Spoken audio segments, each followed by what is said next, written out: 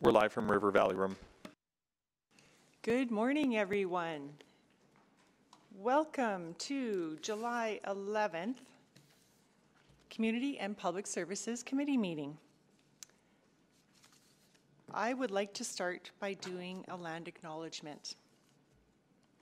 I would like to acknowledge that we meet on the traditional land of Treaty 6 territory and Métis homelands and acknowledge the diverse Indigenous peoples whose ancestors' footsteps have marked this territory for centuries, such as Cree, Dene, Saulteaux, Blackfoot, Nakota Sioux, as well as Métis and Inuit and now settlers from around the world.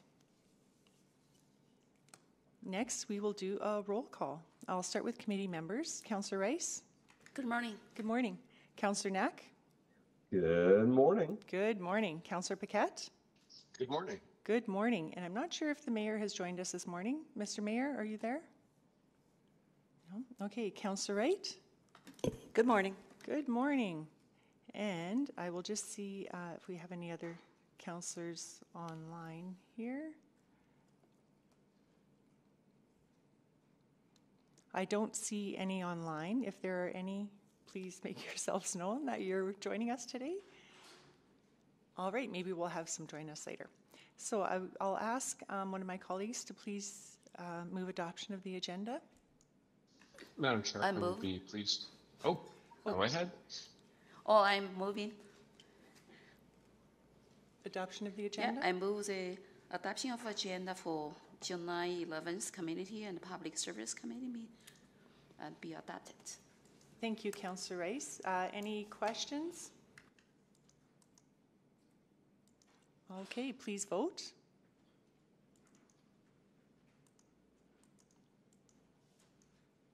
We have all the votes. Please display the vote. And that has carried. Approval of the minutes. Councillor Knack, would you please? Thank you, Councilor Principe. I'll move the approval of the minutes from the June 19th, 2023 Community and Public Services Committee meeting. Thank you. Any questions, omissions, errors? Seeing none, I'll ask you to please vote.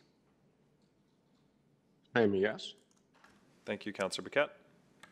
We have all the votes. Please display the vote. And that has carried. Next, we're going to move on to protocol items.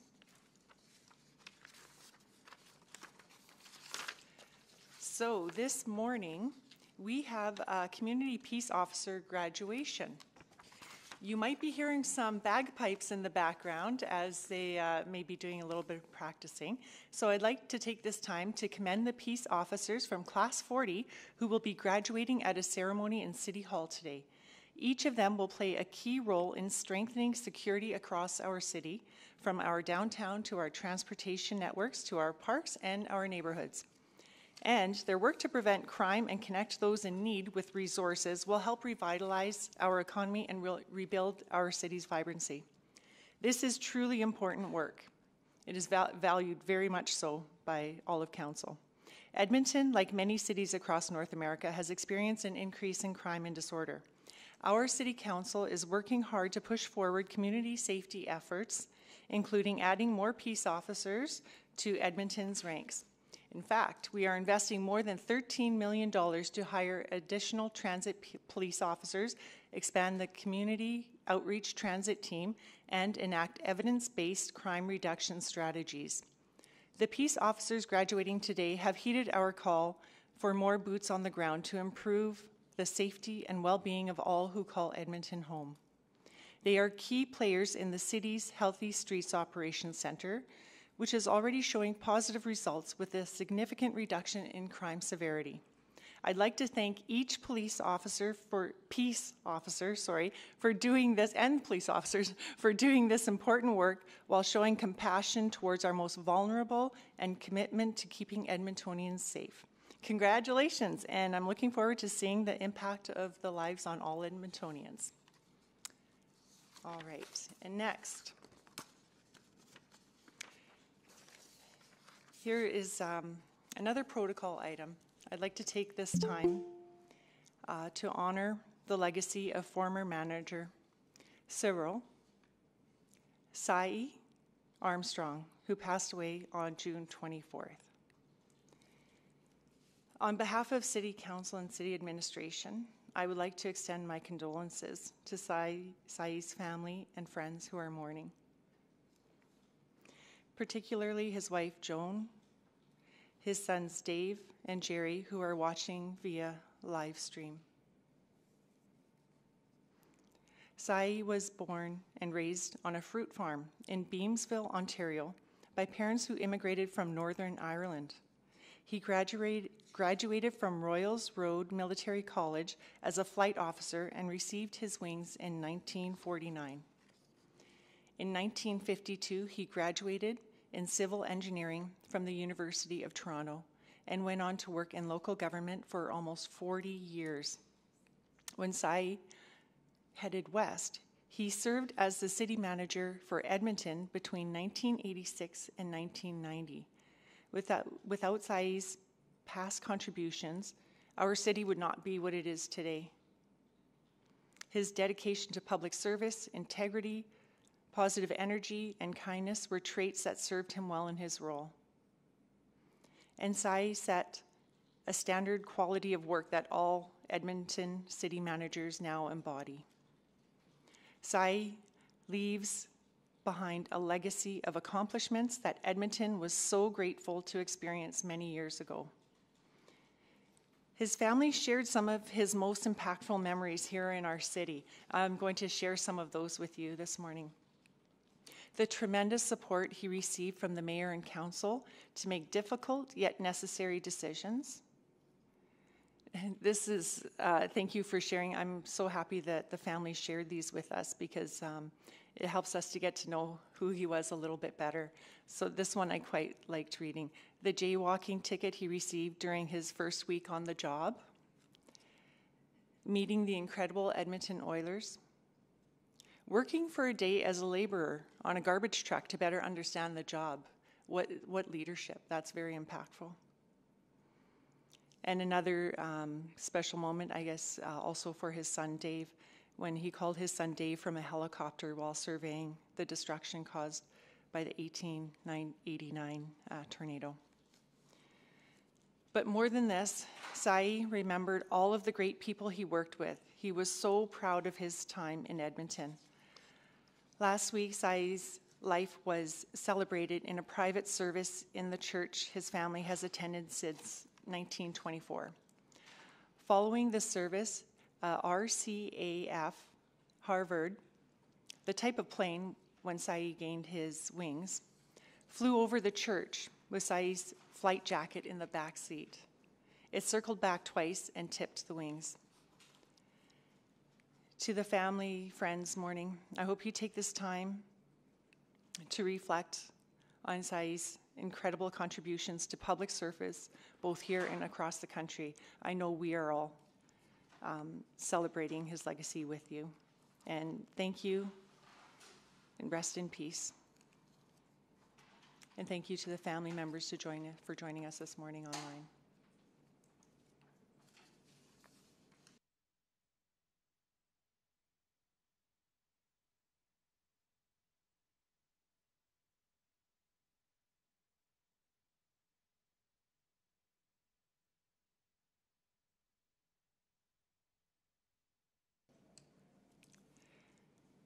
So carrying on with our agenda, could I please ask my colleagues to sign up to select items for debate?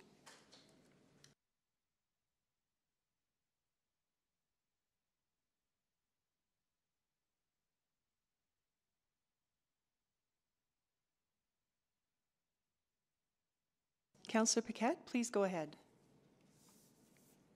Oh, thank you, uh, Madam Chair. Um, I will just uh, select all the items. Okay, Seven one, two, seven three, and eight one. okay, great.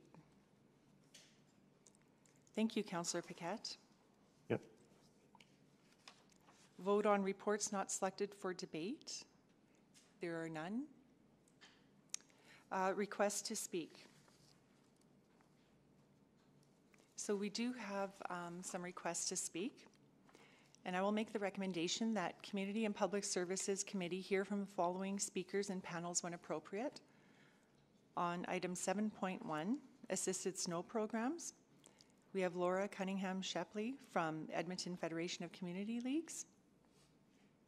Laura, are you with us? I am, and I'm here just to answer questions only. Just to answer Duncan. questions. Yep. Okay, thank you. Thank you. And Tanya La Riviera? Good morning. Good morning.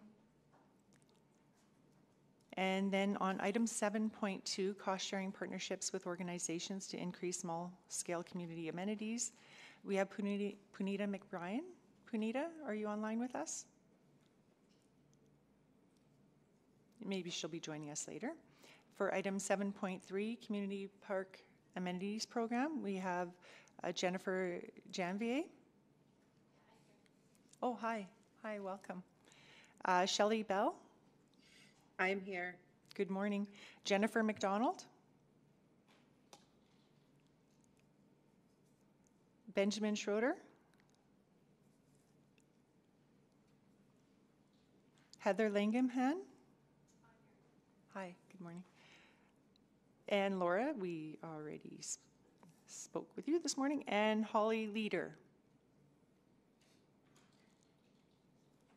All right, and then on item 8.1, the current status of city-enabled and city-provided Indigenous business supports, we have Brooks Hanowich.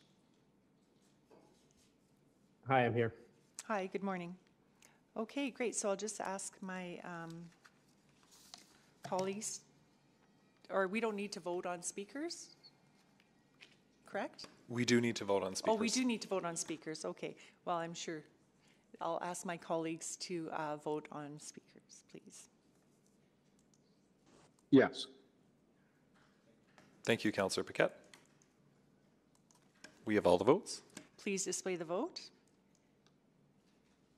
Oh, yeah, I was quite confident that would carry.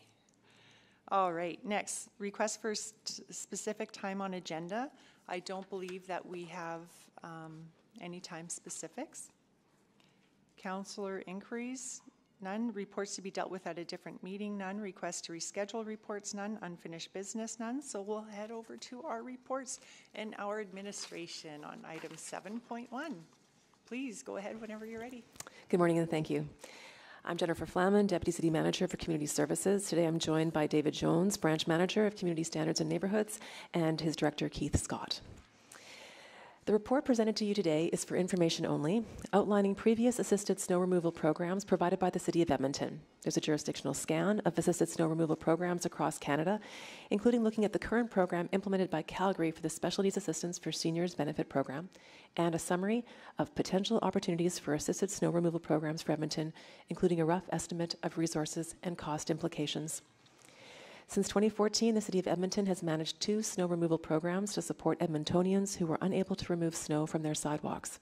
The Snow Angel program was a volunteer recognition program that ran from 2014 to 2017 and focused on community nominations and a city led recognition program.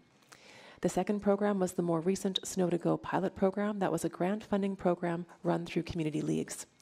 As neither program was considered core service at the time, both were unfunded and there are no plans to continue with either at this time. A jurisdictional review was completed and attached to the report. The scan found that other Canadian munici- municipalities provided various types of programs, including grant funding, volunteer based, and contracted social enterprise initiatives.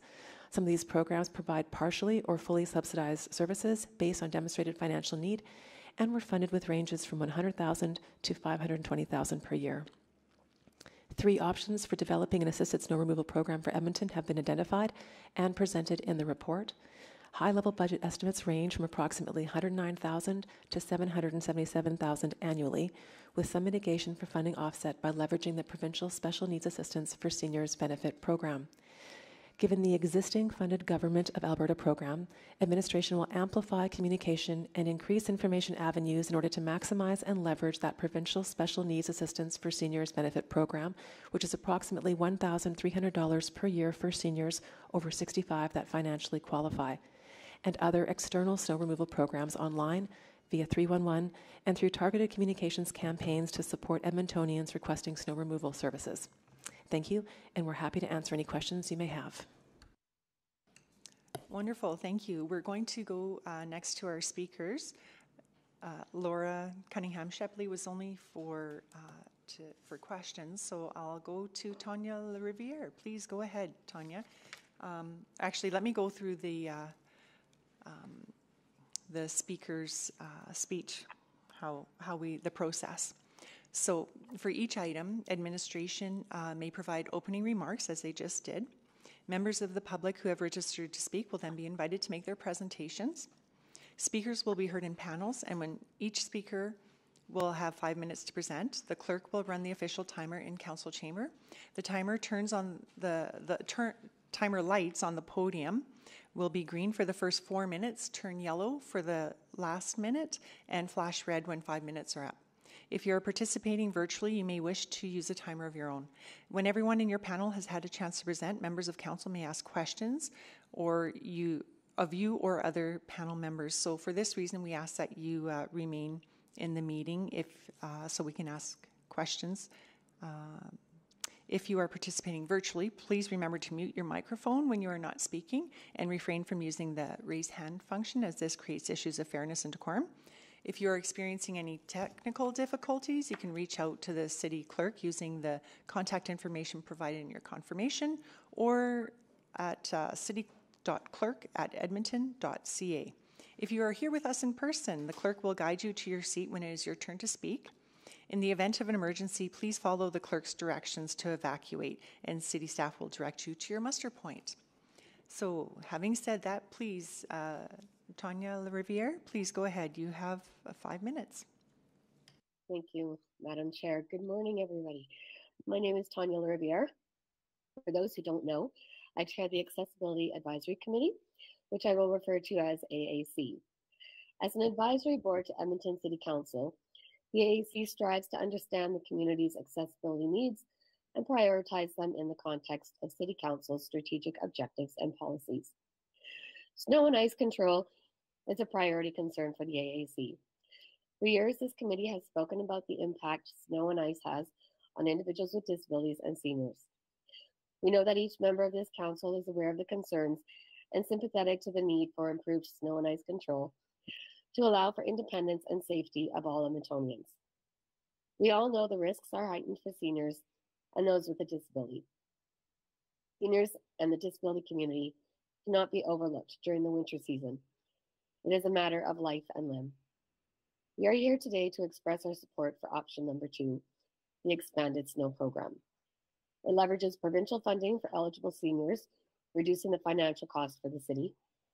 Hiring three full time employees contributes to a structured organization and service delivery system. As a committee, we often talk about the importance of coordinated efforts. We agree that using existing data via DATS and assisted waste collection is the most direct, cost, and labor efficient method to determine need, and the opt out system automatically removes a barrier to communication and service. We feel option number one, leveraging the Provincial Assistance Snow Program, although an important benefit program for seniors, is narrow in scope as the benefits only apply to seniors and not individuals with disabilities. Option number one, three is the Snow Angels volunteer program. Our concern is that this is a recognition program that would lack a structured approach, accountability, and reliability. Even with a renewed approach, history has shown that a recognition program has not been successful. Snow removal is the responsibility of all Edmontonians. As you motioned, the AAC will work with Snow and Ice admin on an educational campaign for business and neighborhood snow and ice control. We must take a multifaceted approach to service, education, and responsibility to ensure everyone's independence and safety. The weather quickly shows independence is hampered by snow and ice, but it is also hampered by the city's and community's inability to deal with it. Obviously, this will not address all snow and ice controls, uh, control concerns, but it is an important step that will positively impact those who need the service and the broader community. Thank you to the Council and admin for considering and researching assisted snow removal programs. Thank you. Thank you very much for that. Uh, I will ask my colleagues to sign up for questions. Councillor Paquette, you selected this item. Would you like to go ahead first? Uh, sure. Yeah, thank you. And uh, thank you, uh, Tanya, for coming out Uh, it's good to hear your voice every single time, and it is meaningful. So thank you. Um, and I hope that we can demonstrate that it's meaningful through action. Uh, so um, maybe uh, just a quick question for Laura. Um, does EFCL have any information on how many leagues were consulted on Snow to Go and how many leagues were using the grant? There was quite a few leagues that signed up for the Snow to Go program. And so I think what that says to me is that there's a lot of interest to Tanya's um, comment that that it's a community responsibility. I think leagues want to help out their neighbors with this program. Yeah. Yeah, and in the report, it's been indicated that sort of that's a program that uh, you know maybe wasn't incredibly subscribed to uh, citywide in an equitable equitable fashion, I guess you could say, for people who might have need. Has that sort of been the E EFCL's experience as well? You know we weren't very involved with it councillor paquette so Yep. i i can't speak i i i know that we have asked that there be another um, approach looked at and i really appreciate the report that administration has put forward um, the snow to go program did pose a few uh, liability concerns for leagues that we've talked to administration about and so we're hoping that then some of the new approaches will address that Okay, thank you. I appreciate that. Now, uh, Tanya, just a, a quick question. Um, so, of the options that that you saw in the report, um, is there is there a preferred option for you? Option number two. That's number two, without modification. Just let's go with number two. I, I'm not too sure exactly what modifications would be beneficial. That would, you know, require more more conversation. But as it stands, option number two is a really good choice. Okay. All right, which is, inter- I, g- I'm going to have to go back to uh, this Cunningham uh, Shpeley, if it's okay, then on that response. Um, in our report, it says that EFCL, uh, or it says um, that uh, communities wouldn't necessarily support that option. Do I have that right? I think my understanding is that community leagues could be positioned to help advertise and support the program to their neighbors is my understanding of that option. So they wouldn't be accountable, like leagues wouldn't be accountable for that work getting done. They would encourage their neighbors to sign up for the program and it would run through the city is my understanding. Yeah, okay. So that makes sense because I've got a I've got a community league that really tries to go all in on this and it's uh um but they've got the alternate program like the current program that they're accessing funds from that isn't as holistic. So I can do you think that that's sort of that experience is what is maybe has a chilling effect, no pun intended, that uh community leagues sometimes feel like they're doing this uh generally organizing it all on their own?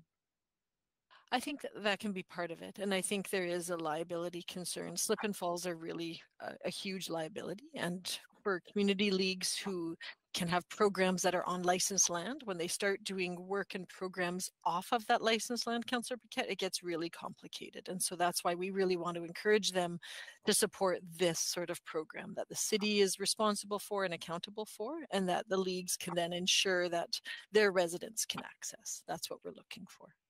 Yeah, that's a good point because then there I have communities who really want to run this program, and so uh, some interesting conversations ahead. Thank you, uh, thank you, Madam Chair. Thank you, uh, Ms. Ms. I don't know if it's Miss or Mrs. in these days. Uh, Tanya, I'll keep it simple. Thank you.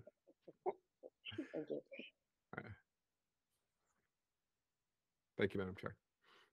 Thank you, Councillor Paquette. Councillor Rice, please go ahead.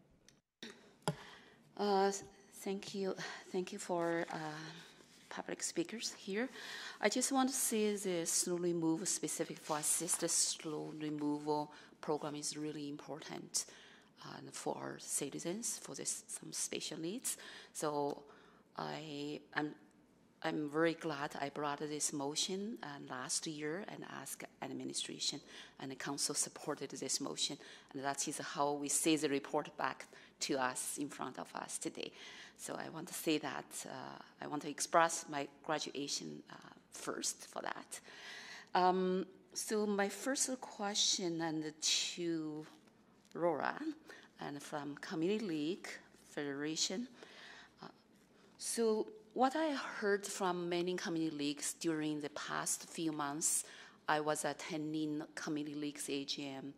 Um, I heard some like comments regarding the challenge and for community leagues to implement certain programs, including uh, assisted snow uh, program, the pilot program and said existing and finished by end of 2022. So can you tell me a little bit more about what you heard? Uh, what's a challenge for our city to continue to implement existing uh, pilot program for the snow removal to support some special needs uh, our Edmontonians need those? Yeah, I, I don't know specifically, Councillor Rice, what concerns um, the leagues had. I think, you know, as you can hear today, there, there are varied needs across the city, depending on the demographics of each neighborhood. And so I think that going forward, this is what the EFCL really appreciates, is the city taking the lead on this program, leagues then understanding how neighbors can connect into that program and really supporting that program that way you know, community leagues have a lot of work on their plates already to do just with the work that's involved with the events, the, the amenities that they manage on their tripartite land and looking after the snow removal on that is, is their responsibility. And so we really want to say, how can we ensure that they can connect residents in their neighborhood to appropriate services that are supported through the city? And that's the way that we want to see this program going forward. I, I understand, and I think the from positive side, and even from my uh, my personal view, and we really, uh, I hope our city and could put lots of effort and to support this snow removal program, and then in particular we're discussing today, and for the special needs, including seniors. that is my hope. On the other hand, I heard uh, community league actually face lots of challenge for the volunteers shortage and also liabilities and some like the insurance, uh, some challenge. And I, I say, I say the lot, hate lot, and in the room right now, and for this. So that is why, and then there's three options in front of us. I think we'll based on discussion to decide which option will be the better option for us to continue this program. So thank you. Uh, that's my first question. And the second question, I'm going to Tanya. So Tanya, thank you very much come to speaking. I think that is really, really important. We have the voice from our advisory, accessibility advisory committee to bring the leads and in front of the council. Um, so in your speech, you mentioned provincial special needs assist, assistance program only focus on the seniors. And I just want to get clarification based on my research. I found this program, special needs program, actually not only for the seniors. They cover the scope of the coverage is bigger than only seniors. They also cover on some like special needs and including and some people with limitation, with limited accessibilities. And uh, that is my understanding. So can you provide a little bit more clarification from your understanding how this uh, provincial program?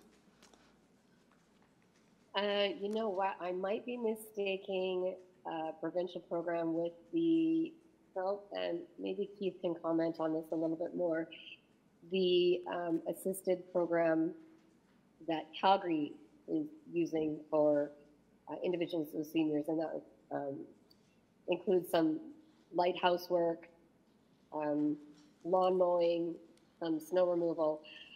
Um, so I apologize. I was I assumed that that provincial coverage. Okay. Included, like, included that.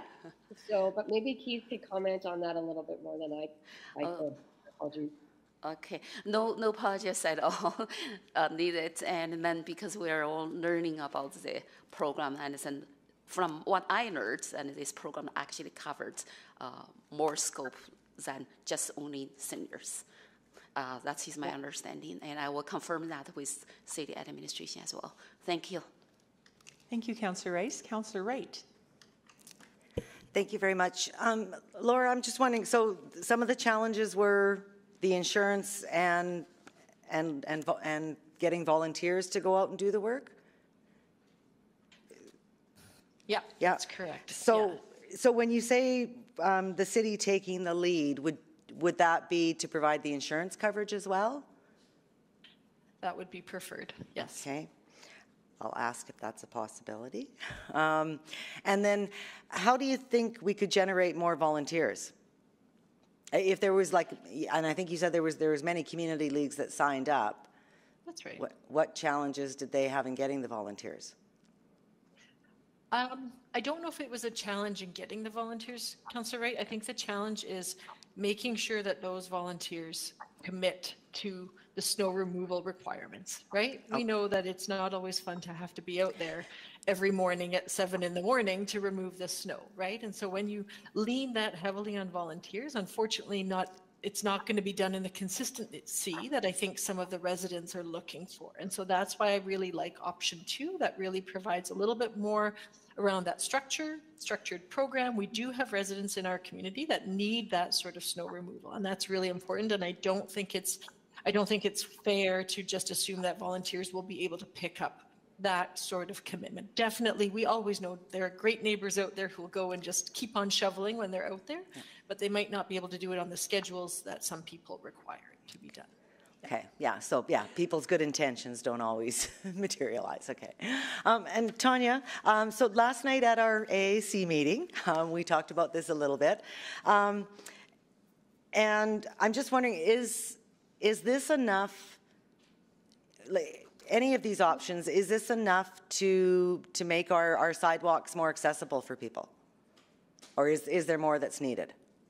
No, there's definitely more that's needed, but we think that this is a very important component uh, that will go a long way and help those individuals with disabilities or seniors who can't, but also um, clear those walks for those who are in the community who are more vulnerable. And, and, and I, I, I say that um, with, you know, specificity, but all Edmontonians in snow and in the winter, when it comes to snow and ice, are vulnerable as well. So this is something that will definitely benefit the community, but there needs to be that multifaceted approach. So this is a component. This will make it better, and better is good. Okay. Um, and then there needs to be education around it as well And education for who? for businesses, for neighborhoods, for neighbors, um, on the importance of snow and ice, and also um, how, like specifically for businesses, how to control, um, remove snow so that there are accessible paths. Okay, So and, big educational campaigns. come. Um. I, I'm, I'm, I'm going to ask, I guess, Mr. Jones afterwards about enforcement. Um, Would that, would that help? It, Like, would it, would enforcement of those that don't clear their sidewalks help with the mobility of, sorry, of to? Yeah, it's directed to you. I- Oh, I'll have to wait to ask Mr. Jones later, but I'm just wondering, Yes, absolutely. okay. And thank you Okay. for bringing that up.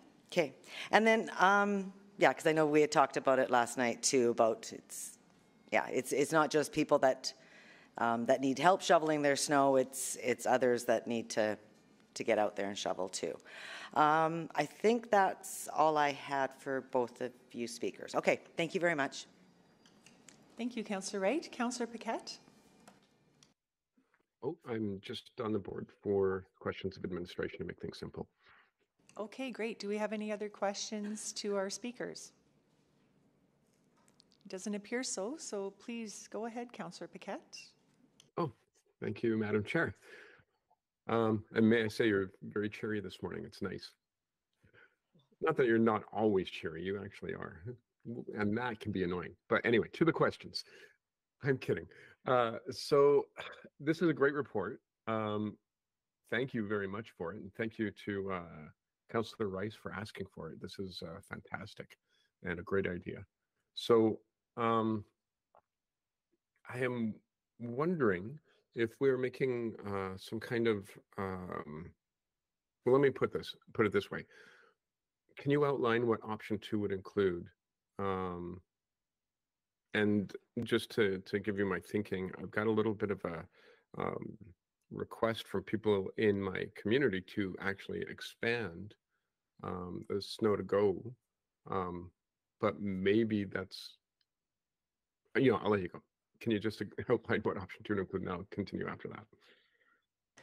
So the difference between option one and option two is that both leverage the seniors program for the GOA.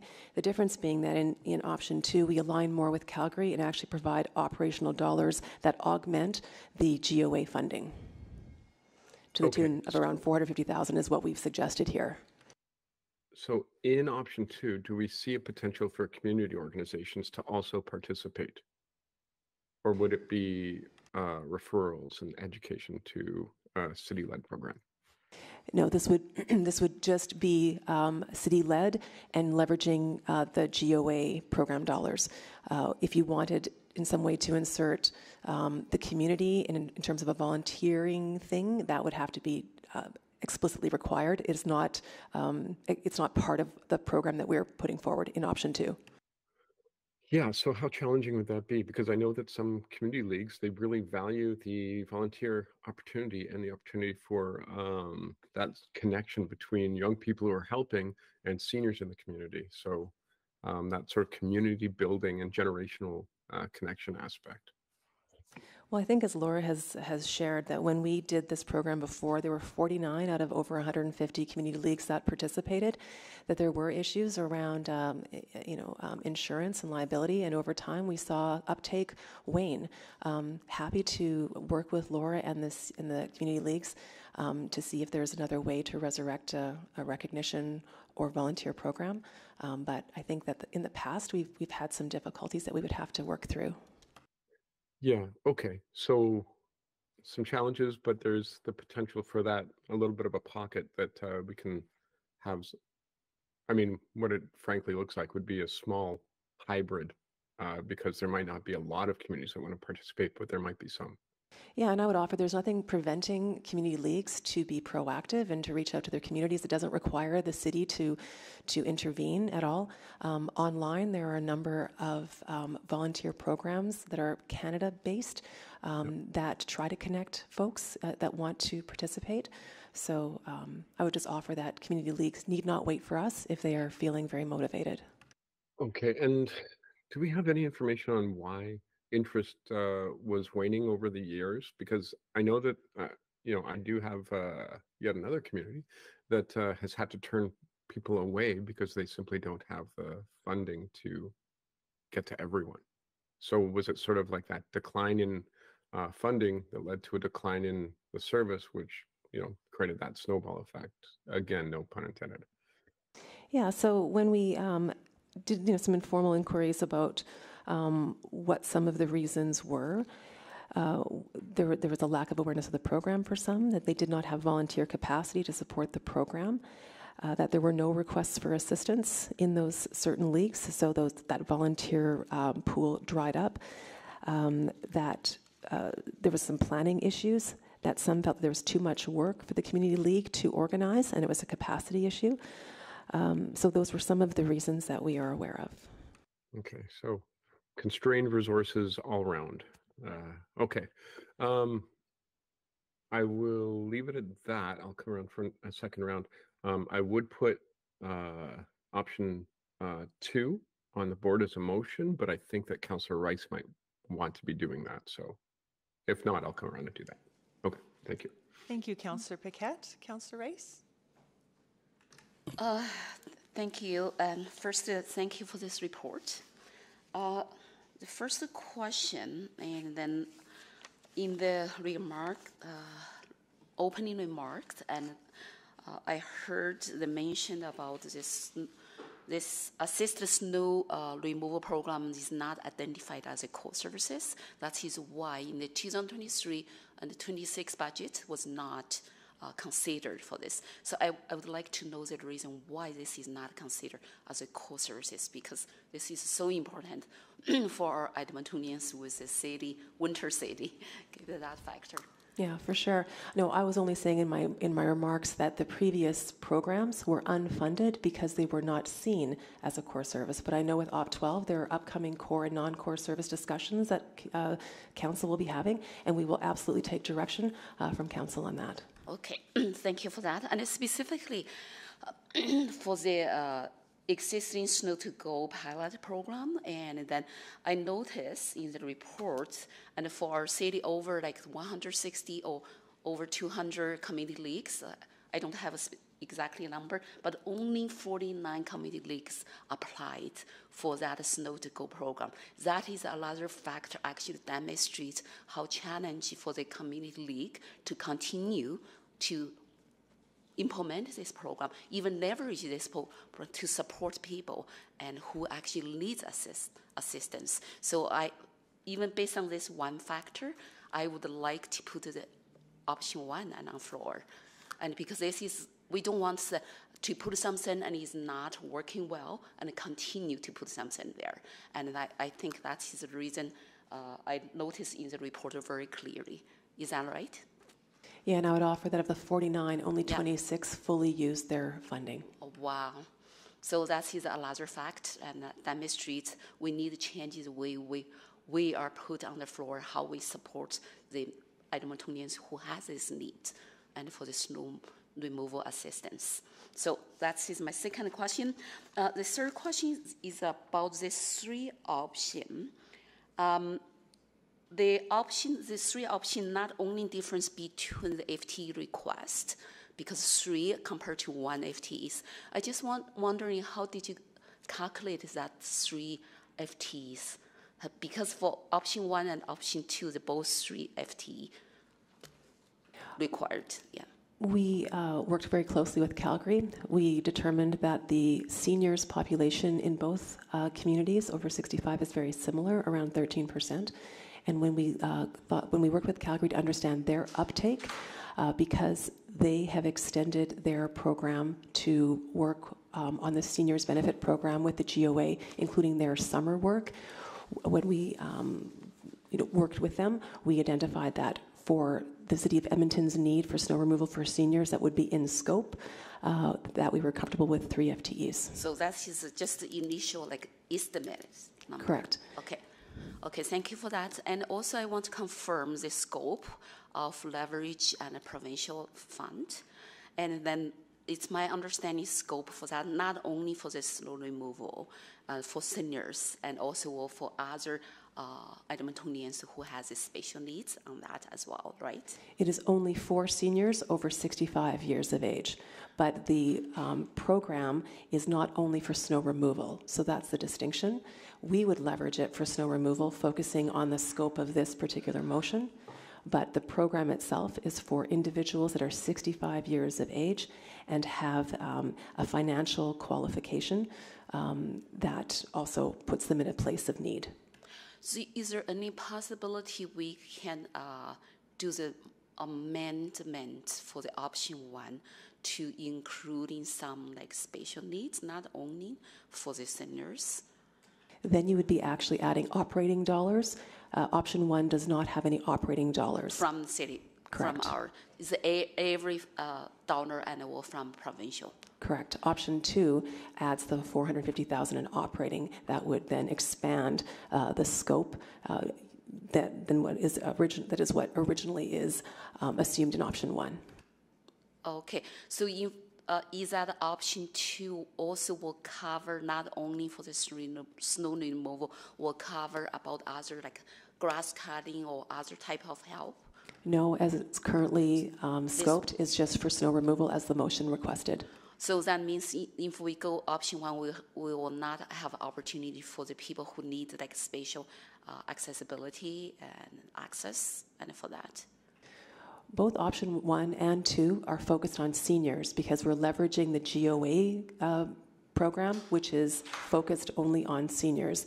If council wants to direct us to expand the scope of this to folks that are not over 65, that would be a different um, exercise. That's different. Sorry, I may come back for the second run. Okay. Thank you, Councillor Rice. Councillor Wright, go ahead. Thank you. So just for total clarity, these options presented are only for seniors. It does- does not include anybody with disabilities. I'm incorrect. Option two does include. Oh, okay, that's. That's my mistake, What sorry. I thought, okay. Sorry. Um, But I'm just wondering, um,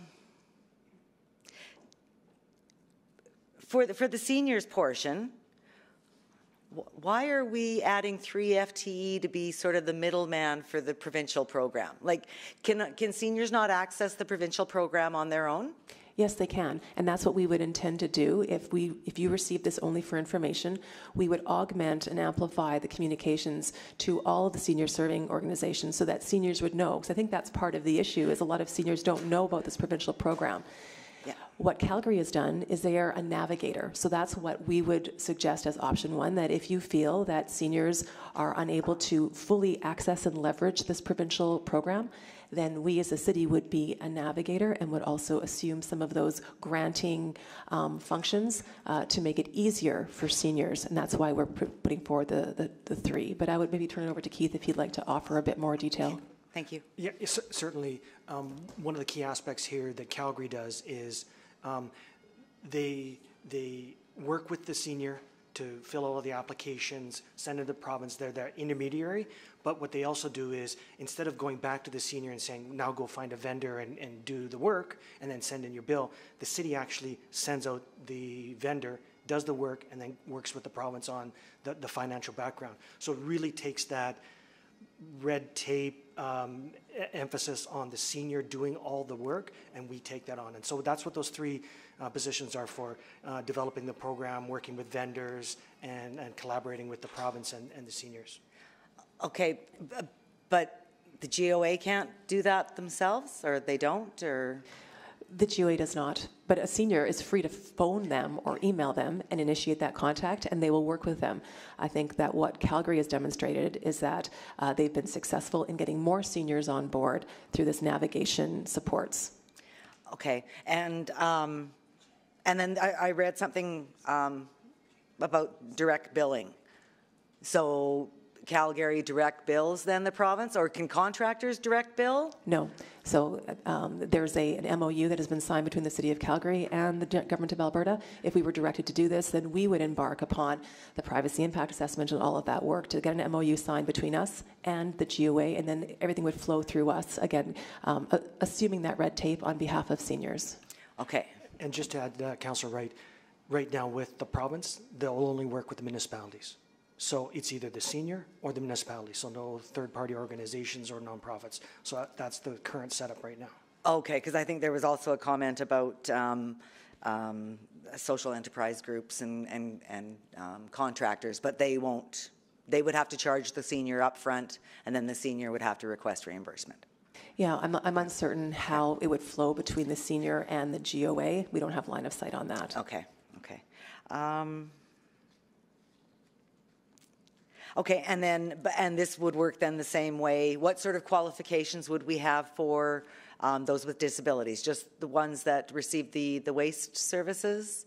We would leverage our current understanding of those folks accessing um, the waste and the, and the DATS, and then um, working with them to uh, assume those services. Okay, okay. And then, uh, Mr. Jones, I, I said I was going to ask you about enforcement. um, because, you know, I, I think this is great that, you know, to help seniors, those with disabilities, but I think overall, you know, we need to make sure sidewalks are cleared across the city for people. Um, how is enforcement for sidewalk clearing in, in the winter? So it's largely on a complaint basis, but uh, when the officers do, uh, when they're in an area, they will also, you know, look at other sidewalks, and if they haven't been cleared in the same amount of time, then they will put out warnings, like a door hanger. Um, I know the report talked about just over 11,500 uh, complaints for snow on walk, and um, that's covered by our 23 municipal enforcement officers. So they're pretty busy come, uh, come especially heavy snow uh, season. Um, and then there's, you know, there's, uh, there's this warning period where people are given the last opportunity to shovel their snow, and then we will ticket, and we'll also hire contractors to clear that snow and, and bill it back, if I'm correct on the tax roll. But um, what I will say is of those 11,500 and some odd complaints, we don't know how many of those are generated from folks who aren't able to clear their walks and need to rely on other, other people. We just don't have that data set. So just one caveat uh, on, on, on that level of complaint. Anything to add there, Keith? Yeah, and I'll just add that with the snow and ice uh, report that was brought forward, we had the additional 15 temporary officers that we hired uh, this last year. So in addition to the annual 11, 10, 11,000 that the MEOs, uh, municipal enforcement officers do, those additional 15 officers did another 14,000 proactive complaints. So not just reactive from the community, but in high pedestrian areas and commercial areas in an attempt to try and address what I think Councillor Wright was uh, indicating about people who need that accessibility or those, those areas where we would see that high traffic. So we felt like that that was a very successful opportunity for us to, to do more than just being reactive. Okay, thank you. Thank Um, you. Mr. Mayor, go ahead.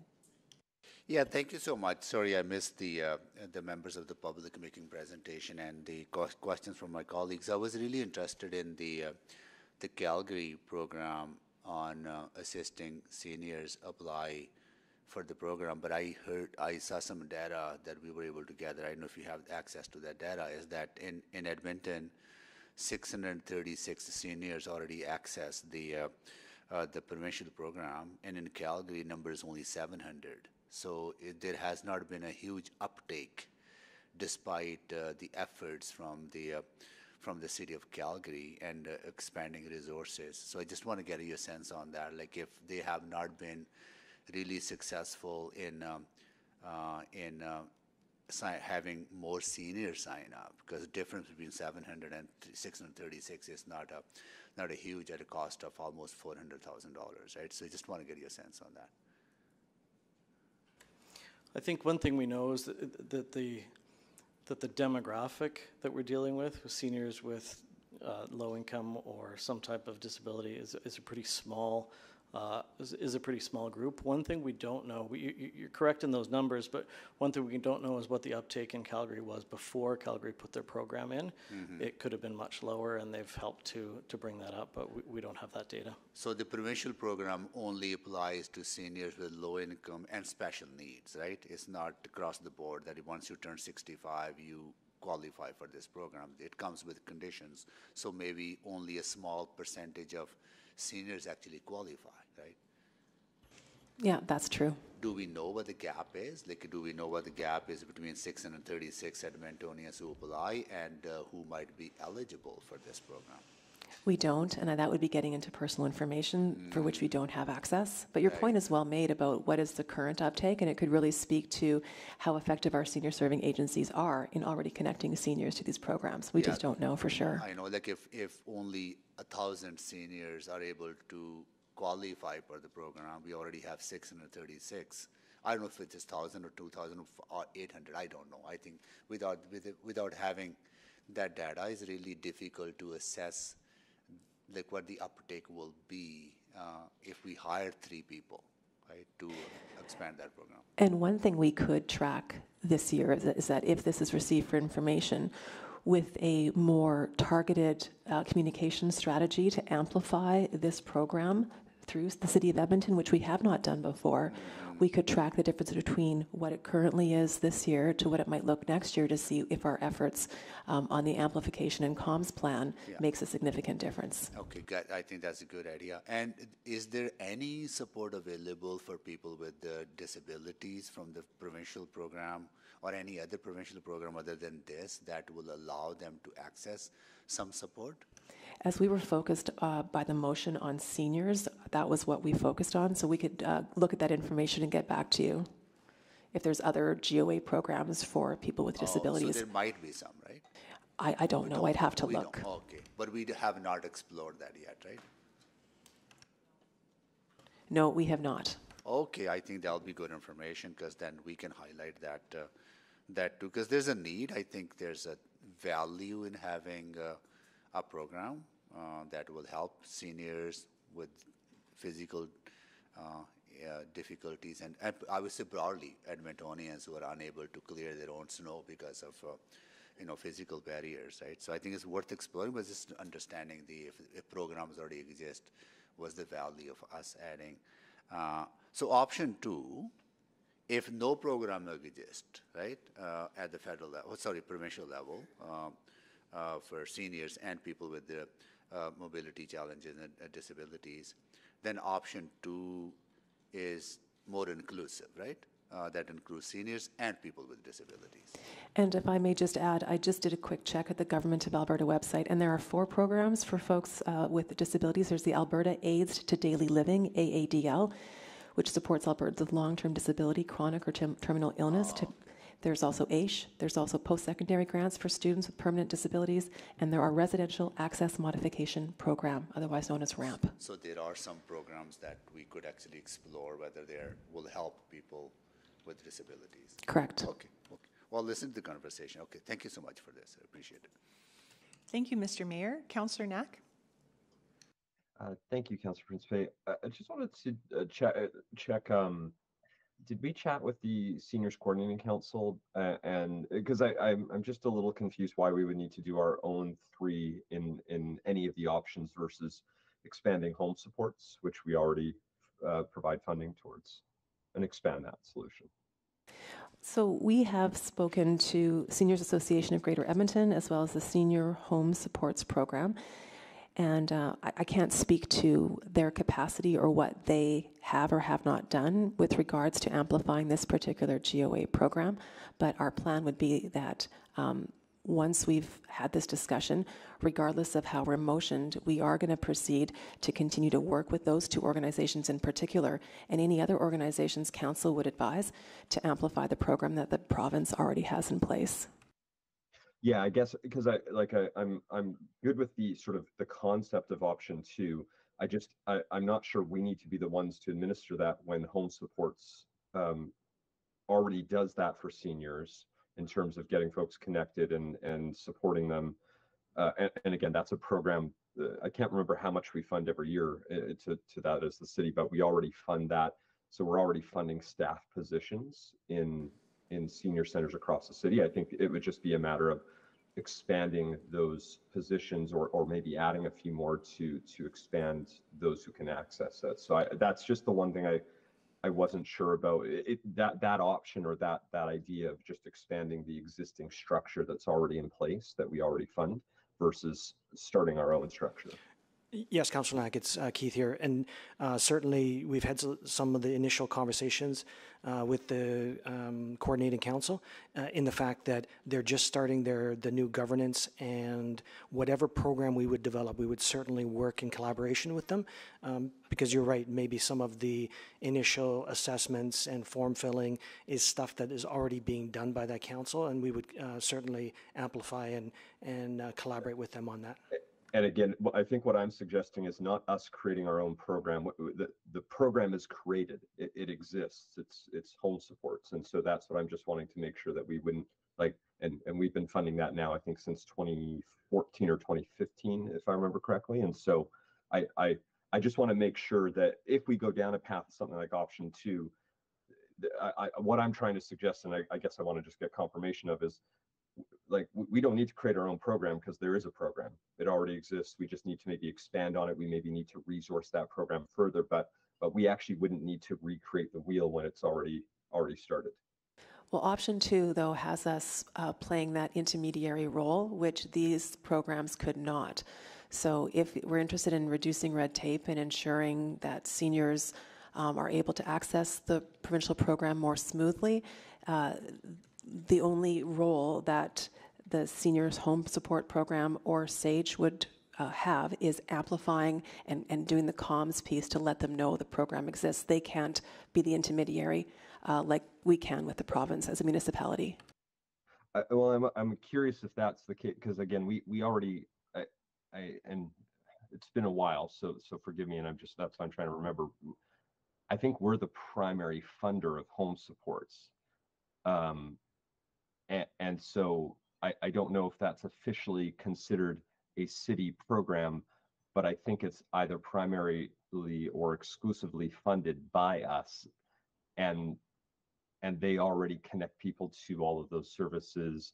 So I, again, that's just why I'm trying to and, and maybe I'm nitpicking at, at a point where, where we haven't got a motion on the floor yet, but I guess I, I would just like I like the idea, but I just I'm I'm really concerned that we would actually be creating a structure that that is that has been in existence now for a number of years and and rather we could expand on and and tweak and modify and and ideally I imagine engage the province to say this is something we already fund.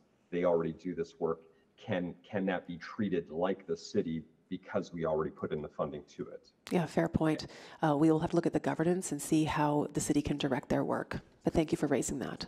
Perfect. Yeah, I think so. If we're going to go down that path, option two, I just uh, I, I put a caveat or, or and maybe I'll wait, wait till the motion just so that we're not creating three new positions for something that I, I think we could actually just use what we have, maybe expand on it. So, okay, thank you. Thank you, Councillor Knack. Councillor Tang? Uh, thank you, um, Madam Chair. Uh, so I had actually a similar string of questions as Councillor Knack. Um, although I don't know if you have this number offhand, uh, like, do you actually know if the home support worker uh, program coordinated through the Seniors Coordinating Council, so it goes beyond just a single center, it covers across the city. Um, how much of that is city, it, it is in Sac City, and how much is that is uh, pro- uh, provincial. We would have to go back and look into that information. We don't have that available now. Yeah, because I would be actually quite hesitant on funding additional uh, FTEs when, um, I mean, I know the program is actually uh, in high demand, but has been underfunded over the years. Um, my understanding is actually from the province, as based on most of the senior serving um, or um, aspects. Uh, but uh, I I also like the idea. I also like the the the idea of using you know DATS and our current waste collection data, um, and having people do an opt out uh, process um, for especially for people with disabilities. Um, anyways, I, I actually realized most of my questions have been have been um, been asked already, but that was sort of the lingering piece for me. Um, is the seniors coordinating uh, council aspect. How are we? How are we? You know, if if we go with, I guess the alternatively, you know, if we go with something like option two, how will we actually work with existing home support workers, uh, like the one that we already have? Um, and then the other question I had was, um, so in the last snow removal, um, in the last snow removal uh, before, I had asked about sort of communication and public awareness raising campaign, a bit of a low hanging fruit, but public education about the importance of um, removing snow for your neighbors, for seniors, with people with disabilities. I guess in, in formulating this report, I'm wondering if you've taken that into consideration. because um, I think we've all also heard, you know, we need kind of multiple tools, and I see this as one of the tools.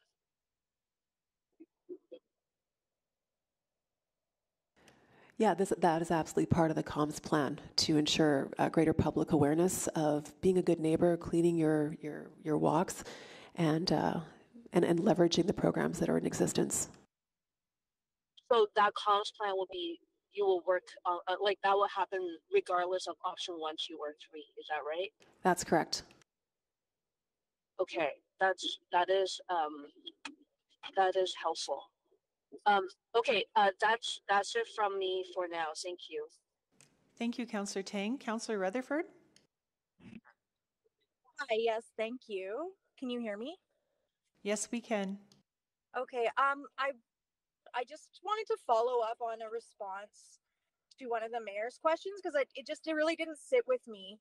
Um, with regards to the data, so I really believe in inf- data informed decision making and uh, Ms. Flaman, you you answered with, you know, getting some of that data gets into personal information, but there are a lot of data points that we have that would give us a pretty solid understanding of what that delta is with the intersections between low income seniors, which StatsCan has data, disaggregated data, data on low income, and you can cross tabulate it with age.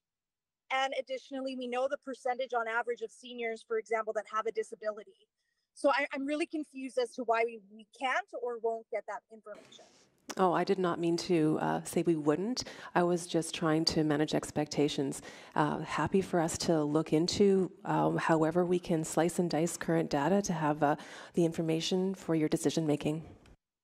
Yeah, I mean, but but we're at a point of decision making right now, and we don't have that data.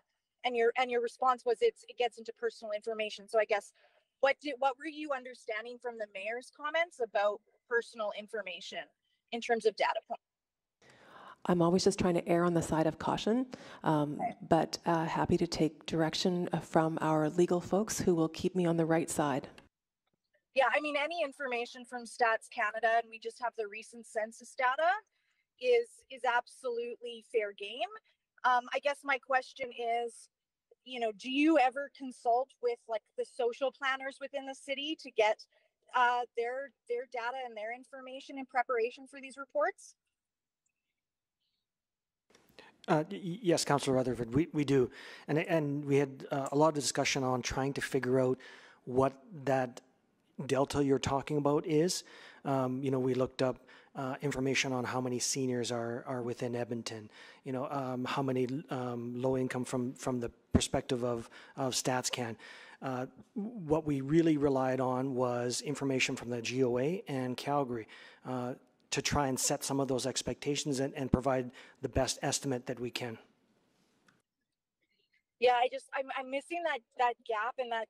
Okay, so if we have you know a certain number that are already registered for that GOA program, what's the delta? Uh, you know, similar to the mayor's question, what's the delta of seniors that have those intersections that we're missing, right? Like, so if we are to do a targeted, you know, communications campaign, what are our targets for for signups, right? Like, or if you know we do option two, what what gaps are we filling that the GOA program doesn't cover, right? Those are just things that I I feel like I'm missing that information in this. Can someone speak to that? Yes, certainly, Councillor Rutherford. Um, what I can say is that um, the estimation that Calgary has is, is approximately 700 that sign up for the SNAS program within within the province. Within uh, the GOA has given us information saying, as the as the mayor indicated, 636 have applied for the SNAS within the Edmonton area. Um, when we look at the demographics as to how many seniors are in Edmonton, um, we can certainly take a look at that and see if that we can provide just a bit more of a narrowing of that uh, scope that you're looking for to provide that for you. Yeah, I think it would be really helpful in, in a, you know, future conversations, both around making sure we're thinking about snow clearing um, and accessibility for both seniors and people with disabilities. Like, I really feel like there's some data out there and data sets that we're not fully utilizing for our decision making purposes. So I would really appreciate that. That, that's all my comments. Thank you. Thank you, Councillor Rutherford. Mayor Sohi?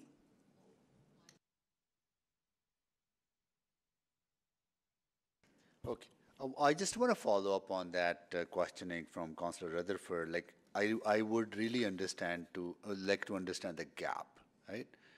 Uh, both for seniors and for people with disabilities. Are, are we talking about 2,000 people, 3,000 people, based on whatever data that is available or whatever other data we can, can gather? I think without that type of information, having a program may not be as effective. That's what I understand. Maybe that could be the next step for us to uh, uh, gather that information, bring that back.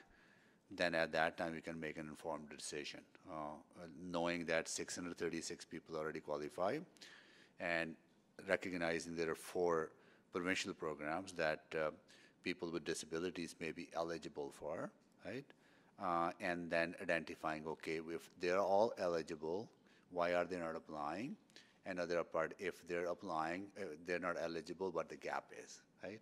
Uh, I think then we'll be in a better, at least from my point of view, then we'll be in a better position to. Uh, I think there's an, I I would like to have a program if there's a identified need that we cannot fill or we cannot leverage other sources uh, to fill, right? That's what I would like to get, get a sense. Is that doable in a short amount of time uh, uh, before we get into fall budget discussions? Just wondering, is, is it too, how much work is it to gather that? And maybe some uh, preliminary data to help us understand the need better. Yeah, we'll, we'll definitely um, take this away. We'll get in contact with the government of Alberta as they would be the owners of some of those programs that we're talking about to see what that uptake is. And we can work with our uh, colleagues in city operations to see if we can further uh, dissect that DATS and uh, waste um, programs Right. to get a better sense of, of the delta that you're speaking of. So the, see, see the, the DATS program is more of a universal program, right? People with disabilities can access that program uh, regardless of their economic circumstances, right? Uh, they may have, you know, resources to hire someone to clear their snow, but because they can't move around in, in winter, so they rely on DATS, right? So it's, it's a universal program. It's not an income-tested program. For sure. Right. And we'd also then have to look at folks that have um, a door, you know, that they're not living in a, in a larger congregate uh, situation because then we're, we're removing snow from their sidewalk um, in, a, in, a, in a residence situation. How does the waste collection part uh, works? Like, is it income based, like, or is it universal? Somebody applies to have their, uh, well, we have that assisted. We have that information. I'm not sure if anyone from city operations is on the call with us to respond. Um, if they aren't, Like, we is could- it income tested? Like, I, I don't know how does it work. Like, yeah, I wouldn't want to speak for their program, um, but we can get that information for you if no one from city operations is on the call right now. We'll come back Yeah, to you. it's, uh, Oh, it's sorry. Dennis Jubinville. I am here. And sorry, was the question how many people are in the waste program or how they apply? like, how do they apply? Is, is, is it based, based on some criteria uh, that screens them in or out? It is on a criteria, so we have them complete an assisted waste application form through their healthcare provider that confirms they need the assistance. And we have approximately a thousand people part of our program. Is, is income a, a criteria? Their ability to, uh, well, like, it's a, it's a, it's a, it's a fee that people pay. It's just people can take, take the garbage out, right? Is that what it is? There's no fee, and so it is included within the waste utility. And uh, to apply, you have to have a form completed by your medical professional who Okay. confirms that you're not able to collect your or So it's, bring your it's it's solely based on their ability uh, or physical ability, but that's not, like, the, the provincial program is more income tested, right? So that's what I want to understand, because if we want to create a program, we want to create a program that is income tested, not universal, because people can afford to hire uh, their contractors if they, if they have the resources. If a wealthy senior living in their own home, uh, they need, uh, uh, can to clear their own snow, they have the ability to hire someone, right? That's correct. The provincial program is income tested. Yeah, and our program, my sense is, are like both DATS is not income tested for right reasons, and the waste program is not income tested for the right reasons. But something related to snow, we probably want to have income tested criteria, right? As council would direct. Okay, I see, okay, got it, okay. I would be interested in that information, I'll be, if prepared, if somebody can help with the. We can no- get a- If no other motions are coming forward, maybe that's could be a motion to generate more information. We could provide that via memo if that was suitable. But it has to come to council for further, committee for further discussion for budget allocation, if th- that's the desire of committee. Okay. Okay, thank you, Mr. Mayor. Councillor Rice. Uh, thank you. Uh, so f- the first question about, and because the existing uh, assist snow program already ended in 2022, we don't have the budget and started 2023, right? Yes, that's correct. We- We've been just pulling it from our operating budget and trying to find some money uh, as we have a little bit of variance. And be- because because we didn't continue to consider that uh, snow to go and the pilot program, and so that's what if we're not moving forward today based on decision making point, that means we will lack of any assi- assistance snow removal program and for seniors and also for the people with limited abilities. Yeah, we would not have another pilot program. We Yeah. would just rely on our communications and amplifying the GOA program to the communities. Okay, uh, so given the factors there are many other major cities across Canada already and ahead of us to provide this assist through program. So if we're not make any decision today, so we're end up right now. And if we're not take any option and from the three option, and we're end up right now, we don't have program move forward. So I just want to confirm that. Okay, I, I, I saw the uh, headlights. Thank you for that. Um, so also for the current state challenge, implementation challenge I, I mentioned earlier. So is that a new FTE um, proposed will fill off some implementation gaps to support uh, our Edmontonians with limited ability and also support seniors. So that is why we need that additional FTEs or so what specific those FTE, additional FTE needed and for the uh, option one and option two? So those three FTEs would um, work with uh, seniors. They would intake that information. They would work with the province and work with the vendors to connect uh, the services that the seniors are requiring. So it'd be uh, fully administrative work that they would need to do. Um, that was that would be the vision that we were thinking about. Um, another thing, uh, I just want to follow the data gap. But what I heard from the current stats, the program already implemented for the city for many years, since 2014 to now, that data gap should not be the barrier and for us to implement any of the option and you provided here. So that's my understanding. Even though if we can explore more data, but uh, based on what the program already existing in the place, and with this data gap, will still not stop us to implement the option one or option two, right? So that is my understanding because that data is, does not say because lack of this data we cannot do the assisted snow um, removal program because that's we are already doing and since 2014 to the last years. Council is free to make a decision with whatever information is in front of them, um, okay. is what I would offer. Um, so based on that, because I really want to reflect our city's value, we are care caring about our Edmontonians and our seniors, our people with limited uh, accessibilities. I'm going to put option two, but before I put, I do want to confirm one question. So option two already includes all the items in option one. That means allow us to extend the scope for the existing cities program that ended in 2022, right? So extending that scope, including leverage provincial government funding, and plus the existing uh, enhanced um, assessment program that, and, uh, that was ending in 2022? No, there was no existing program. The, the previous oh. program was volunteer based, utilizing community leagues. Okay, so that means we will, option two will extend the scope to leverage provincial government funding and also and provide the opportunity and for our uh, senior agencies or community leagues to leverage this program and to support the seniors and the people with limited ability. When I use the word leverage, I'd be careful. We would be using those other organizations to amplify the opportunity.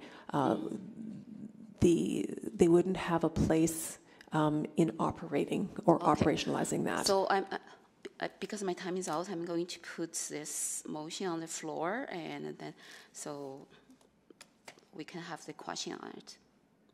Chair, Mayor, may I? Please go ahead, Councillor Rice.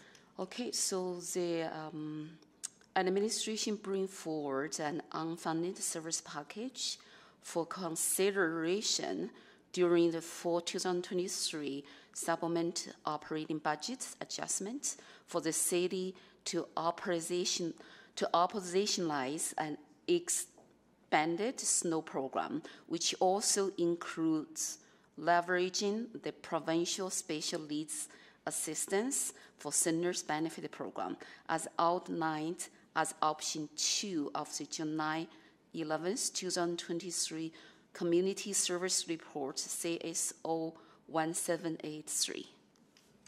Thank you, Councillor Rice. We have a motion on the floor. Uh, Next up, we have Councillor Tang. Please go ahead, Councillor Tang.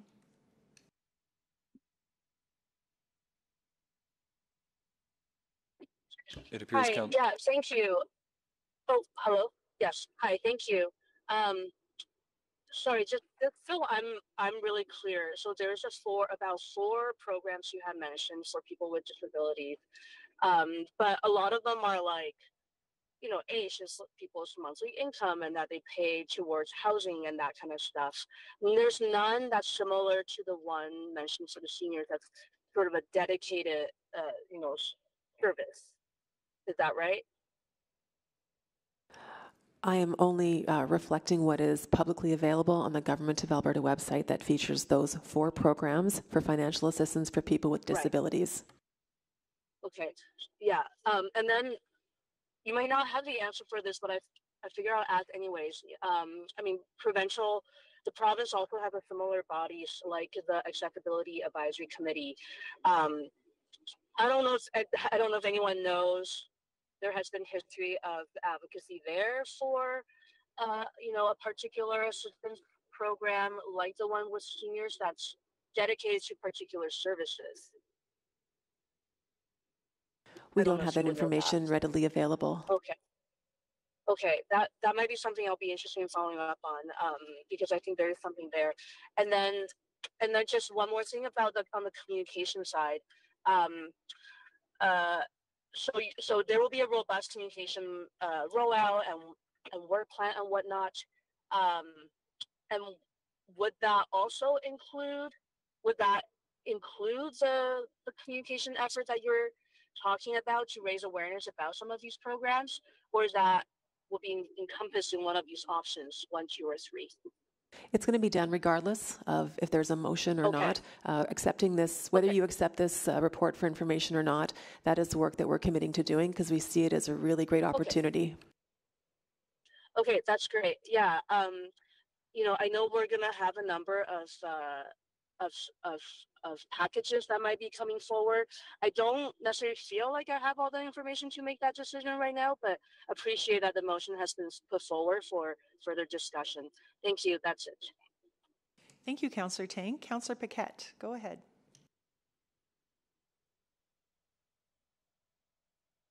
You're muted, Councillor Paquette. I was on mute. All right, thank you.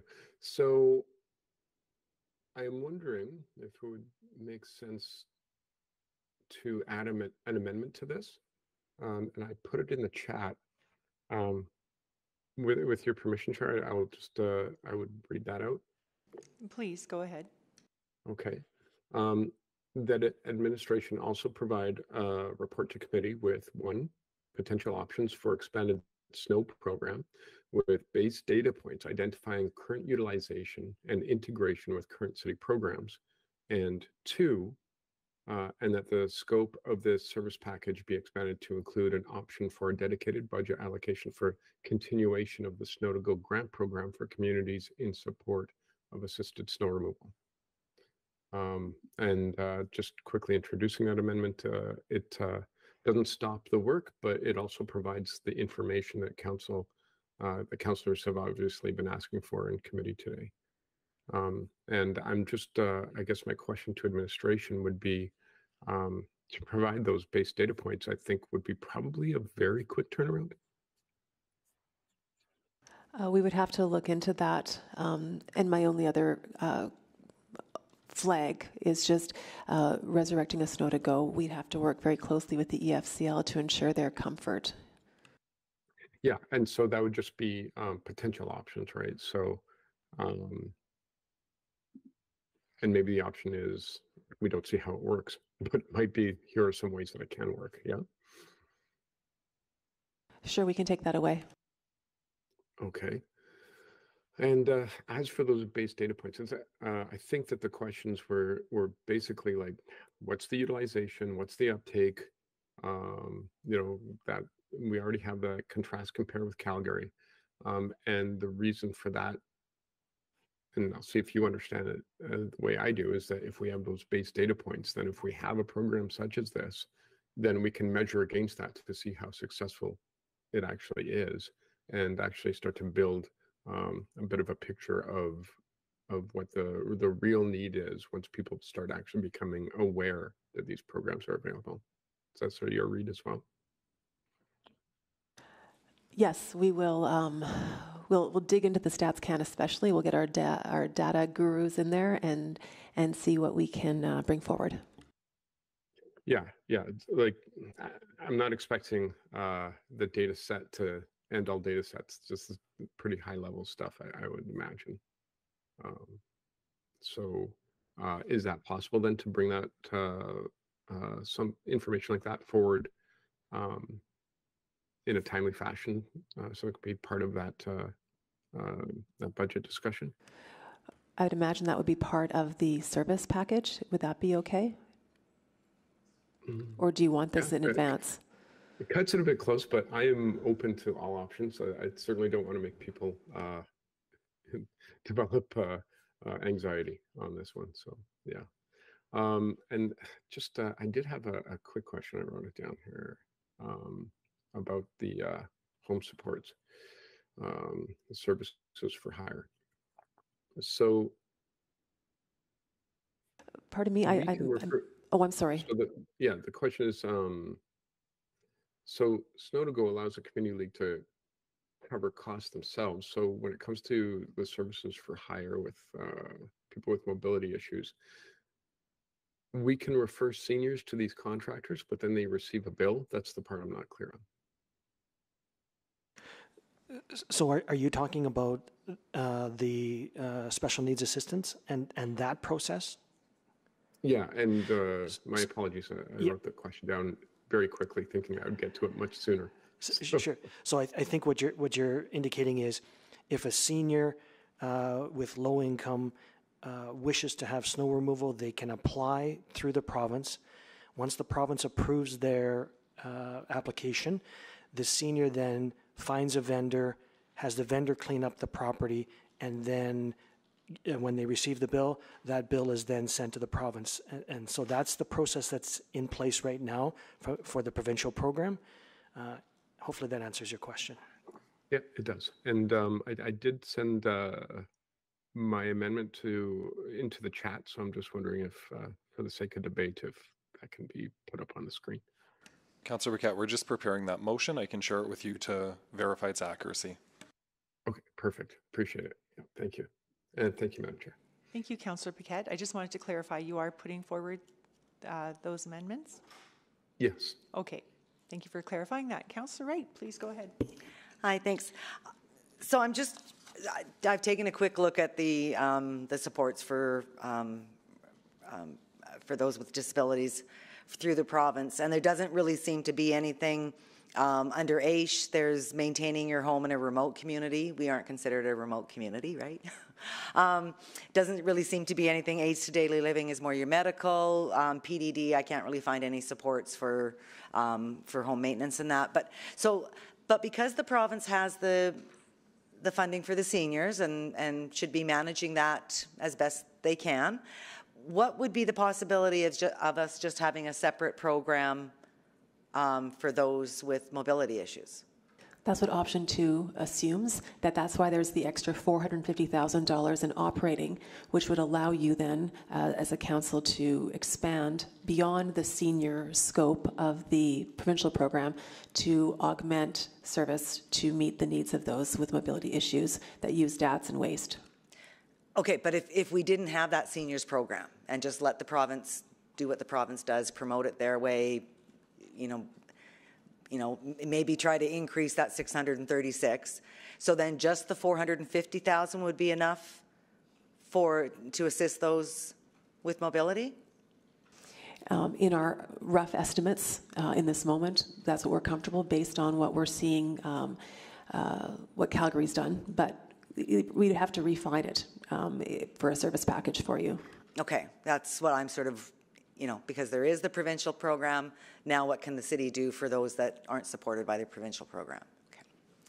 Okay, thank you. I just want to see if we'll have that separated out in the service package. Uh, we, we will uh, do our best and, and we can uh, test that back with you uh, to make sure we're meeting your needs. Okay, perfect. Thank you. Thank you, Councillor Wright. Councillor Rice? Um, just want to clarify a few things here. I, I didn't expect we take this long for this item.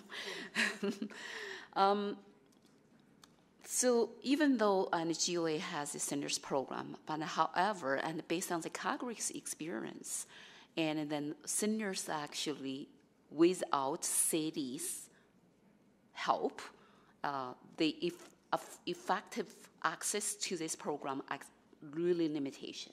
So that is why and the city of Calgary and put their effort to help seniors. So in other city, the majority and based on the reports information provided, there are major cities across Canada they're doing this at municipal level to help seniors to leverage provincial funding. I think if other city can do, why our city cannot do it?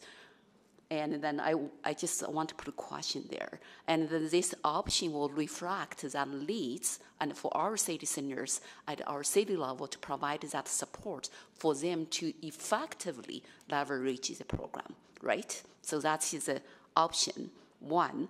So right now, for the option two, I heard the answer for the question.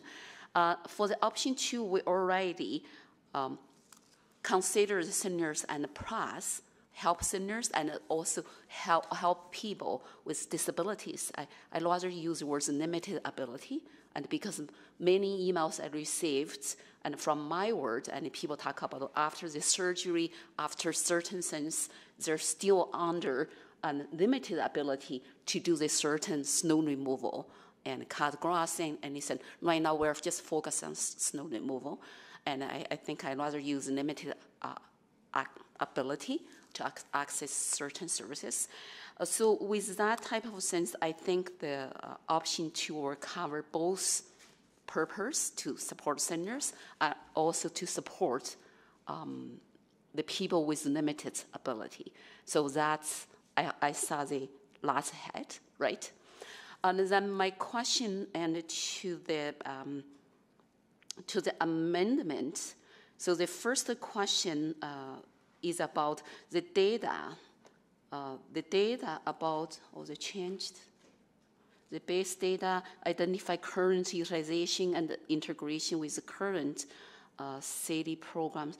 So this report already provided the current city programs for two programs exist and already utilization and integration, all information is already in the current report. Is that redundant work and is repeated work and to ask you to do it.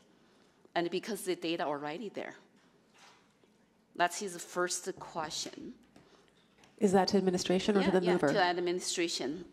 The question to me, and then the snow removal, like snow to go program, and and also the first program, the two, the angel, uh, snow angels, the two programs, you already provide all the data, and in this report. Yes, we have provided that report. So that, to me, that's, that part, that's request for the amendments and is redundant, is repeated. Um, so thank you for that confirmation. And the second, for the scope of the unfunded service package, to expand it to including strategy for the incorporating community leagues participation currently under, but this information already provided in the report very clear and how many community leagues use this. And do we need that information more?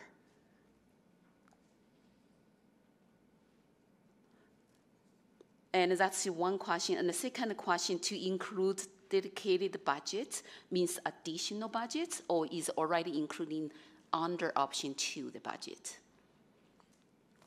Based on the amendment here? So I am asking question for the amendment.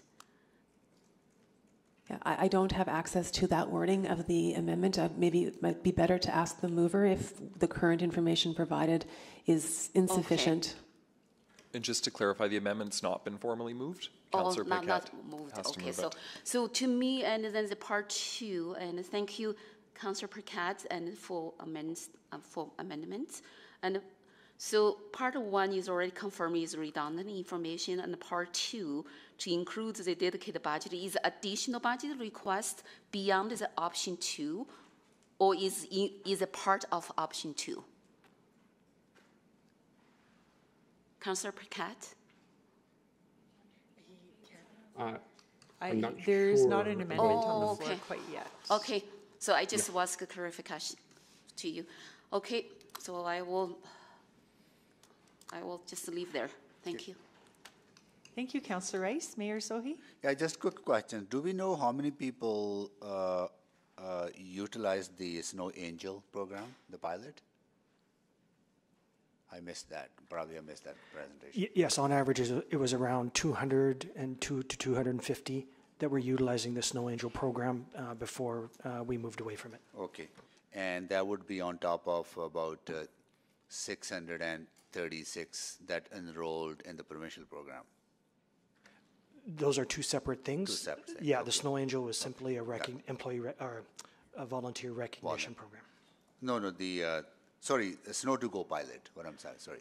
Oh, Snow to- th- so the Snow to Go pilot was working with uh, the EFCL. community leagues, Yeah, yes. how many people participate, how many people utilize that program? So there was uh, tw- 20, well, there was 49 that had applied. Yeah. About approximately around 29, as, as Jen had indicated, uh, uh, received the money and used the money. Yeah. And I believe that there was around 960 um, individuals that used that program uh, in the last year. Okay, I see. Okay, so when do you come back with this unfunded service package, would you be able to, I am not interested in uh, spending $327 million, thousand dollars that will only help 60 people based on the data from Calgary and to us, right? Because that's the uptick number is, right? The difference between us and Calgary. But I want, I would be interested in a sep, uh, more information around if we are not becoming intermediaries between provincial program, what would be the cost to have uh, help available to those who are not eligible for provincial programs, such as people with mobility issues, right? Would you give us that breakdown? You talked about four hundred thousand dollars for that program, right? Would you be able to give that kind of breakdown for the service package? For sure, we can. Okay, and would you be able to kind of give us the breakdown on, no, I mean, better data on the need and what the gap is between the seniors program from province and how we can fill that gap, right? Where the cost is going to be for filling that gap? Yes. Because that data is very, very important. Like if we can demonstrate that we will go from 646 to 1,000, I think it's worth investing $322,000. But if we only only go from 636 to 700, that I don't think that I don't think that's a sound investment. Yeah, we can get that. Yeah, okay, we can definitely find out the eligibility and to see what, uh, what, what that delta is for you.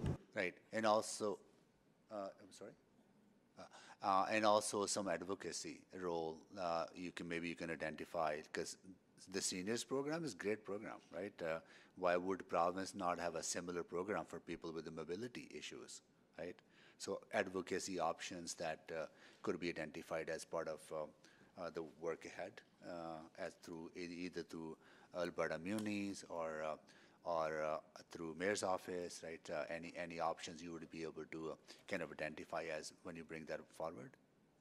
Absolutely. Okay, if you could take note of that, right? So, uh, uh, okay, because I look forward to the. I think this will generate more information for us to make an informed uh, and better decision. And uh, yeah, well, I'll leave it there. Thank you so much. Yeah. Thank you, Mr. Mayor. Councillor Paquette, please go ahead. Thank you, Madam Chair. Uh, yeah, so, to um, state the amendment, uh, that the motion on the floor be amended by adding the following two points, that the unfunded service package include potential options for an expanded snow program with base data points identifying current utilization and integration with, uh, with current city programs, and that the scope of the unfunded service package be expanded to include strategies for incorporating community league participation currently under the Snow to Go program and to include a dedicated budget. And uh, again, just to introduce again, uh, even uh, more briefly, is that um, I believe that uh, the motion that uh, Councillor Rice put forward is excellent. This just adds to the ability for council to see um, a response to the questions that have been made here in committee before making a decision um, on at budget. That's it. That's the introduction. So um, I guess uh, a quick question to administration is, um, uh, so for example, uh, in the report it says, uh, throughout its four winter seasons, the pilot provided over $60,000 in grant funds to community leagues, helping approximately 750 Edmontonians each year. Um, so to the mayor's uh, concern, that really is kind of pretty good bang for the buck for a program that maybe not a lot of people even knew about. Yeah.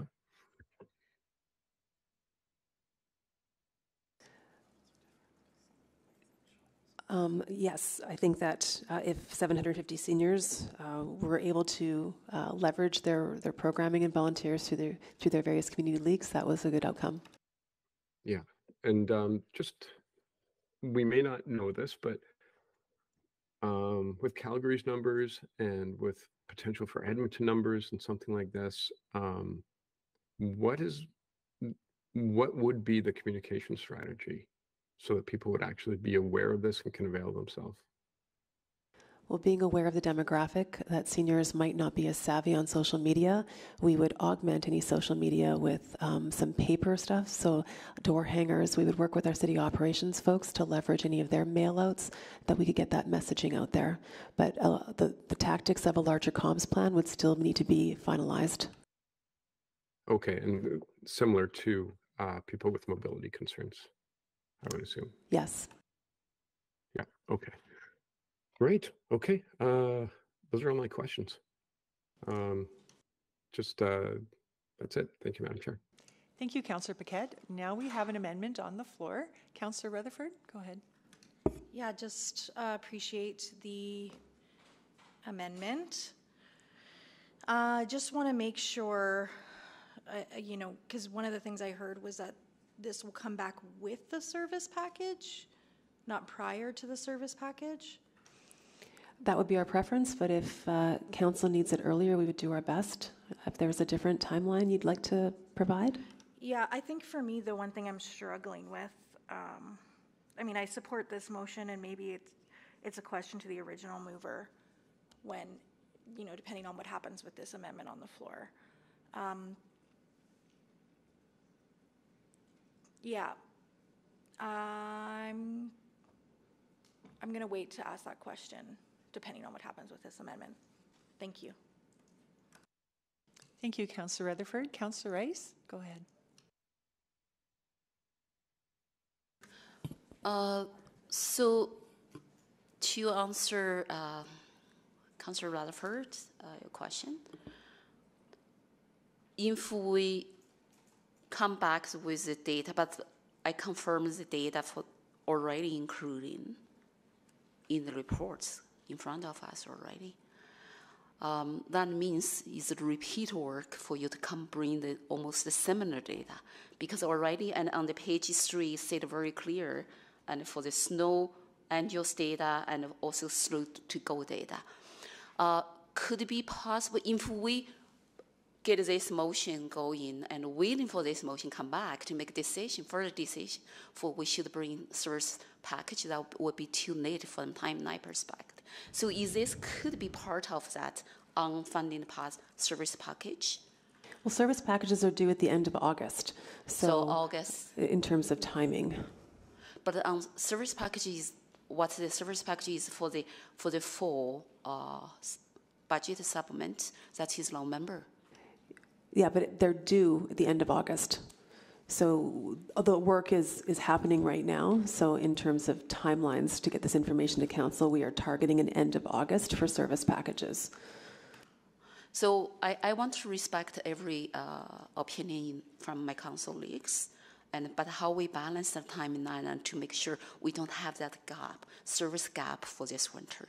And we, we still want to make sure uh, the seniors and also the Edmontonians with limited ability to have that service in place when October snowing come in. Well, just to be clear, with the fall SOBA timing in November, uh, if council was to approve it, then we would go out and, um, you know, recruit FTEs. So uh, there would be a lag in terms of implementation. You know, if you if you approve a thing on November, whatever, I'm not hiring the person on the ground the next day. Like there's going to be a gap in time for us to operationalize just to manage expectations. Uh, can we can we have the balance and uh, including this two and with the original motion uh, on the floor, option two together, come back to the August? So is that possible? Are you asking for us to bring a Yeah. service package earlier or which no, no, information? no. The same time, same time with those information.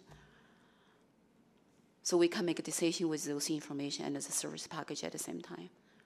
I'm not sure if that's part of the finance. I don't want to usurp the financial processes that already are in place. Um, I might have to defer if anyone from finance or financial services are on the line, just to determine. I don't want to. I don't want to be outside of process. That's all. Maybe we can take that away and, and have a discussion. So what I'm thinking, and uh, Councillor Paquette to the mover, uh, if we add these two parts to the uh, original motion on the floor, that means all the information come back at the same time, and the council can debate to make a decision based on um, that service package and also based on those information together at that moment, and we will not we will not miss the opportunity to create that gap for the service provided in this winter. So is that Right, okay.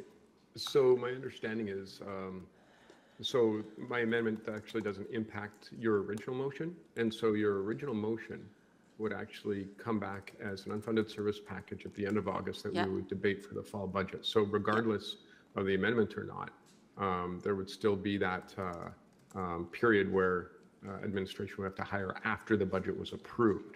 And we won't have that discussion until budget time. So even though the unfunded service package report comes back, um, or the influence item comes back at the end of August, um, we don't actually have a mechanism, well, to make that decision before budget. So that's sort of where we're constrained. Uh, we can make a decision right now uh, and even say, have it come back as a funded service package. Well, that's the option we could do. You could say, have it come back as a funded service package, but that would mean that we don't actually have the debate um, at budget. And then administration could hire a little bit earlier in advance of that. But they probably wouldn't because there's no guarantee that that wouldn't be removed during the budget Mhm. debate. So really, it, it, it's all moot. It has to come back at the end of August, and we can only make the decision at budget time. If it helps at all, sorry, if it helps at all, I'm, I'm, I'm happy to really uh, amplify our comms in advance so that we get the word out to all seniors about the provincial program. So that could be one mitigating factor that we could do immediately uh, to assuage the angst that we wouldn't be um, ensuring that all the eligible seniors in Edmonton were aware of the program offered by the government. That could be a, a, a measure that we could take now. okay? Thank you, Councillor Rice. Uh, I'll just take a turn here now. Councillor Paquette, I just wanted to ask you a question to the mover of the amendment. Uh, The data points and current utilization integration with uh, current city programs, can you expand on that a little bit? What is it that is not in this report that's missing that you would like to see? Right. So some of the things that uh, Mayor so Mayor Sohi was asking um, weren't actually included in the report, and so that can be expanded on. Some of the things that Councillor Rutherford had brought up about the ability for the city to actually gather some of those some of that data. Um, you know, we didn't see that reflected in in this report.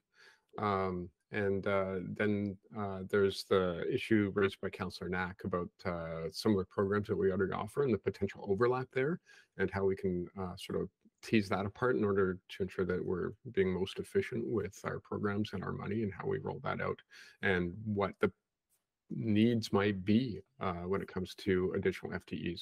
And uh, so, just listening to the whole uh, debate and uh, seeing that there are a lot of questions about the different uh, data and utilization of our programs, um, I think would help to clarify these things for all council so that when we have that budget debate, uh, those questions will already be answered. We don't have to spend time during the budget asking those same questions all over again. So sort of a, you know, streamlining. Yeah, okay, great, thank you. And so to administration then, uh, that is your understanding, you know um, what information, what further information is being requested?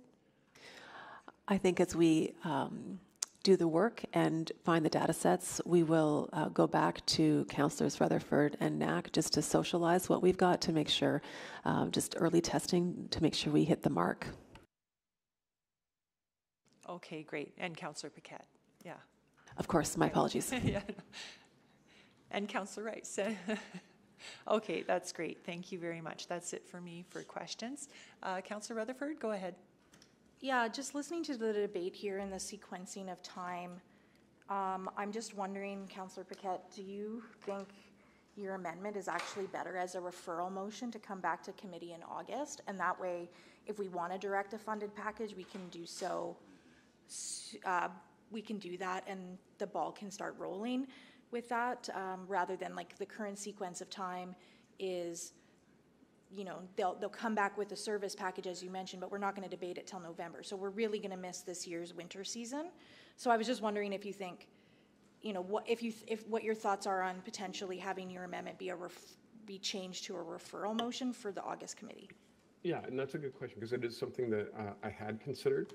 Um, however, I feel like we've had a pretty good debate today, a pretty good conversation, and that uh, there's just some lingering sort of questions that have to be answered that can be answered um, with this amendment. And uh, then when it comes to the service package and we get this information back at the same time, um, you know, it sounds like the will, and we'll, we'll know with this vote in committee, uh, is to actually send this uh, back as a unfunded service package to be brought forward during the debate.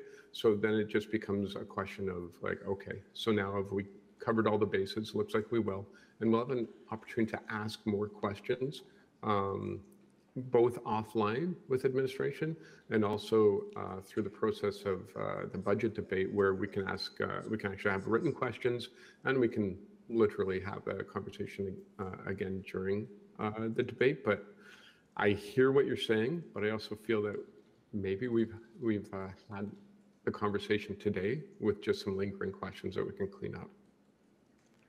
Yeah, I don't, I don't know if I'm convinced of that because, for example, you know, one of, one, one of the underlying assumptions that I'm hearing from this report is that there's a lack of awareness. So let's increase our communication.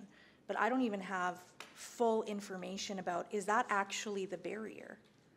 Um, I think I need to dig in a little bit more to know if that's actually going to be what we need to really best optimize um, supports for seniors and people with disabilities. So I, I, hear what you're saying, but just from my perspective, I'm actually not convinced. So I feel like we might actually have administration do a lot of work on creating a service package that this information might actually, for me personally, change what I would want to see. I think the debate about whether we have a service package or not, and that there is absolutely a gap and we need to do more for seniors is, is, is a will for sure I can feel in this room and, and with council, but the how, I'm not convinced that this, this service package is the right how uh, without this Okay. data. So what are your So thoughts just on that? I know I'm not on committee though, so like I, I do defer to committee, but just wanted to get that, those thoughts out there. Right. Okay, so just so I'm clear, your preference would be that this comes back um, uh, as a separate report, we debate it again, then we send it to uh, budget for another debate. I think we are prematurely giving direction to administration on the, the, how we're going to support people with disabilities and seniors with snow clearing. I, that, that is, that is what I'm saying, but that is just my, my perspective on this. Okay. Thank you. All right, I hear you. Um, I kind of see that, I- but I don't agree. So That's I'll fair. leave that. Okay, That's the beauty of debating council. it's a good point, though. Thank you, Councillor Rutherford. Mayor Sohi, go ahead. Yeah, so if committee wants to have further debate on this prior to SOBA deliberations, right? Then we cannot give you direction to bring forward unfunded service package because unfunded service package can only be brought forward during the SOBA discussion. Am I right in that? I think there's no distinction between unfunded or funded service package. I Yeah. think Or uh, any, any fund, Oh, any, any, any funding request needs to come to SOBA. Correct. So this, if it's unfunded service package, it needs to go to SOBA. correct. Right, that's my understanding of the process. But if we want to have this debate prior to SOBA, then we cannot give you the direction for unfunded service package. It has to be additional information required.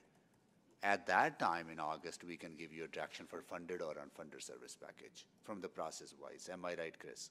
That is correct. Right.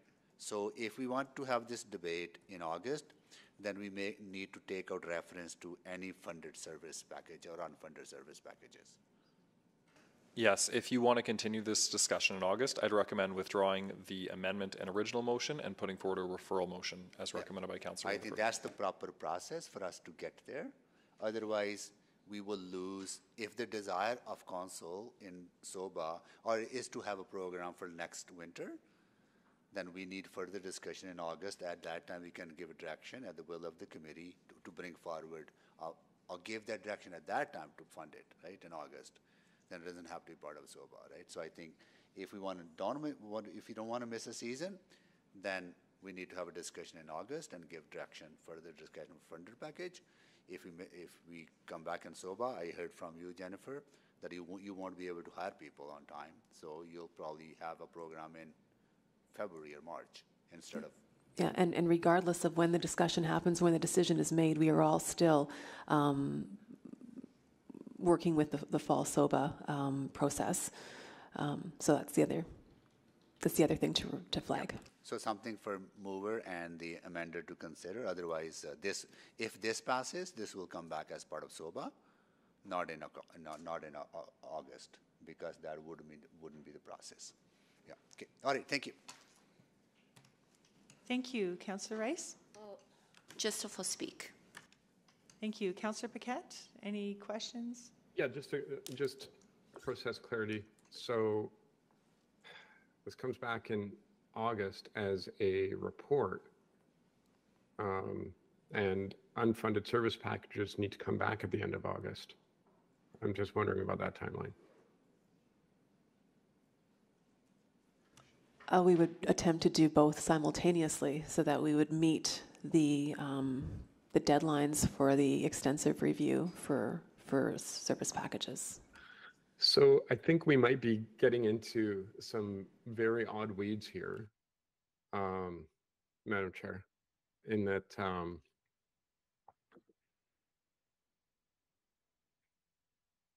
if it comes back in August and then we debate it once more, um, and council chooses to go ahead with an unfunded service package, uh, we are debating this issue now three times on what will essentially be the same information with small variables.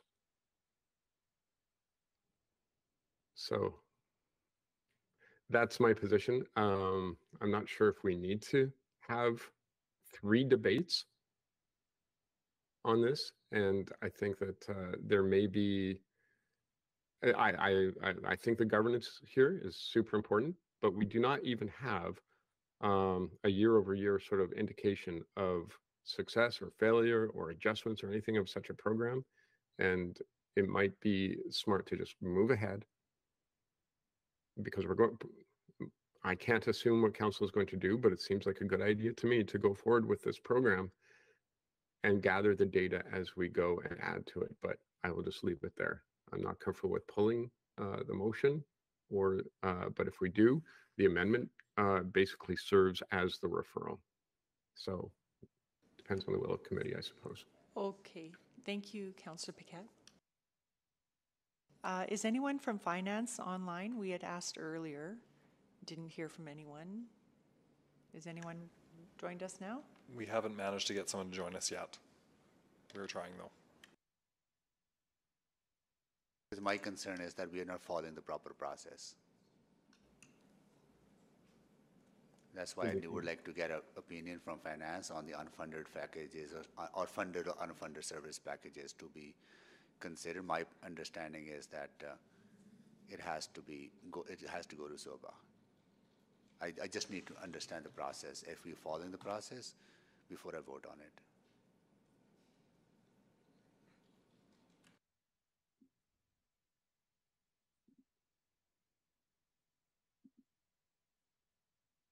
I'm not sure, Ms. Flaman, if you're able to give any direction on that? Yeah, I'd like to channel my inner Stacey Padbury, but she's way smarter than me when it comes to the dollars and cents. But I do believe, Mayor, that your understanding is correct um, regarding the timing around fall SOBA, and that that is the vehicle through which any kind of budget decisions are made. Um, but I will defer uh, for someone from finance to confirm.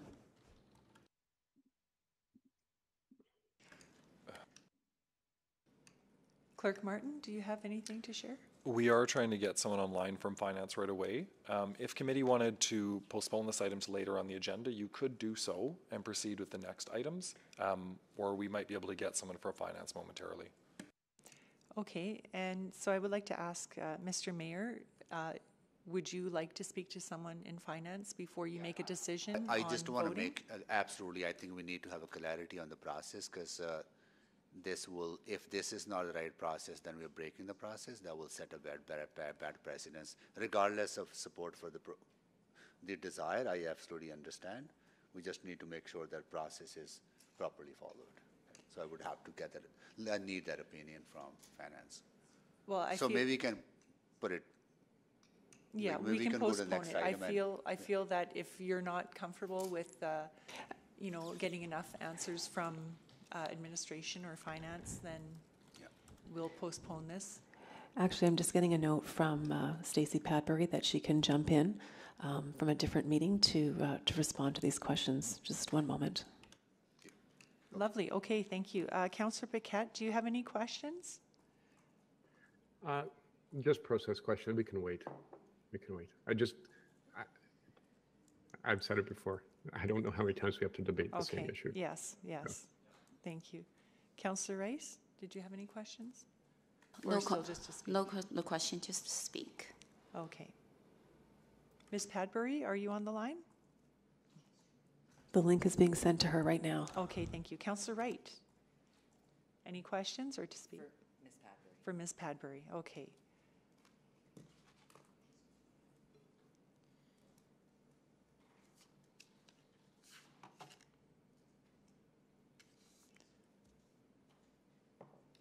So we will just give that a moment.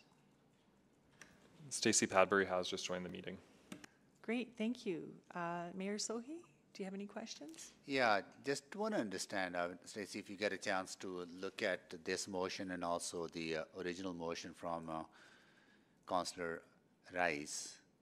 Uh, It is a request for unfunded service package. My understanding is that unfunded service package will come to fall SOBA. Uh, But if the desire of council or committee is to have a further discussion in August, can our unfunded service package be brought forward in August instead of SOBA, uh, fall SOBA? So the service package itself is the mechanism to have the budget discussion, but if you're asking, I think what you're asking for is, can we bring a report that gives you the same information on the service package in August? I think that we can do. That you can do. So Yeah. it, it, so in your mind, if this motion as written is fine to have uh, a unfunded service package come in August? Or, or would that to be, or this needs to be reworded differently? I, I think it would probably be preferable if you, instead of saying that we bring an unfunded service package in August, that we bring back options for service enhancements in August. Oh, I see. So that would, that would be the amendment required that instead of unfunded service package, that we say, uh, sorry, say it again, what did that word be? Options Enhanced for service, Enhancements. uh, options for enhancements uh, would be the proper way of doing it. Okay. Uh, I would move that amendment to this amendment wherever is applicable, clerk. Let's just get some wording there, so we could add an additional point that says, um, to, that we bring back options for service enhancements. Actually, let me just please work on that just for a moment. Yeah. And then if I may just jump in, that assumes, I assume that you would make the budget decision though in the context of the larger budget discussions in the fall. Or when this come to committee in August, if committee wishes to start a program earlier, committee could give a direction for a, a funded package instead of unfunded package. That way it's a clear direction, even though it still has to be debated during uh, the fall SOBA, but I think it'll be more clear direction uh, to administration. So based on the information, yes, you No, may based- direct us to bring a funded package. Yeah. I would just clarify that until the budget Yes. with the funded package passes, we cannot assume that it will pass. Yeah, it would still has to go to SOBA discussion, right? That's correct. Got it. That, I, I understand that part, yeah. Yeah.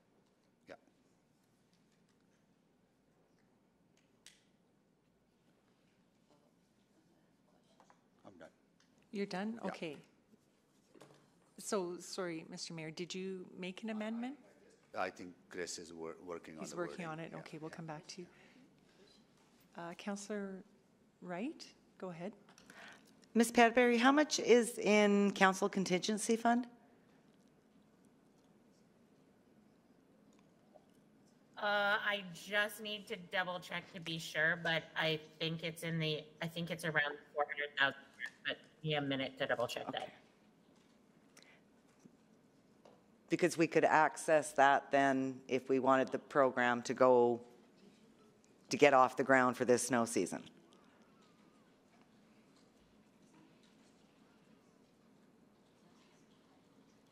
Uh, potentially, but I'm, I'm not sure that's gonna be enough funding for you. To get us going for October, November, December, and then budget will take over from there? Sorry, I'm not, I'm late to the meeting. I'm not sure which enhancements you're debating, but it's quite possible that whatever enhancements you are looking at will be significantly more than 400,000. Okay, and I, and I guess that'll be debated, but so there is around 400 if we wanted to just sort of jumpstart the program early before fall SOBA. Yes, potentially. Like, if, you- if your question is, could I allocate council contingency to jumpstart the program? I suppose that is, that is something that you could do. I'm just flagging that I'm not sure it's going to be enough. Okay. Okay, and Ms. Flaman, would that?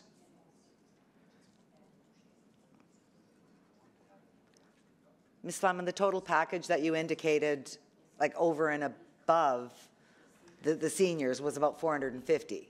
So to do option one, we would estimate three FTEs at 327,000. If you're interested in option two, it's paying for those three FTEs in addition to 450,000 for operating costs, bringing to a total of option two to 777,000 as our rough estimate. Yeah, but that would include if we manage the seniors program as well. But if, it could be less if, if we let the seniors, if we let the province manage the seniors program, right? We would still need FTEs. Okay. This is not something that we can do with current um, capacity. Just to remind everyone that in this branch, uh, these are municipal enforcement officers. Uh, That's the core part of the work. So we would be requiring FTEs to do uh, and create a program that currently we don't have. To do the administration. Okay. Correct. All right, think that's all I have. Thank you, Counselor Wright. Counselor Rice?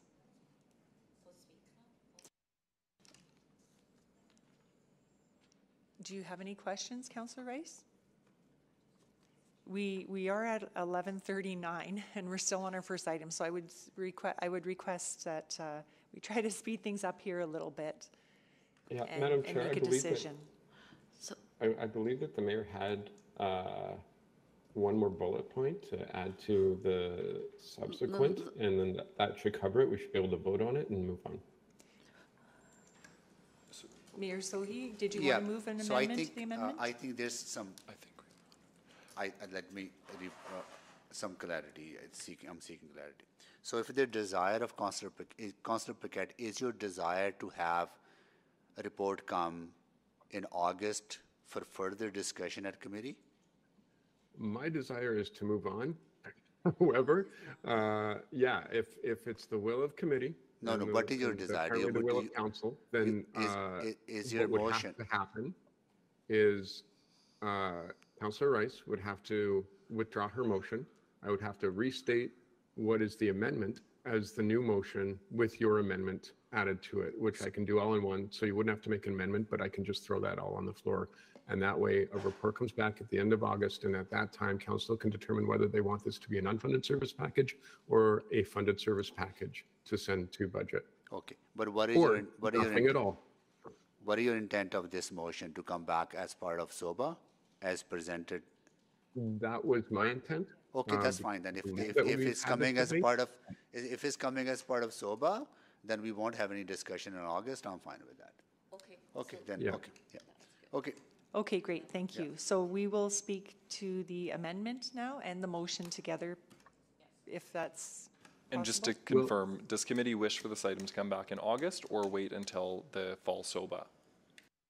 And from my understanding, that if it is uh, an unfunded service package uh, that comes back to the fall SOBA, we will get that information end of August, as all unfunded service packages need to come forward at the end of August. Is that correct? I would also defer to Stacey Padbury on the timing. Um, I know that there's internal deadlines for when uh, administration has to provide these service packages, but I'll defer to Stacey to, to share when that information will come to council. So in terms, if, if the question is, when do you need to give direction on a service package? I think we can take that direction up to um, the weeks before the budget. And when would we receive the information from this motion?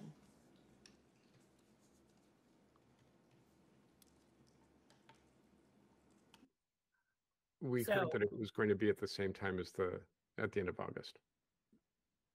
Okay. Pardon me. The way I read this motion now is that it, it doesn't seem to tell me where to bring the un, sorry, I'm just reading it quickly. It doesn't tell me where to bring the unfunded service package. So I would normally then assume that the budget, when it comes, it will include an unfunded service package. So as written, I think that I bring the unfunded service package with the budget. Okay, and when would we receive the information of that unfunded service package, the, the amendments for the extra information? When would we receive that, or when would we be able to access that information? We were under the When- understanding that possibly end of August, we could access that information.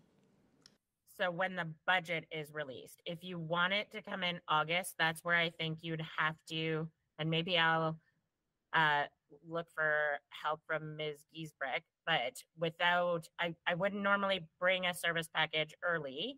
But if what you're looking for is the information that will tell you what you want to do with the service package, we would, we could bring you a report back in August that does that.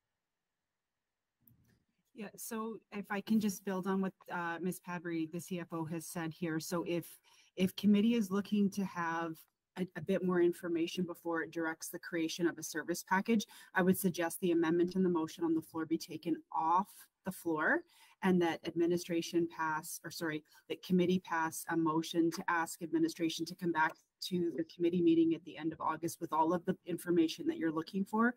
From there, Councillor Rice or Councillor Paquette um, Stacey could then prepare a service package. What's presented right now would be coming back to the uh, fall SOBA, and those dates were just amended at council last week, so it'd be coming back to council, released at the end of October for a November discussion. Okay, so there's a little confusion here. We understand that it would be coming back at Fall SOBA in November, but when do we receive the information on the service packages? Is so- it so just at whole- that time, or do Yeah. we get information prior to? No, so the full package for SOBA and SCUBA, and sorry to use the acronyms again, we'll coordinate with the budget office, but those would be released off the top of my head. It's the end of October, beginning of November. So if you're looking for an interim step and you're looking for, as I think Councillor Paquette was indicating, they'd like to have a conversation in August, you don't bring service packages through committee. That's not the process. That's a council process. If committee would like an interim step, I would suggest you remove the motions on the floor and provide clear direction to administration to bring forward the information you're looking for that would then inform a service package um, follow-up motion. Right, it is my understanding that it, we weren't expecting it to come back to committee. That was not on the table, but we did think that we would get information, just uh, a, a public information on the motion uh, prior to the actual day it comes to Fall SOBA. Well, you would get that information would be included in the budget that we release. And when is the budget released? At the end of October for deliberation in November. Okay, all right. Councillor Rice, go ahead. Uh, so it's my understanding uh, we have many presidents already and at the committee level to make a decision to bring unfunded service package and for for SOBA. So uh, I just uh, struggling here why and we cannot uh, add these two points into the main motion. And then as usual we make the motion to bring unfunded package and to the SOBA for discussion. And by that way council only ha- will have one time one more time debate instead of have two more times debate as indicated very clear by uh, Councillor Picard, we do not want this debate over and over because last year we did we did the comprehensive debate back to February to accept the motion bring today, and today we have all morning debate again, and then if we separate August and to SOBA, November, that means we will have two more debate. So I rather move this to motion, uh, add to the main motion, and then to move forward directly and for the unfunded service package as usual we did, and then to have one more time debate and to make decision, we provide the funding, we budget this or we not budget, we will not budget. And instead of the information already there and put together as a budget. So with that say, uh, Madam Chair, and may I just do the quick, quick speak, use my time? Please do. And because we're already 11:47 for the entire morning debate for this, posi- for this item. Uh, I, I would like to say, and our Edmonton, our Edmonton is winter city. And everybody, uh, every my colleagues probably already know how important to support our seniors and also our Edmontonians with limited ability for the snow removal in the winter. And then the program, and in the past years and years, so many years, the city already existing program to support the seniors, to support Edmontonians with limited ability. And right now, we are at the point to make a decision how we look at the gap in the program we have provided in the past and to fill the gap to make this program more effective. And I understand some points brought by uh, my colleagues. Those points are all valid, all valuable points. But we cannot just wait year by year and create that gap and for lacking of services in the place and give the, all the work administration already did already the data provided in this really comprehensive report in front of us and give the, all the analysis, three options already provided here. That demonstrate administration's work is already to move to the next stage for us to fill the gaps and to provide enhanced services to seniors and to the Edmontonians and with limited ability. And why we need another two debate and then on the same information and over and over. So I really don't understand for that.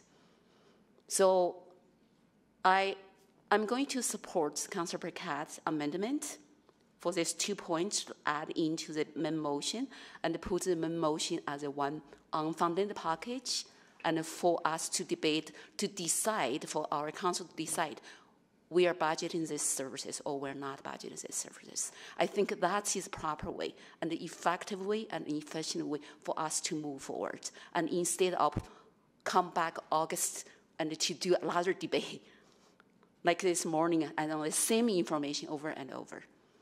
So I did not say that is proper governance approach. And for this well-known topic and the well-needed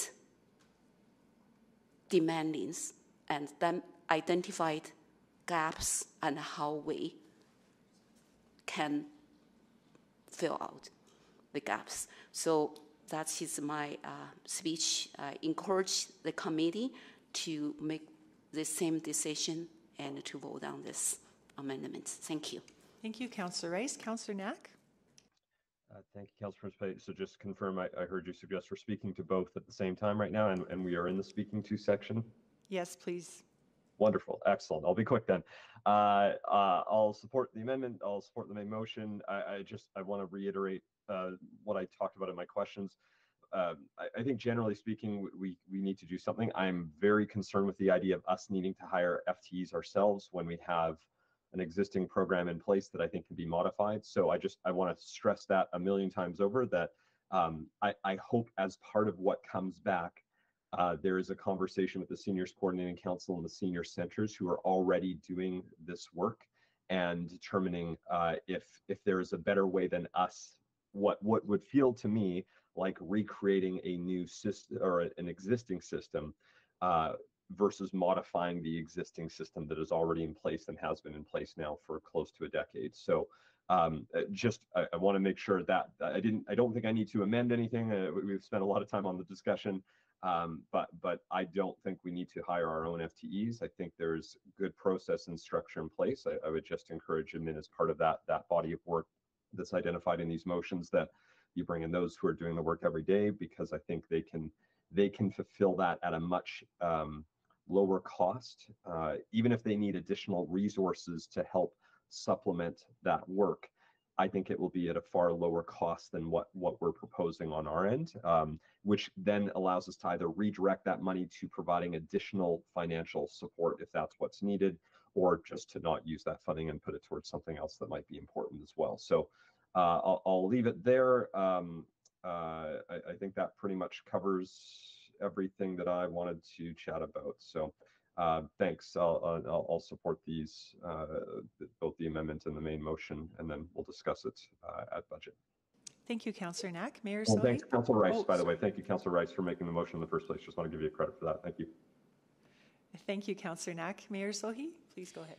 Yeah, thank you. I know I, I look forward to this information coming for a fall SOBA for discussion with additional information on the data and the gaps that exist in the data. Uh, because at this time, if I look at the number of takers for the Alberta program, in Edmonton, 636 people use that program. In Calgary, 700 people use that program with all the additional support that Calgary City Council provides through additional dollars, right? If we were to add three FTEs and just get to Calgary numbers from 636 to 700 numbers, that's almost $5,000 per applicant. That's a lot of money being spent uh, on, uh, on, on outcome that we can probably achieve, as Council Knack has suggested, through other partnerships with the uh, community organizations. But we need that data. Uh, I look forward to uh, that data. We deeply care for our seniors. Uh, we deeply care for people with mobility challenges, and we do offer them support. I just want to make sure that people understand that uh, uh, Uh, uh, that uh, in the past, snow uh, programs have been provided. Some were successful, some were not successful. Some relied on community partnerships. In this case, the uh, the Snow to Go pilot uh, was a partnership with community leagues. Uh, you know, uh, we'll see if that can be revived or not. but I think I just want to make sure that the that people understand that the snow removal is only one of the many, many programs that we provide to seniors to make them make their life uh, life life better. So look forward to that information, but there got to be more fiscally responsible ways of delivering this program. Uh, there got to be more cost-effective ways of delivering this program uh, at the at the onset of this. Uh, uh, uh, I mean, this if if the option is to spend three hundred twenty-five thousand dollars uh, and hire three people just to increase the number by 64, that is not a responsible use of taxpayers' money. I also look forward to uh, some of the other options that, that will be generated as part of the service package. Good. Uh, okay, that's it. Thank you. Uh, Councillor Rutherford, go ahead. Yeah, I wanted to take a few minutes to speak to this. I think you know, one of the things I'm hearing from my colleagues is frustration over the amount that we've debated this this morning. And I think what we have to always remember is that when we're debating something so extensively, it's because it's important. And it's important that we get this right because this is something that keeps people with disabilities and seniors in their homes and not able to live a good quality of life in the winter if we don't get this right. So I, I, I understand the frustration, and I'd also just say, you know, I think that that reflects how important important this is. Uh, second of all, I am not convinced, as I had already alluded to, that the the path forward is the correct approach, and I think that more data is going to be insightful in actually making sure that whatever we put in place isn't just looking good, but actually effective and making a difference in the people's lives. I think about, you know, $450,000 and I think about how right now we're at 22 days to clear our transit bus stops. That's our service standard right now. Is that $450 better used to enhance that frequency? I don't know yet. We'll have to debate that at budget, but I think it's not to, to suggest that getting more information, to doing due diligence, to having a diverse opinion is bad governance is really frustrating. And I'm really tired of my colleagues weaponizing governance and uh, as uh, a tactic to uh, dissuade debate. So I will leave it at that. Thank you. Uh, Councillor Paquette, to close? Uh, yeah, just um, I didn't make a point of order there, but uh, that deserved one. Uh, ascribing motive to uh, other counselors. So um, I, we've had a long conversation about the, the, the process here. Um, I think that what we've come around to is uh, the original concept, so I'm happy about that. And um, I'm happy to uh, hear that there is probably going to be support for this motion. Um, long and short of it is we have these uh, conversations because they're important and uh, our whole job is governance and the importance of uh, unrolling that uh, in a way that serves the public. And in this case, um, we're asking for an unfunded service package. I would prefer a funded one, but I think we need to have that uh, last debate on this. And um, uh, I just look forward to the information uh, that will come back to us. Thank you, Madam Chair. Thank you, Councillor Paquette. Please vote on the amendment.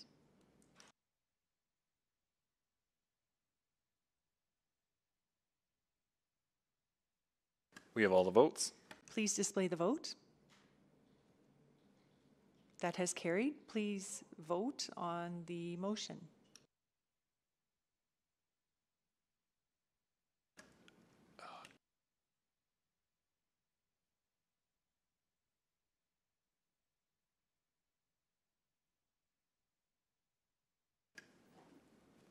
Participating on one vote. We have all the votes. Please display the vote. And that has carried. All right, we are done. Item 7.1 at 11:59. So we'll see you all back here at 1:30.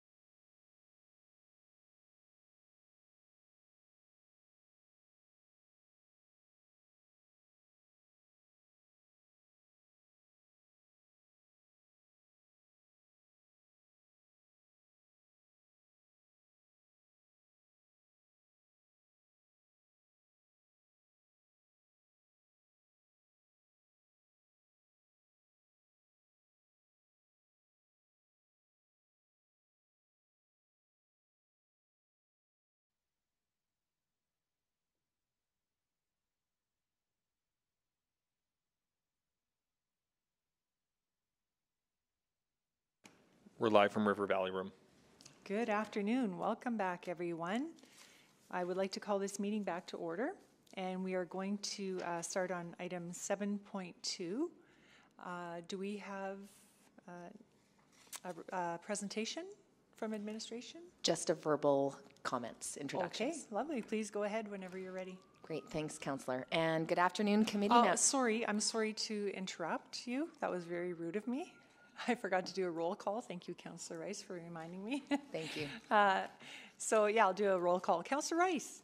Good afternoon. She is here. Hello, good afternoon. Mayor Sohi. Good afternoon. Good afternoon. Councillor Knack.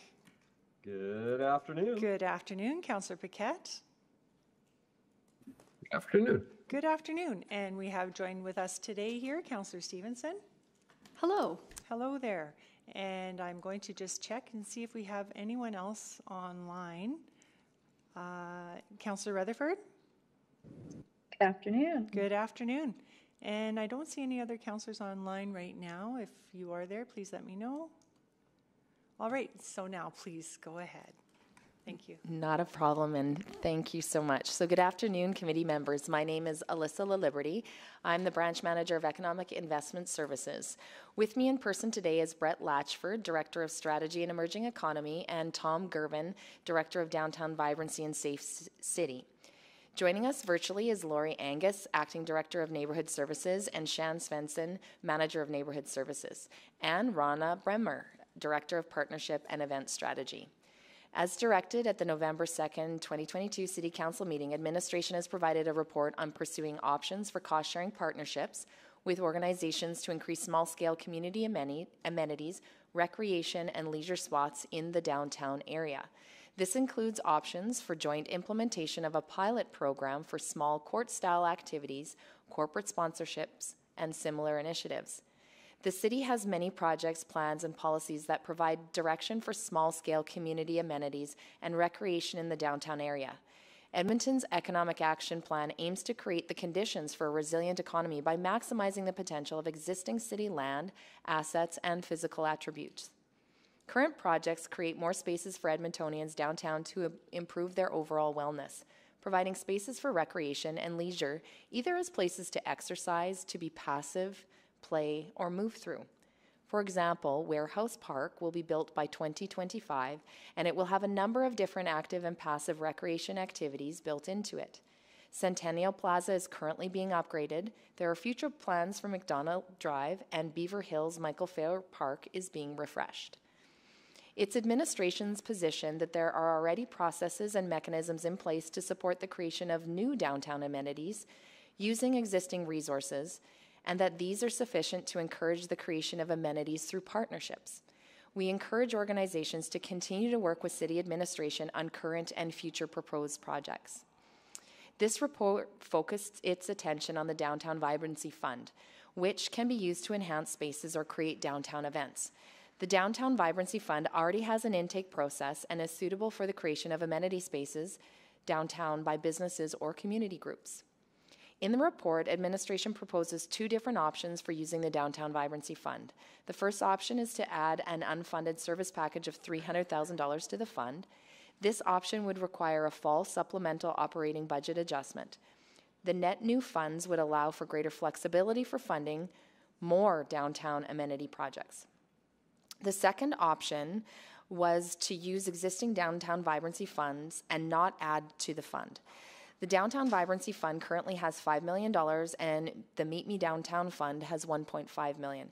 This option increases the competition for funds, thereby reducing the number of amenities that could be funded. A third option, which is not recommended, is to create an entirely new fund for downtown amenities. This option requires not only a budget adjustment, but the creation of a new grant process and associated staff resources. In addition to the Downtown Vibrancy Fund, the city has a community led construction projects process which can assist community groups that want to enhance, um, enhance amenities on city owned land. However, this program would require additional resources in order to accommodate additional projects, and that maintenance of these sites usually falls on the community group. In instances where maintenance and operations don't fall with, with the community group, the city's operating budget would need to be adjusted and funding would be sought as part of the budget process. There is one community led construction project currently exploring this process in the downtown core. The project being considered is a refresh of Veterans Park. Furthermore, nonprofit organizations and community groups may apply for third party corporate grants and sponsorship packages as another way to fund improvements, either to their own land or to city owned land, once permission has been granted. Administration explored the possibility of making the former Bill Rees YMCA site into a hard surface basketball and or and a tennis pickleball site However, a decision was made that this site would be required as a laydown site during the construction of the LRT line. Unfortunately, another site downtown was not available that is city owned and large enough to accommodate several hoops uh, and or a tennis or pickleball court. One small site nearby um, could have one or two hoops, but it's adjacent to Warehouse Park, which is likely to have hoops or other activities. There is also another uh, city owned site uh, near the Chinese Seniors Lodge. However, previous attempts to animate this area with temporary skateboard equipment did not garner much interest, possibly due to its location farther from the core. Chinatown stakeholders had mixed reactions to the suggestion of using this site. There was opposition due to social disorder, but there was also some interest in outdoor fitness equipment for seniors uh, with the acknowledgement that the area might need to be fenced to prevent vandalism. More engagement would need to be done to find a partner and suitable for this site should Council want to pursue this as an option. Thank you. That's great. Thank you very much. Uh, next, we'll move to our speaker, Puneeta McBryan. Are you online with us? I am, yeah. Hi, great. Thanks. Uh, you have five minutes. Please go ahead. Thank you. Uh, good afternoon, councillors. Uh, my name is Puneeta McBryan. I'm the Executive Director of the Edmonton Downtown Business Association. Um, I mostly today just wanted to reaffirm that um, these types of projects are really critical to downtown vibrancy, and I know uh, that's why this this motion was moved originally, and we appreciate that this was a priority for you, uh, Mr. Mayor. And um, I think it's important to consider the economic payoff of these investments. When we talk about amenities downtown like these, um, the work that that does to attract residents and retain residents pays off tenfold. Uh, and it's just not quite the same payoff when you look at those kinds of investments in other neighborhoods.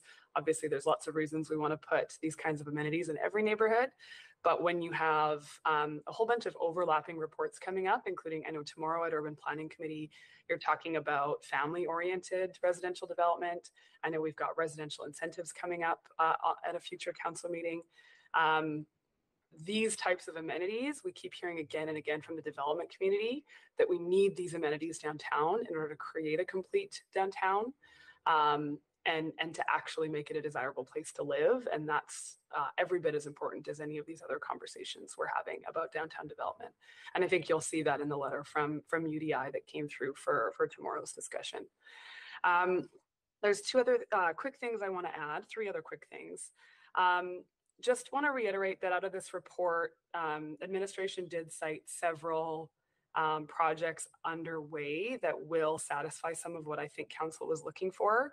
So, for example, like Alyssa mentioned, uh, Warehouse Park will include basketball hoops, will include a new playground for kids. Um, that is so critical. And so, getting the Beaver Hills House Park and Michael Phair Park renovation and the warehouse park construction all completed on schedule is our highest priority right now. So as much as these other opportunities are great, um, we're really hoping that those projects get done and get done right and get done as soon as possible. Um, that's that's mostly what we're we're concerned about on this issue. Um, and then the other opportunities that exist, I think, are adding amenities to existing parks. Um, I think many of you would have seen at Downtown Spark, we put some swings in at Alex Decoteau Park, and it absolutely transformed how that park space is being used and who's using them.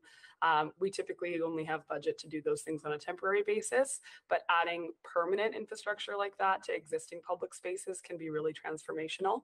Um, and I don't know that that was really explored as part of this report. Um, and the other two pieces that I think we're missing from this report are indoor amenities. This is really top of mind right now because a couple of my board members were just in Calgary um, and walked through uh, the Devonian Gardens in the middle of downtown Calgary, which takes up the entire top floor of city center of their city center mall. And it's a it's a like 2.5 acre uh, indoor amenity. There's a kids playground in there. It is always busy and it is actively managed by the city as a city park. Um, and it's used year round by residents and visitors and office workers. So I think, you know, we've got a similar opportunity in something like the, the park in Citadel. And I think the city really could and should do more to actively manage that park space and promote it and, and use that asset that we have. And I know City Center Mall here in Edmonton would be very, very eager to be a partner in creating similar indoor amenities in our downtown. And the other thing that I was that I think was missing on the corporate sponsorship and funding opportunities side is philanthropy. And the Devonian Gardens is another example of that in Calgary. So that was donated to the city of Calgary, Calgary in the 70s by philanthropists. And then the city just recently spent $37 million to renovate it.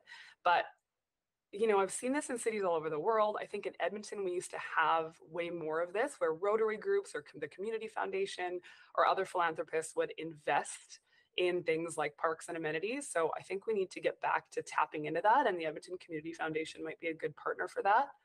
And the last thing I, I have to talk about on this issue that um, I think is mentioned in the report but needs to be top of mind is that we can't have this conversation without talking about the importance of adequate maintenance, cleanliness, um, and safety of our public spaces and amenities downtown because every time we went to our, our members and our downtown community to talk about this report, um, there's still this attitude of sort of defeat that um, why are we talking about adding new amenities when we don't even seem to be doing a very good job making the ones that we have usable for for everyone usable and safe and, and attractive for everyone so that's i think a really important consideration in all of this thank you for your time Great, thank you very much for that. Uh, I'll just ask my colleagues to sign up to ask questions of the speaker.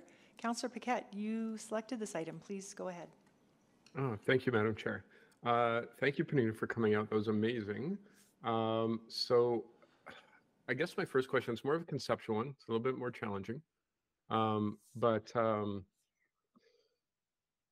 every time you try to do something good and talk about something great that's happening in our downtown and the efforts that are being expended there, especially by you and your organization, you will immediately bombard, be bombarded with people who are more than eager and almost uh, as if it's their job to point out all the bad things that are happening as well, as if to negate all the good things, as if to sweep all that away as if it doesn't matter.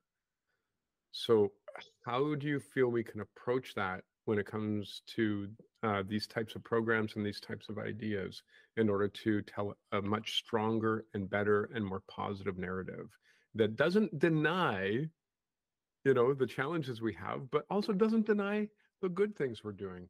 Uh, so an easy question for you. Yeah i think we just have to keep on trucking. Like i think that's what we all do and i know i know i see council um, trying to do that too like it's um, a line that I often use is that one of the biggest differences between downtown Edmonton and every other major city that people want to point to and say, well, they're doing better and they're doing better is that density is one of the biggest differences. And so unless we're doing all these things that encourage density, we're going to keep having the the safety conversation. We're going to keep having the, you know, all of those negative conversations um, because a, a busy and a dense downtown is a safe downtown. Right. Okay. So, um, I'm hearing, and that's interesting because basically what you're saying is like if we have these messages that we know work for city building, but we deliver them with a unified voice, maybe that becomes a stronger and more compelling voice. Is that what I'm hearing? A bit of a leading question, but um, I do have a question about um, yeah, because I also uh, walked that area uh, on the top floor of the Calgary uh, Mall, which was quite beautiful. Um, but I'm assuming that was a private investment. No, it, it was is, not. It okay, was, great. Please it tell was me about originally way back in the 70s, um, built by philanthropists and then donated to the city of Calgary. But it has been actively managed by the city of Calgary since then. And the city of Calgary just spent $37 million completely renovating and rebuilding it uh, about 10 years ago. Okay, that's fascinating because I would have assumed that it was private, which is really, really cool. The the Okay. leased space is free from the landlord, but everything inside it is is invested and managed by the city. Wow. Okay. So that's basically an installation the city made in a private facility. Yeah, and they call it Calgary's only indoor park. Okay. I mean, we do have West Edmonton Mall, but I'm not sure if we count that. We do have the. Muttart, which is similar, um, at- to our credit, but but something like that in the downtown that's designed for play and leisure and has a playground and all those things would be huge. Yeah, so that brings me to my other uh, concern. Uh, as you were going through the list of some of the things that Calgary has, it's like, wow, that's all very centralized. We also have a Devonian Gardens, uh, but it's far out of town. As you mentioned, we've got uh, the Citadel, uh, which is great, but there's uh, it's not really embedded in retail or commercial, and uh, so we've got a few challenges here. So um, reading this report, what do you see as maybe some prime opportunities for centralizing some of those efforts? Uh, I don't know that I do, to be honest. Like, I think the biggest Okay. thing would be to maybe approach some of these landlords, um, and and and like the report indicates, like the downtown vibrancy strategy is is probably the place for them to go and access funds. But I think with most of this kind of thing, I just think we're thinking really small. Like the sheer amount of money that other cities are spending on their downtowns relative to our, you know, six-ish million dollars a year on downtown vibrancy is eh, we're not even in the same ballpark. Now you look at Warehouse Park and that's more the dollar amount that we're talking about. So that's why I really want to Yeah. emphasize how important that is. Um, Absolutely. but but creating these kinds of things, indoor or outdoor, does take a, a lot of money.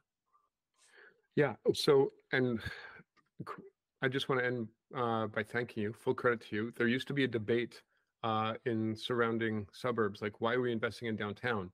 Now the debate seems to be why are we not investing more? So, full credit to you and all the all the work you've been doing. Thank you. Thank you, Madam Chair. Thank you, Councillor Paquette. Mayor Sohi? Thank you, Chair uh, uh, Principe. Uh, I'll start with uh, your first uh, ask. Finish current projects on time. On that, are, are, are you flagging any concerns? Not really, more preemptively, just wanting to make sure that, I know there's an upcoming funding vote um, where uh, I'm hoping it's just a formality for council to approve the funding for Warehouse Park. So I just really wanted to stress the importance of that all- project. But good, good, good thing to remind us, absolutely. And uh, we will follow with administration on that. And your second point, add amenities to existing parks. Uh, these are small amenities that can be accommodated through the existing vibrancy uh, fund, right? Through partnership with private sector. uh, That's what's not- tricky. Yeah, that's what's tricky because existing parks are city assets. And so the private sector, I don't think is really going to do that. I suppose it's an opportunity maybe for us to say, you know, we want to access the downtown vibrancy strategy to put some permanent pieces into city parks. So DBA Um, could, do you think DBA could access vibrancy funding to add amenities to city-owned parks? I think so. Yeah, I think that's maybe something for us to explore. But it is tricky that it doesn't. It's not really a private sector oppor- opportunity, but Right. it's. I think something that us or the community league would have to Yeah, to we- figure out. We, we, we, I'll, I'll ask that question to administration about the possibility of partnership with DBA and the, and the downtown, uh, community league. And your third one, Devonian Garden, I think is an exciting idea, but that would require absolutely a separate funding profile. Uh, and vibrancy funding is not going to be enough, or is not enough, right? Uh, and it'll take away from other projects, whatever money we have. So I'll, I'll, I'll ask those questions too. But do, do you see possibility here uh, for some something similar to Devonian Garden that could be a year-round attraction for people to come downtown. Uh, uh, could involve community foundations, uh, could involve private sector, could involve you know city, other others of government. This could be a bigger conversation. Uh, at least having a conversation about having a similar uh, that type of amenity in the downtown. I think so. I think that's what's so inspiring about that project is that, um, yeah, it. I I do think that philanthropy piece of of this is missing in that scan of corporate uh, partners because I think um, if there's a vision and an opportunity that we can all kind of latch onto, there Mhm. are there are people who really care about the downtown, and um, it's a really it could be a really cool legacy thing. So I think. So what, what, what- what would you suggest as next steps on, on, on uh, having, initiating that conversation? Yeah, I wonder if maybe um, Tom's group at the city could convene a conversation with the Community Foundation and a couple other um, prominent philanthropists and find out um, if there's interest and appetite to take something like this on. Okay, maybe maybe I'll, I'll consider that as a, as a motion, uh, giving some direction, or if, if it, even if it's required, maybe having earlier conversation or reporting back in some way, right, Tom? Uh, something to, uh, to think about as we go through this conversation. And I want to come back to your last point. I think it's a very, very important point you're raising is maintaining what we have, right? Cleaning it up, making it usable and enjoyable. Do we do we- do we have permanent funding available for that kind of uh, ongoing maintenance and cleaning up? Like, what where, where's the gap? Why are we not maintaining and cleaning? My hope is that that new um, project uh, that's being undertaken, the, the Center City um, operational funding for parks and roads, should be making a difference. Um, just hearing from my team, I think some of the challenges we're having definitely have not gone away yet. Um, so we're still trying to work through what that looks like. Like, for example, we were doing uh, yoga in the park last Saturday morning, the first day of, of Alfresco, and my team had to spend the first two hours making sure there was space to do yoga because there was people smoking meth where the yoga was supposed to be happening. So it's like that's that's still just a, a daily reality of, of public spaces and, and leisure spaces in our downtown that other neighborhoods don't have to deal with. Yeah, I thought we added more resources, but we'll confirm that with administration. And need be, then we need to add more, right? Because we need to make sure that uh, existing facilities that we, I heard, I think 35 facilities or that park, small parks that we have, that uh, they should be well used if uh, they're not currently because of cleanliness and other issues. Okay, uh, I'm out of time. Thank you so much for joining us and your, uh, and your work, Puneeta. Thank you.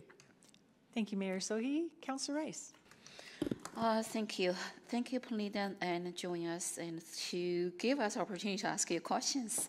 I do have the few up questions here. So the first one, because right now the item we're discussing is about the cost sharing uh, mechanism to in, increase small scale and community amenities.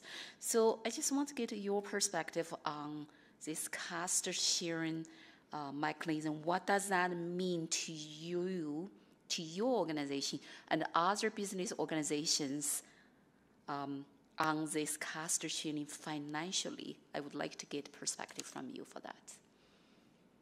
Yeah, I think that's what administration was trying to explore. Um, I think the challenge is that organizations like us are are quite underfunded, and we usually rely on grants either from the city or other orders of government uh, to take on projects like this.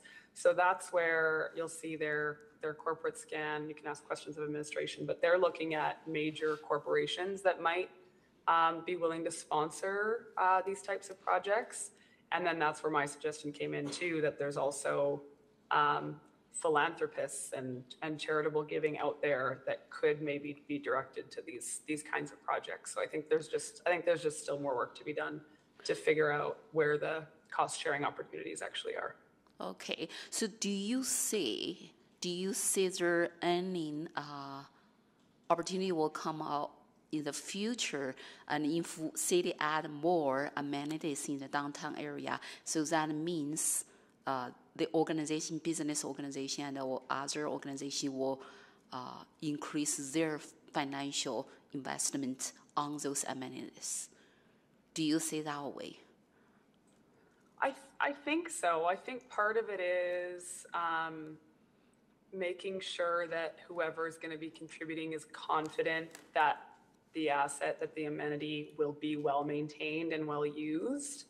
Um, there's actually another really great example I forgot to mention the, the Chinese garden down in Louise McKinney Park. That is entirely a community driven uh, initiative. It's not a recreational amenity, but Yep. it's um, a really valuable um, part of of our downtown parks. And that's actively managed, maintained, you know, added to by the community group who decided to take that on, um, which is the, the, the association that um, is the Chinese Garden. Yeah, Um, Chinese garden. Yes, it's a good yeah, piece. so yeah, so I think there's that when I say philanthropy, like I think there's lots of different ways that communities could be mobilized to take on this kind of thing.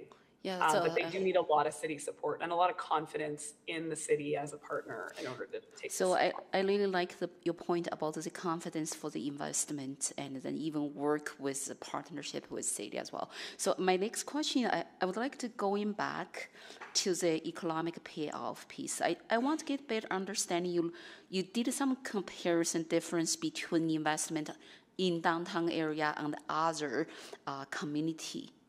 If we do, so what I heard here is if we invest more in downtown area, we can get more return. Is that is that what my understanding correct?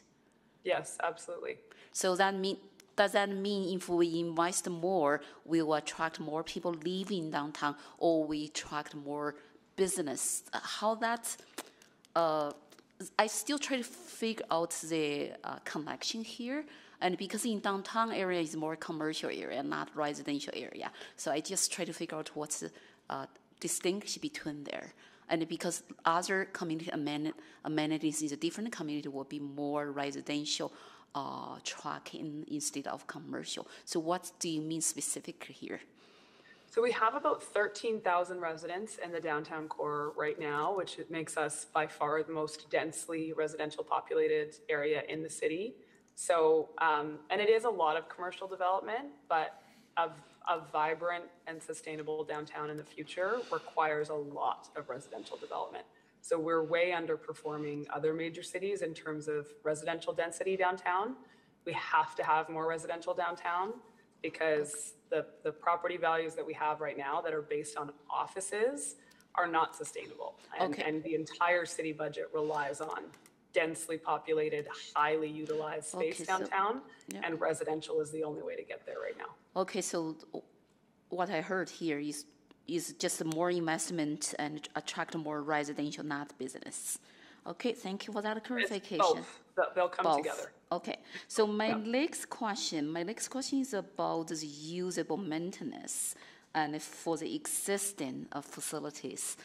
Um, so my question to you is based on your experience and uh, as a leader of the business community in downtown area, uh, if the maintenance is uh, adequate and sufficient, do you uh, do you think and we have enough facility amenities in downtown area already if we keep our maintenance work and in the good in the good position? So I just want to get that sense very clearly. Yeah, I think with the projects that are planned right now, there's a couple of community needs that aren't being met. So one, tennis courts, for example, people are asking for pickleball courts. Those kinds of things would still be really great to achieve. But oh. with the projects that are planned and the amenities that we have now, if maintenance and cleanliness and active management of those spaces were sufficient so that they were welcoming and usable for all, that would make a big difference. That alone is a huge part of the challenge. That's wonderful. That is what information I'm looking for. Thank you so much for that clarification. I have one more question. I will come back to the next round. Thank you. Thank you, Councillor Rice. Councillor Stevenson? Yes, thank you very much, and uh, thank you, Ms. McBryan, for being here today. Um, you know, I really appreciated hearing you confirm that, you know, um, those bigger investments that we're making in Warehouse Park, in, in Beaver Hills and Michael Phair are really on track to, to meeting our, our amenity needs. Is that, did I hear that correctly? Yeah, absolutely. Great. Yeah, just just the you know individual little additions that are planned. Mhm. Like there is three on three basketball courts planned for Warehouse Park, and you know there is a playground, and there's you know more more dog park space planned. Like those things are being integrated into these plans. Yeah, well, and, you know, and that's a good reminder too, just in case we ever get to a, you know, a budget reduction scenario, but just recognizing that those facilities really are are critical to keep in there. Um, I also, you know, I, I think what I really took away from this report is that there are that, that there is funding, that there are programs uh, that can be used for, um, um, you know, making additions to park space. I just wanted to make sure that um, uh, the mayor the mayor touched on it a bit, but just that that I, I don't want us to both be like I don't want the city and I don't want community partners to each be waiting for the other to take the first step. So I, I just wanted to confirm that, um, you know, is it clear to you that that I think the city's doors are open, but I think the the approach, and I'll confirm this with staff, is that we're waiting for community partners to to to come forward with their ideas for us to fund. Yeah, I think so. Like, and I think you know, I'm I sit on that um, committee with um, uh, city administration for the, the Downtown Vibrancy Fund. And all of us have been trying to go out to the community and make sure that landlords and businesses and community groups, like everyone knows that this money's there uh, and that the city's door is open. The two main barriers I think we have when it comes to getting those businesses and landlords to, you know, step up and do this. One continues to be, I hate, I hate to say it again and again, but it continues to be just fear and lack of confidence in you know how well the public spaces are going to do and just fears about disorder and crime and and how costly these things are to manage in in our current context. So that's one big barrier uh, when it comes to public amenities and public spaces and the other one we had one pocket park that a landlord was really excited to do and my understanding is it kind of fell apart on the legal side they didn't like the city's legal requirements that were coming with the, the grant funding. And I, frankly, I don't understand nearly enough about it to speak intelligently about it. It would be maybe a, a question for you to ask uh, administration uh, either today or in the future. But that was one that had some potential, and then and then when it came down to getting the funding agreement signed, um, it, it was just not going to work out. Okay, that's that's incredibly helpful, and I'll for sure follow up with uh, with our staff about that. Um, but it sounds like because I was wondering if if the gap is maybe in information sessions, but it sounds like the awareness is there. Um, or or would information sessions help with with DECL with other community groups? Do you think? Uh, Potentially, yeah, I think so. I think, uh, yeah, there are probably groups out there that still don't really understand that the money's there for them and that and how broad and you know flexible it is. I know Tom is trying all the time to get that message out there, but um, yeah, maybe info sessions or something like that would help. Okay, perfect.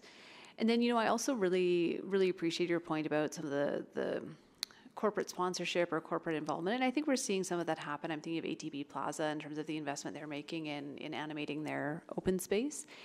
And again, just wondering what who who leads on this, right? Because I don't know that the city often sort of does fundraising campaigns, for, for lack of a better word. Um, but again, it's also a huge, huge thing to put on an organization like the DBA, for example. So, what do you think is a good mechanism to to have those conversations, to bring bring people together who are interested in investing in the community, what's what's a good place for us to to start? I wonder if it is. Um, yeah, my my colleagues on the Downtown Vibrancy Fund um, core group, whatever we're calling that group, might hate me for saying this, but I wonder if it is more like we could do more as almost more of a steering committee. Hmm. Um, we've got some really great partners around that table and I think if we treated it more as a board or a steering committee um, and did more of that work as like as conveners, hmm. um, maybe maybe that's part of the answer because I think it has to be a partnership approach, and we've got those people at the table already. Great. Well, and I think you know the ways that the city can support that too. Happy to, you know happy to have those conversations, but really appreciate the thoughts. Thank you. Thanks so much. Thank you, Councillor Stevenson. Councillor Rice. So just a last quick question regarding the social disorder concern and in the reports. Um, I do want to get your sense right now among the stakeholders, and because city did lots of engagement with stakeholders, um, about the associate with the cost and for this cost sharing program. That is one concern with the with the concern about the social order remaining still. And another one is uh, required security. And does this concern does this concern will um, make uh, our business community and really uh, hesitate and to have more investment in the downtown area. So can you comment on that a little bit more? Yes, absolutely. We're still we're still losing investment. We're still losing office tenants, retail tenants, um, creating economic hesitancy. All all because of the, the ongoing challenges with um, social disorder and um, mental health and addictions issues. So what I heard here uh, is that is that fair to interpret the way and like this? Say, um, because of the safety and also social disorder concerns and the security concerns for the business community still remains in the downtown area. So right now, instead of invest more money to add more uh, like uh, amenities and rather and then we spend some money to resolve those uh, type of concerns first and before we, we invest more money to do something and with the other factors we already have other several projects uh, underway and to really resolve some other issues regarding um, amenities yeah, it's a, it's a good point, Councillor. I've seen other cities, including New York City, where their parks and public spaces are staffed all day and then they close at night. Um, because that is the way that they make sure they're they're usable and functional and safe and welcoming for everyone.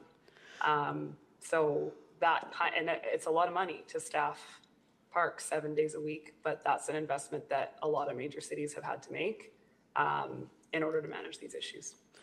Okay, thanks. Thank you very much. That's my question. Thank you, Councillor Rice. Councillor Paquette. Well, thank you, Madam Chair. Uh, and thank you, Puneeta. You're fielding a lot of questions, and I've got some more for you. But um, I thought this was this was going to be a pretty quick one, but yeah, right.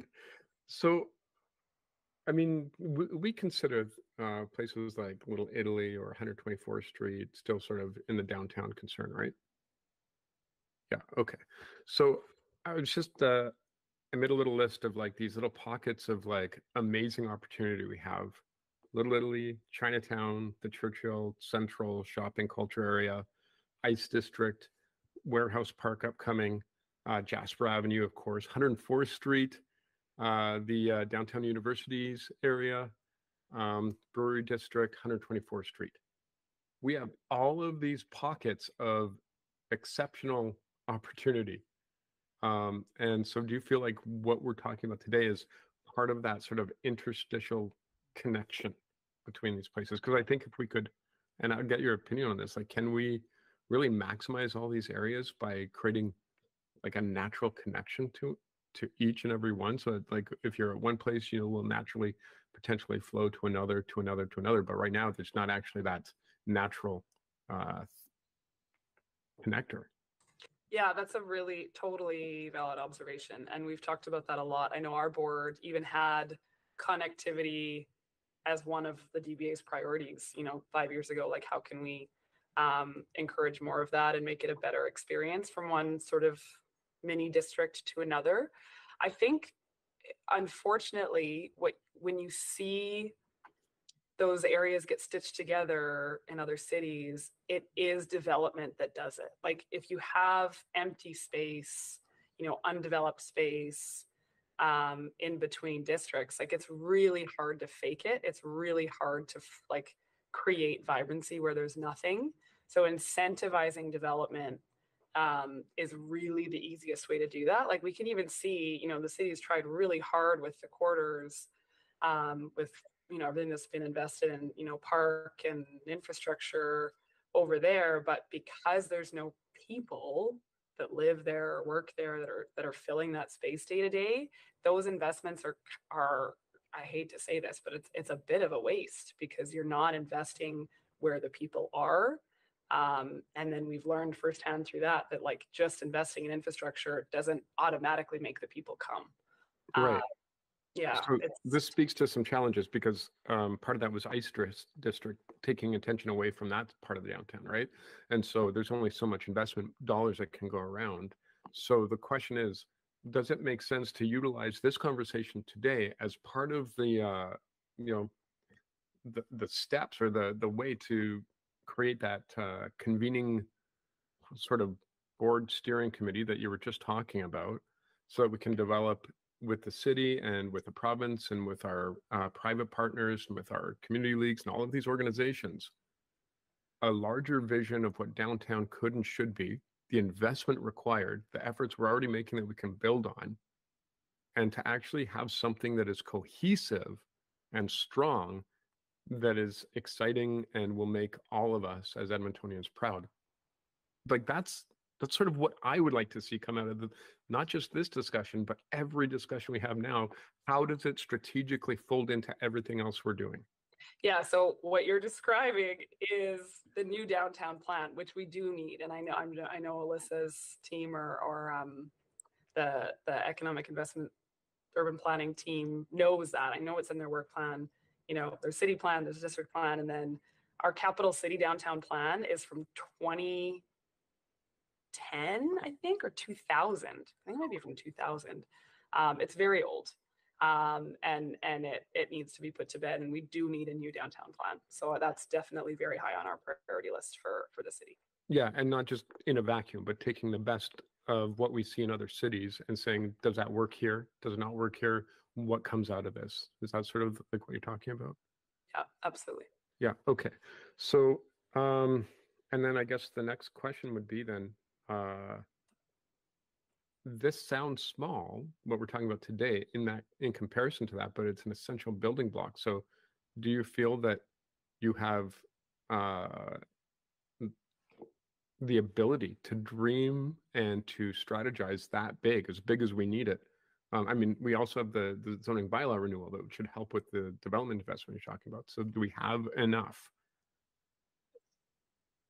That's a big question that I don't know how to answer. Right. Thank you, Councillor Paquette. Uh, it looks like we don't have any more questions to our speaker, but I'd like to thank you very much, Puneeta, for joining us today, and thank you also for all the work you do uh, for Edmonton and Edmontonians. We do appreciate it. So next we will go to questions of administration. I know uh, Mayor Sohi, you have some questions. You can go yeah. ahead. Uh, let me start with the kind of a big visioning idea about uh, something similar to Devonian Garden in the heart of the city. Uh, as you progress on the uh, on the new downtown plan, maybe that's a, that's a place to uh, convene the right players and uh, have that discussion and bring something uh, forward about the viability, if it is viable, through initial discussions. Is that possible? Absolutely, Mayor Sohi. That's something that we would look into, look for those big, bold ideas, not only a park like was described today, but other things in terms of what's going to take Edmonton's downtown in the into the future. Okay. And uh, yeah, so that's absolutely something we can look into. So that doesn't, that means there's no direction required at this time because you're just having those initial conversations, but you'll, you'll undertake that as part of many other creative ideas, that visioning session. That's that correct. Okay, got it. Okay. That is good because I then I would not be making any motion at this time. Maybe future, absolutely. Look at that. I want to come back to the maintenance of existing amenities and parks. Uh, uh, what is the reason that we are unable to properly maintain and make them enjoyable and clean them up? Uh, before I pass it to my colleague Craig, I wouldn't I wouldn't say that we're unable to maintain and clean them up properly. I or think maybe adequately. Yeah, I think it's a it's a resourcing question, um, and I'll I'll pass that to uh, Craig, who can speak to that.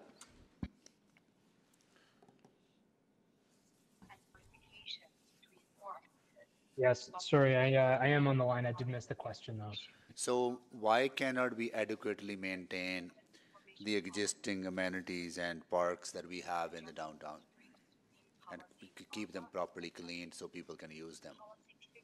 Well, one of the um, one of the things that we have going on right now is um, we've we've just launched a uh, a new a new team leveraging some of the money from uh, our province. Uh, so we got another 1.3 million dollars added. Um, with that, we'll be we're adding and we have added an additional 23 new people to focus on the center city.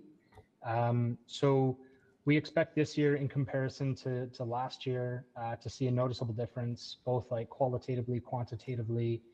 Um, so we're calling it the Center City Optimization Project, and, and it's intended to do exactly what you're asking for is adequately maintain. So, So is like it, how, how long you have the funding for that? So that funding only goes until uh, February of 2024. Uh, so it's it's taking people and having a single point of contact, a structure that can specifically look at the center city uh, to maintain um, to ma- maintain infrastructure uh, in the uh, in the center city. And we, we linked it to the center city to connect with uh, the language used in, and, and the boundaries within the city plan. Okay, and do you have those teams now? We do, yeah. So And teams have so been they're hired. already out there uh, properly maintaining and cleaning up our, uh, amenities and parks? That's right. So the team is is it's new. Uh, we're piloting it. We're getting it off the ground, uh, and we're expecting that this this summer and fall will uh, that you know BIAs and, and residents and those visiting uh, in the center city So uh, will then- notice uh, a difference. Then why would uh, DBA would have to spend two hours cleaning up a park for yoga class, right? Or, uh, or we are not there yet as far, we're just initiating this, these new teams? Uh, teams are, are off the ground. Um, I would say there has been a noticeable improvement in terms of, of cleanliness. I think it's going to be difficult to stay on top of all messes, and uh, uh, the service levels are improving. Um, but there certainly will be instances where we'll have to be reactive. Um, but the level of proactiveness has dramatically increased. So what happens after February 2024 that the, if there's no funding available, then you would have to, so it's, it's a one-time funding, right? It's a one-time funding. Mr. Mayor, the, the funding was uh, taken from the $4 million provided by the government of Alberta for downtown revitalization. So we directed 1.5 million of that 4 million to support cle- uh, cleanliness efforts, and the majority of that funding went to this project. So that, but that funding, will- funding will be completely That's a one, that's a one-time, yeah. by February 2024? That's correct. So next year? There is no funding. Okay, that's something I'm interested in ma- bringing forward a motion to have that discussion during the budget, because otherwise we will have a similar situation that we experienced with adding one-time funding, then going back and, uh, you know, scaling down the, uh, some of the work. Okay, uh, I'm out of time. I might come back next, uh, for second round, depending on the conversation, but I'll bring forward a motion, Yeah, unless you want me to bring the forward that now, or you want me to wait? uh, Uh, You can go ahead if you'd like to bring forward. So I'll. I'll move that, uh, that administration bring forward an unfunded service package for consideration during the fall 2023 supplemental operating budget adjustment to continue the city center optimization project, including an increased focus on maintenance of parks. And uh, uh, brief introduction, uh, it is uh, what we heard from DBA, this heard, we- heard from our administration, that there's one-time funding available, that is making a difference, people are seeing the difference, but we need to make sure that uh, we need to have that conversation. By November, we will have more data, more information on the, on the effectiveness, and if that effecti- effectiveness is demonstrated, then council can debate whether to carry on with that, um, uh, that maintenance program uh, on, on a permanent basis. So that's the intent, yeah. Thank you. Okay, thank you. We have a motion on the floor. Councillor Rice, please go ahead. So, thank you, Mayor Sohi, for putting this motion regarding the maintenance. It's not add new committee maintenance. Okay, so thank you for that clarification. And my question is, what's the funding source um, are you going to expect to support this maintenance? I think uh, we would have to identify a funding source when we uh, discuss this uh, um, during the SOBA, fall SOBA. Uh, If there's, there could be OP12 reallocation depending on where we are, or it has, might have to be tax levy, right? To, depending on the, the conversation that will take place during uh, the, uh, the fall uh, budget discussion. Then my question is, the funding source could be the existing uh, downtown vibrance fund, and because we still have five, I- five, I- we still I- have five million dollars there. I would not recommend that because that five million dollar is uh, needed for many other uh, investments that downtown requires, maybe that, that discussion will take place uh, Okay. in, in the fall. But I, my preference would not be taking money away from $5 million. Then, then we're going to set back some of the other initiatives that are in, but that debate would occur, Yeah. occur when we come. So if, uh, okay, sure, and I just want to understand, Benny, why I'm asking for the existing, uh, the funding, the downtown vibrance fund. If we still have five million dollars there, and then that funding could be used for the maintenance related to vibrancy, and instead of add additional tax levy, and then Maybe as a result. Maybe administration can Yeah. answer that, but my understanding that $5 million is also one-time funding, it's not ongoing funding, right? So is that one-time funding as well? No, we do have 5 million um, per year in the next four-year budget Yeah, cycle, ongoing. but I would, Okay, um, I would stress that there are a large number of priorities uh, in support of a, of a vibrant downtown, and reallocating funding to core services would not be a priority, meaning, you know, the cleaning side of things. The funding is very much focused on leveraging additional investment from community and organizations. For instance, last year we leveraged 8.4 million in private investment for the 6.5 million in funding that was given out. So, um, Okay, uh, thank you for that. To indicate that is ongoing funding, and then we can have further discussion on that piece. And I'm going to ask Lake's question related specific the um, the statement and indicated in the report the existing status quo and is the best suit and to the downtown amenities. So and also indicated very clear the additional cost sharing mechanism and it's not are not recommended and for that three options. So then my question is for those three options uh, in the report, do those options apply for city-owned land only or apply both city-owned land and then private line as well? Councillor Rice, just to clarify, you're talking about the Mhm. three options Yeah. in the report The- for the specifically? cost sharing, yeah, cost Yeah. sharing mechanism. Yeah, they could apply for either. So this would be looked at, um, it would depend on where the funding is coming from, downtown vibrancy, if that was an opportunity that someone from the community came forward with.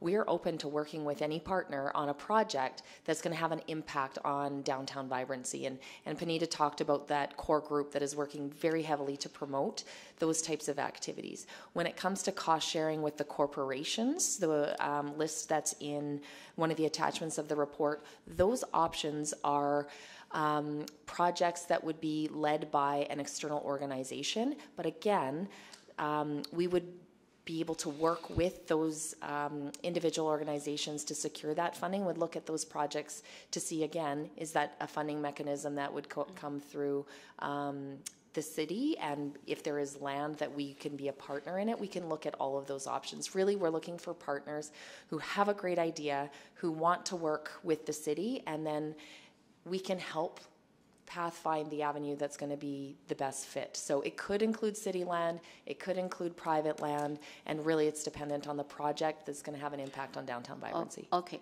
uh, then my, my next question, I just use a few seconds here. So if Mayor Sohi's motion here is to focus on the maintenance, Mhm. and do we still need to receive the information for the report? Because Mayor Sohi's motion is talk different things.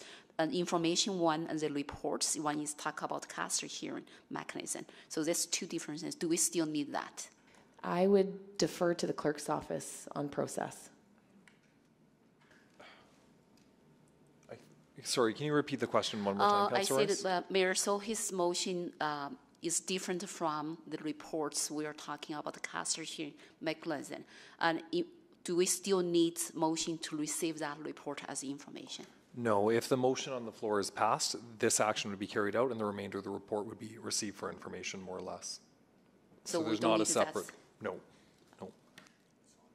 Okay, okay, sure, that's my questions, thank you. Thank you, Councillor Rice. Councillor Paquette? Thank you, Madam Chair. Uh, Just uh, for everyone's information, there can be motions made after this as well, if anyone wanted to bring any forward. So if there are things in the report that you want to see motions made on, you can also do that in this conversation. Okay, so uh, to administration, um, first of all, thank you for this report. Uh, it's uh, it's very interesting. I uh, I understand uh, the mayor's concern about uh, maintenance and cleanliness.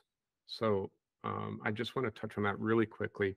One of the things we've, we've talked about in the past is uh, the responsibility of uh, businesses for uh, cleaning up in front of their business.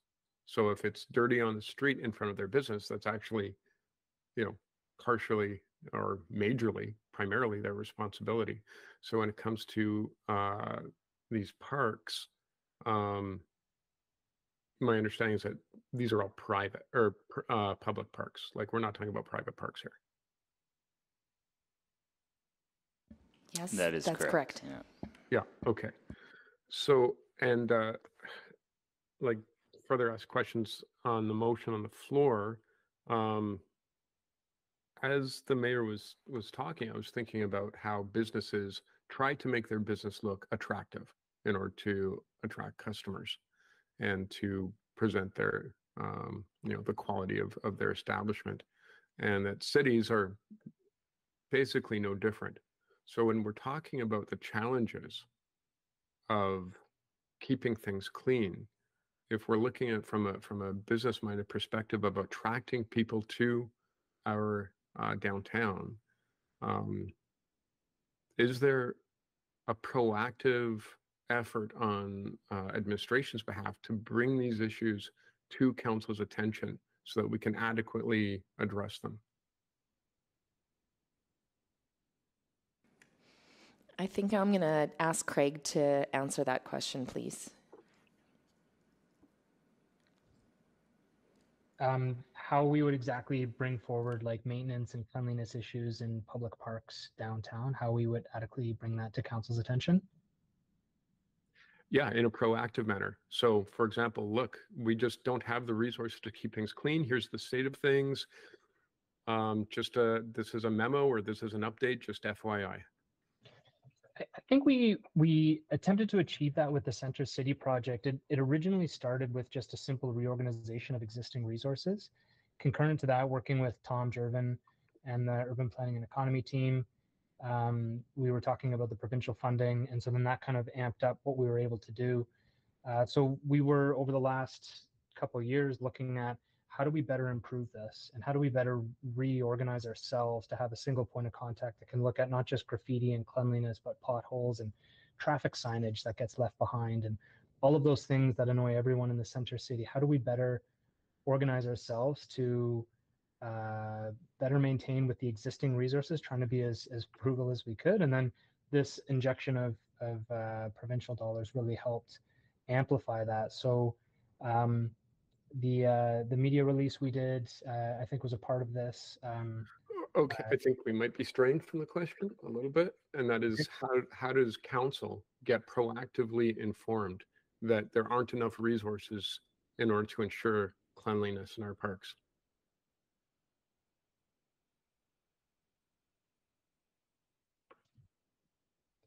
how does council proactively Informed, um, because how can we uh, be how can be res- be responsive to situations if we are not made aware of them?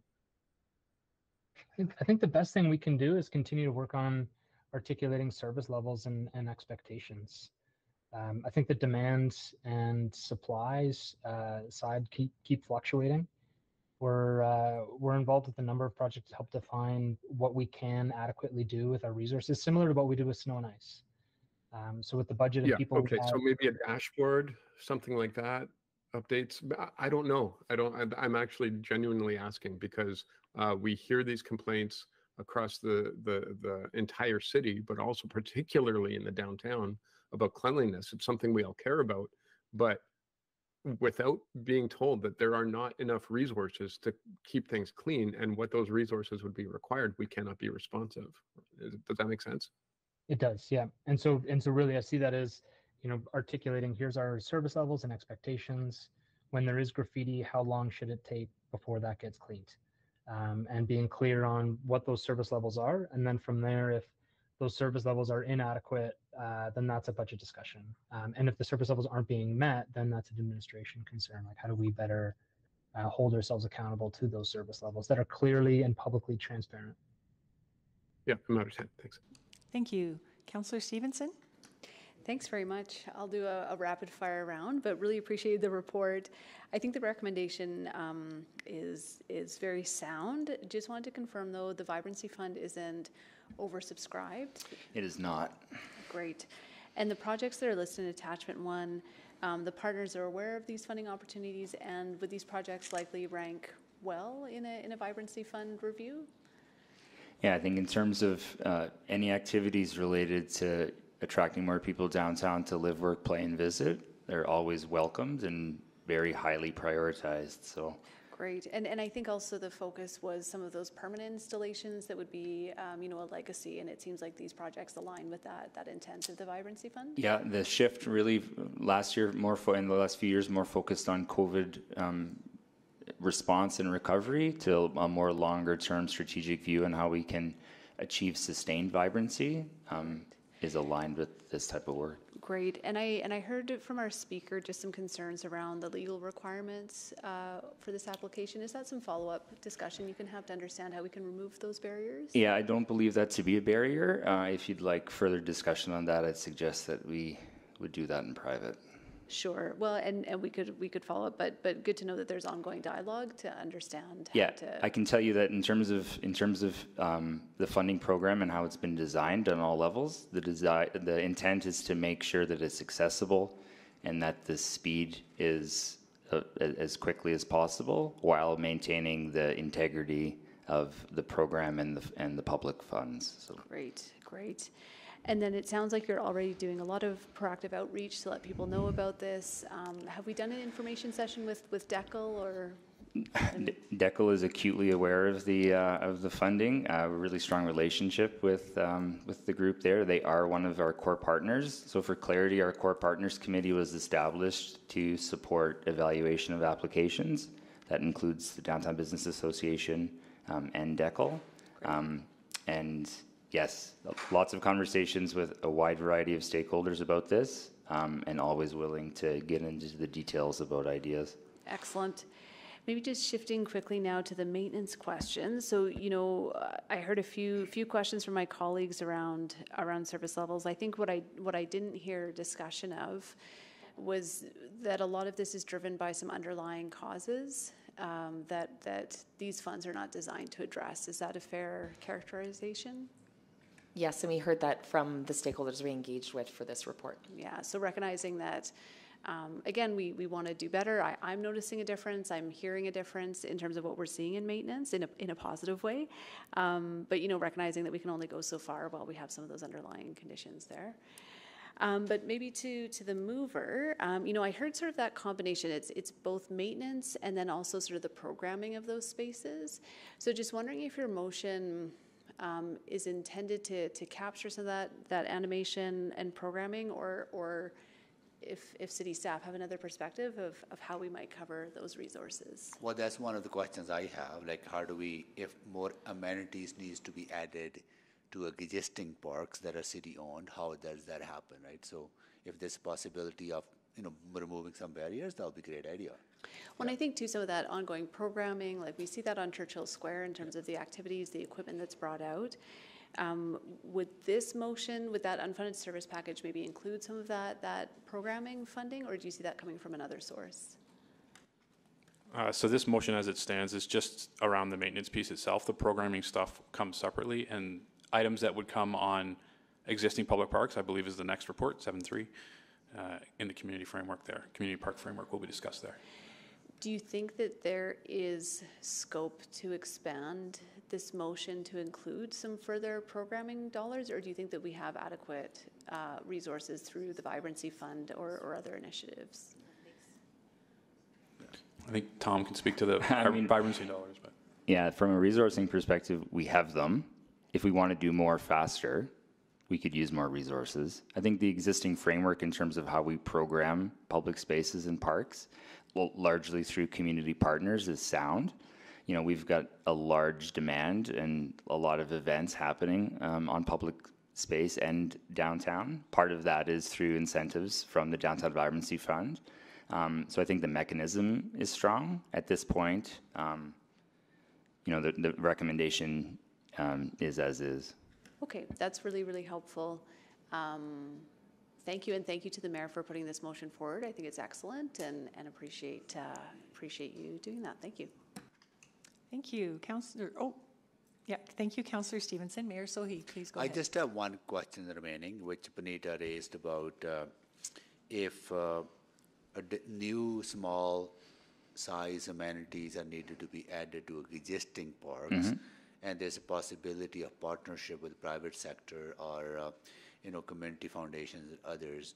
How do you make that happen? That it's not or I know vibrancy funding cannot be is is vibrancy funding eligible for that? Yeah, so we, we've already done it actually. So um, last year we awarded uh, 350,000 to to DECL to support Michael Phair Park, um, and that's an aug- augmentation of services. So you'll see the polka dot mural. That's one of the pieces.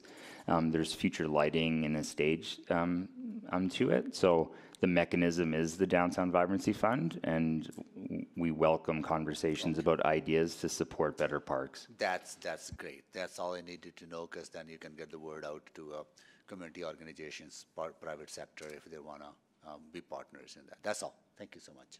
Thank you, Mayor Sohi. Councillor Paquette.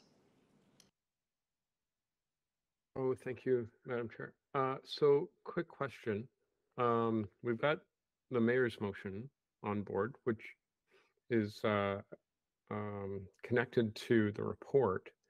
But, um, I, one thing, Madam Chair, I don't know is if there's a motion coming that addresses the actual content of the, of the report as far as, um, uh, what was uh, asked about in, in the, uh, instigating motion in the report about uh, pilot programs for small court style activities, corporate sponsorships, et cetera. Yes, and I believe that Councillor Rice was mentioning that as well, uh, if we would still need to accept the report for information. But it is my understanding that that would not be necessary to do two, but it, it is possible to still do. I, I don't need to, but I'm just curious, and so I guess to, uh, thank you for that. Um, to administration then, um, accepting the rest of the report for information, um, what direction does that give you to continue with this effort? I think what it gives us is the ability to keep working with our partners uh, through the Downtown Vibrancy Fund on these types of initiatives. We've received some feedback today around communication. We don't need a motion to communicate what we're doing with the fund or, or look for other partners. We heard from Puneeta, you know, philanthropy and, you know, other corporate sponsors. That's another thing that we can explore under existing mechanisms. So no further motion is required to to take the feedback we've heard here today and incorporate in incorporate it into what we're doing under the downtown vibrancy work or the capital city uh, downtown plan that is uh, slated for uh, um, updates as well. Yeah. Okay. So understood. Um, uh, just for the sake of um, the fact that council is responsible ultimately for these things, um, is it possible to get uh, some quick memo updates uh, periodically on how those efforts are going? Uh, so that we don't have to make a motion, we don't have to set a whole like uh, you know alternate work for administration. Just some updates on how it's going. Absolutely, Councillor Paquette. We have um, monthly updates that Downtown Vibrancy is a part of. We can also we can also send memo information that gets into these details in more Or specifically. just in the updates, like a section like specifically geared to, it. by the way, you know, here's the work in this particular uh, sector or section that uh, um, was of interest. Yes. And then that way we can see how these partnerships are evolving. Yes. Okay, great.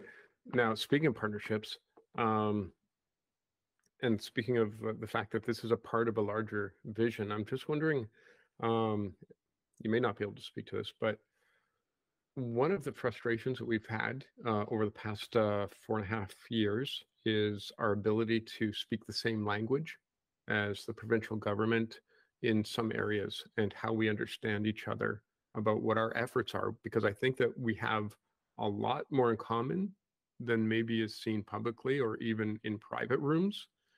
Um, and so when we're talking about, uh, you know, small scale community amenities and recreation and leisure and uh, cleanliness and all of these things, uh, obviously, as Councillor Stevenson alluded to, it's tied into some of the social pressures that we're also feeling. Are we developing partnerships also um, with our downtown partners in the same room as our provincial partners so that we can start working out of the same uh, glossary and using the same lexicon in order to establish better um, cooperation and, and investment in these areas.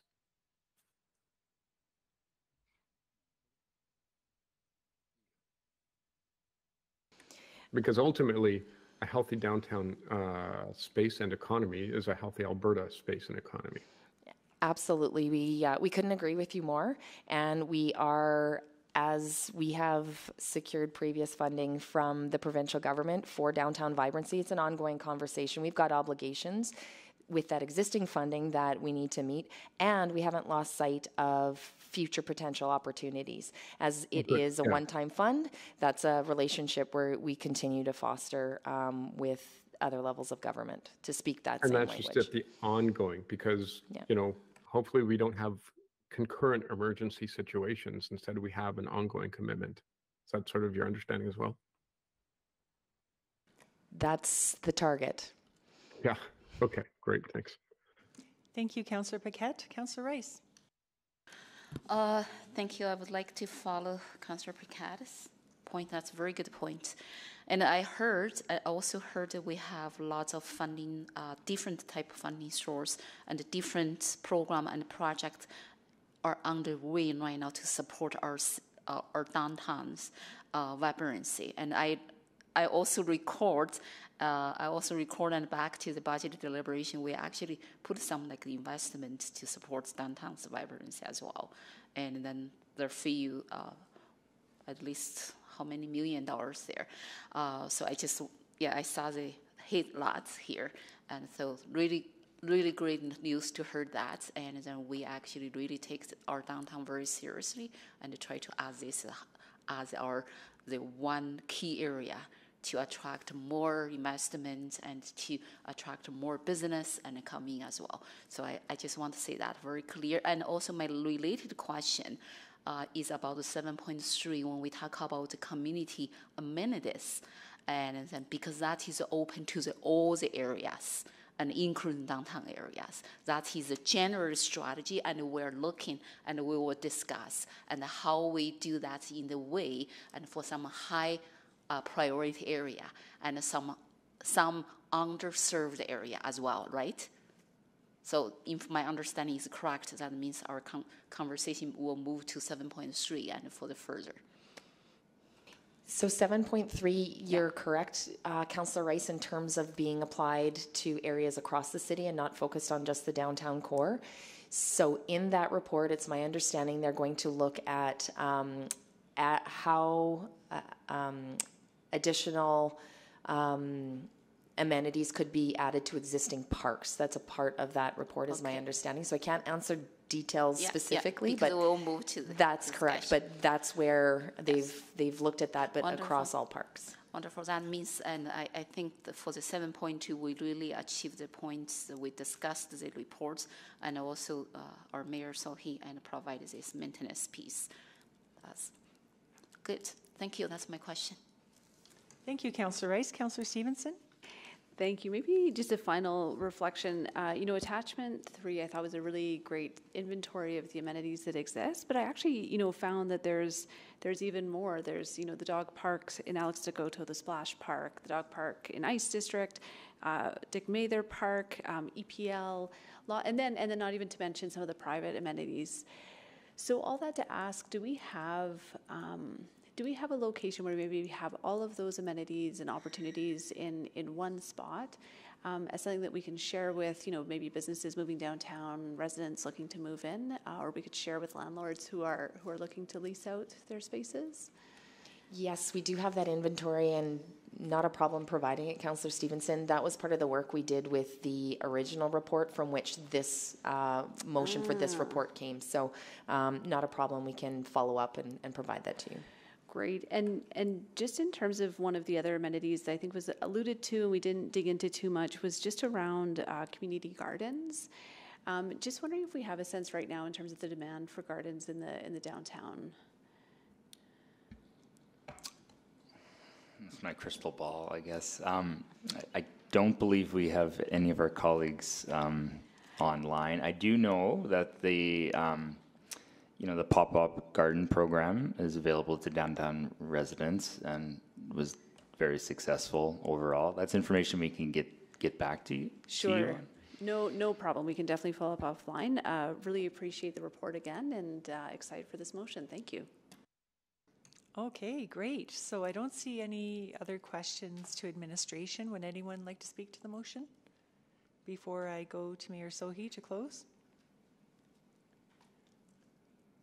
I don't see anyone signing up. Okay, please go ahead, Mr. Mayor. Yeah, I, I look forward to the, uh, the success of the Vibrancy uh, uh, Fund and uh, people taking on this opportunity to build small-scale amenities in the, in the downtown. I also want to credit our administration for, for being flexible and creating flexibility actually in the, in the application and, uh, and opportunities for uh, other private sector or philanthropic organizations to, to participate. I think that's kind of flexibility is required in, uh, in a time of um, such a need in the, in the, in, in, in the downtown.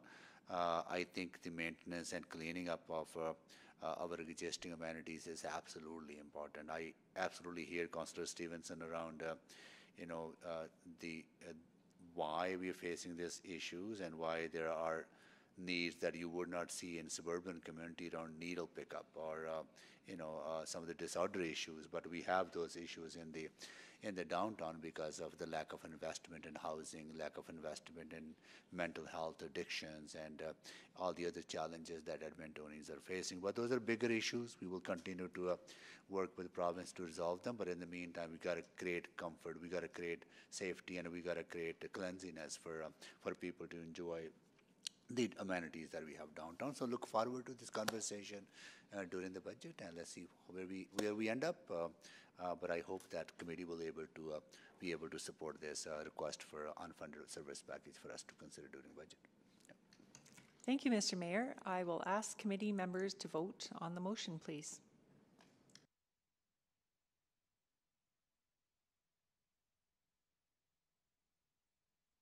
We have all the votes. Thank you. Please display the vote. And that has carried. Great, thank you, everyone. Now we'll move on to item 7.3. We'll kind of carry on with the conversation. So administration, whenever you're ready, please go ahead.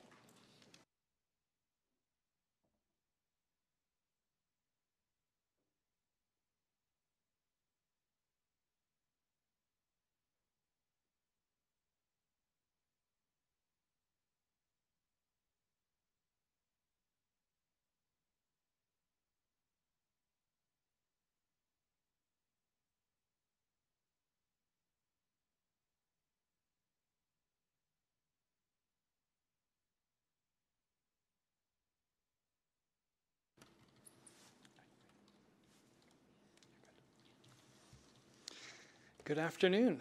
Uh, We are here today to provide information on community park amenity development in Edmonton.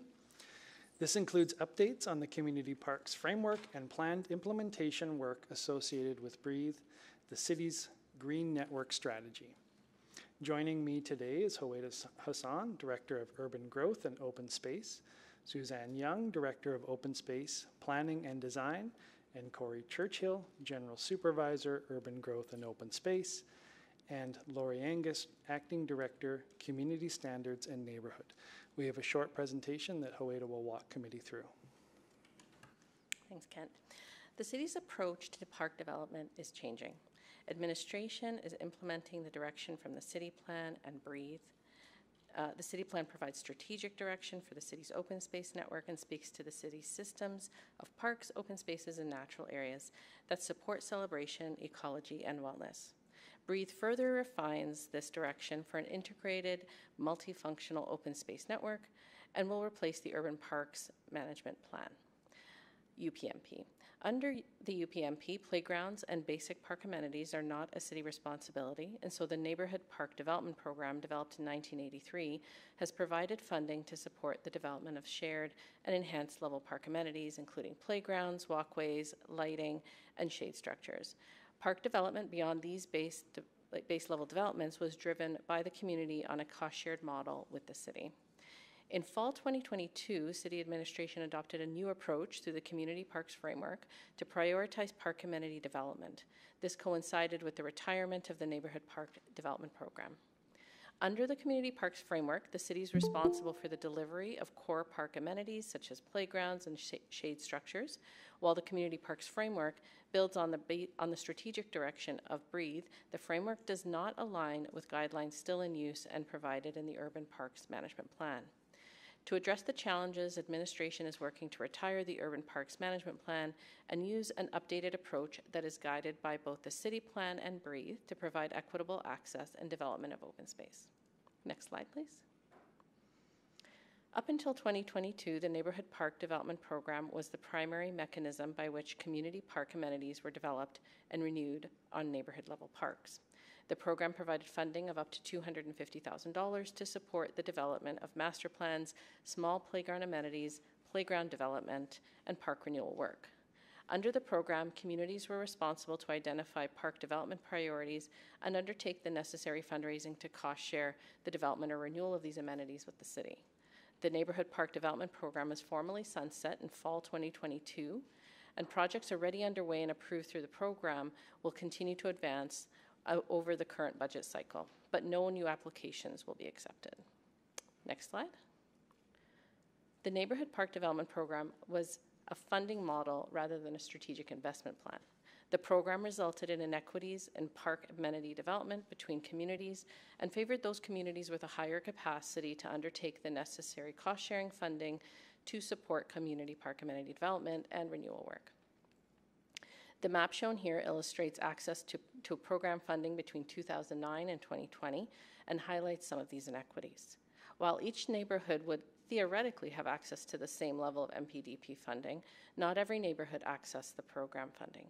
Many neighborhoods, those in white specifically, did not access NPD funding over the assessed period at all. The graphic also highlights existing playgrounds that are listed in very poor and poor conditions, identified by a red circle, this is useful in illustrating one of the concerns of the NPD program. Under this program, communities are responsible for funding the renewal and or replacement of the playground or park amenities through a cost-shared program. For communities that lack that capacity to undertake the necessary fundraising, there's a risk that the park amenities would be removed and potentially not replaced. Next slide. The Community Parks Framework reflects a new approach to support the growth and renewal of community parks and is intended to replace the NPDP program. The framework identifies distribution and quality provision targets, which will help administration measure and evaluate success. Distribution is considered at a variety of scales, including the district level, uh, that 15 minute walk scale, and neighborhood level, a five minute walk scale. Under the framework, the responsibility to fund, develop, and maintain and renew park amenity shifts to the city. The city would be responsible for the delivery, maintenance, renewal, and replacement of community park assets on city land. This will clarify expectations for park amenity development as the city will now be able to assess and prioritize park amenities, both new amenities and renewal of existing amenities. Community-led projects including community gardens, community rinks, and halls that are subject to license agreements can continue to be supported. There is no change to the community-led project process. Next slide. Engagement was undertaken at an advised level for the community parks level, uh, framework. There are several opportunities to provide feedback on the Community Parks Framework, which included targeted meetings and workshops with key stakeholders, along with public opportunities.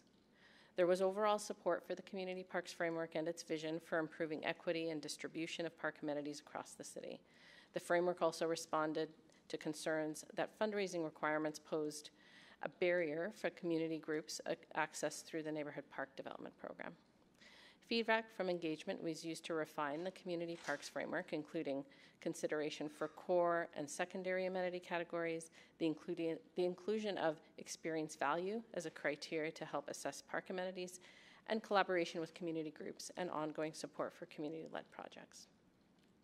Next slide. Council approved funding to support the implementation of Breathe over the 23 to 26 budget cycle has been approved. This work includes two components updating the standards and provision guidelines to retire the urban park management plan, and undertaking an open space network analysis.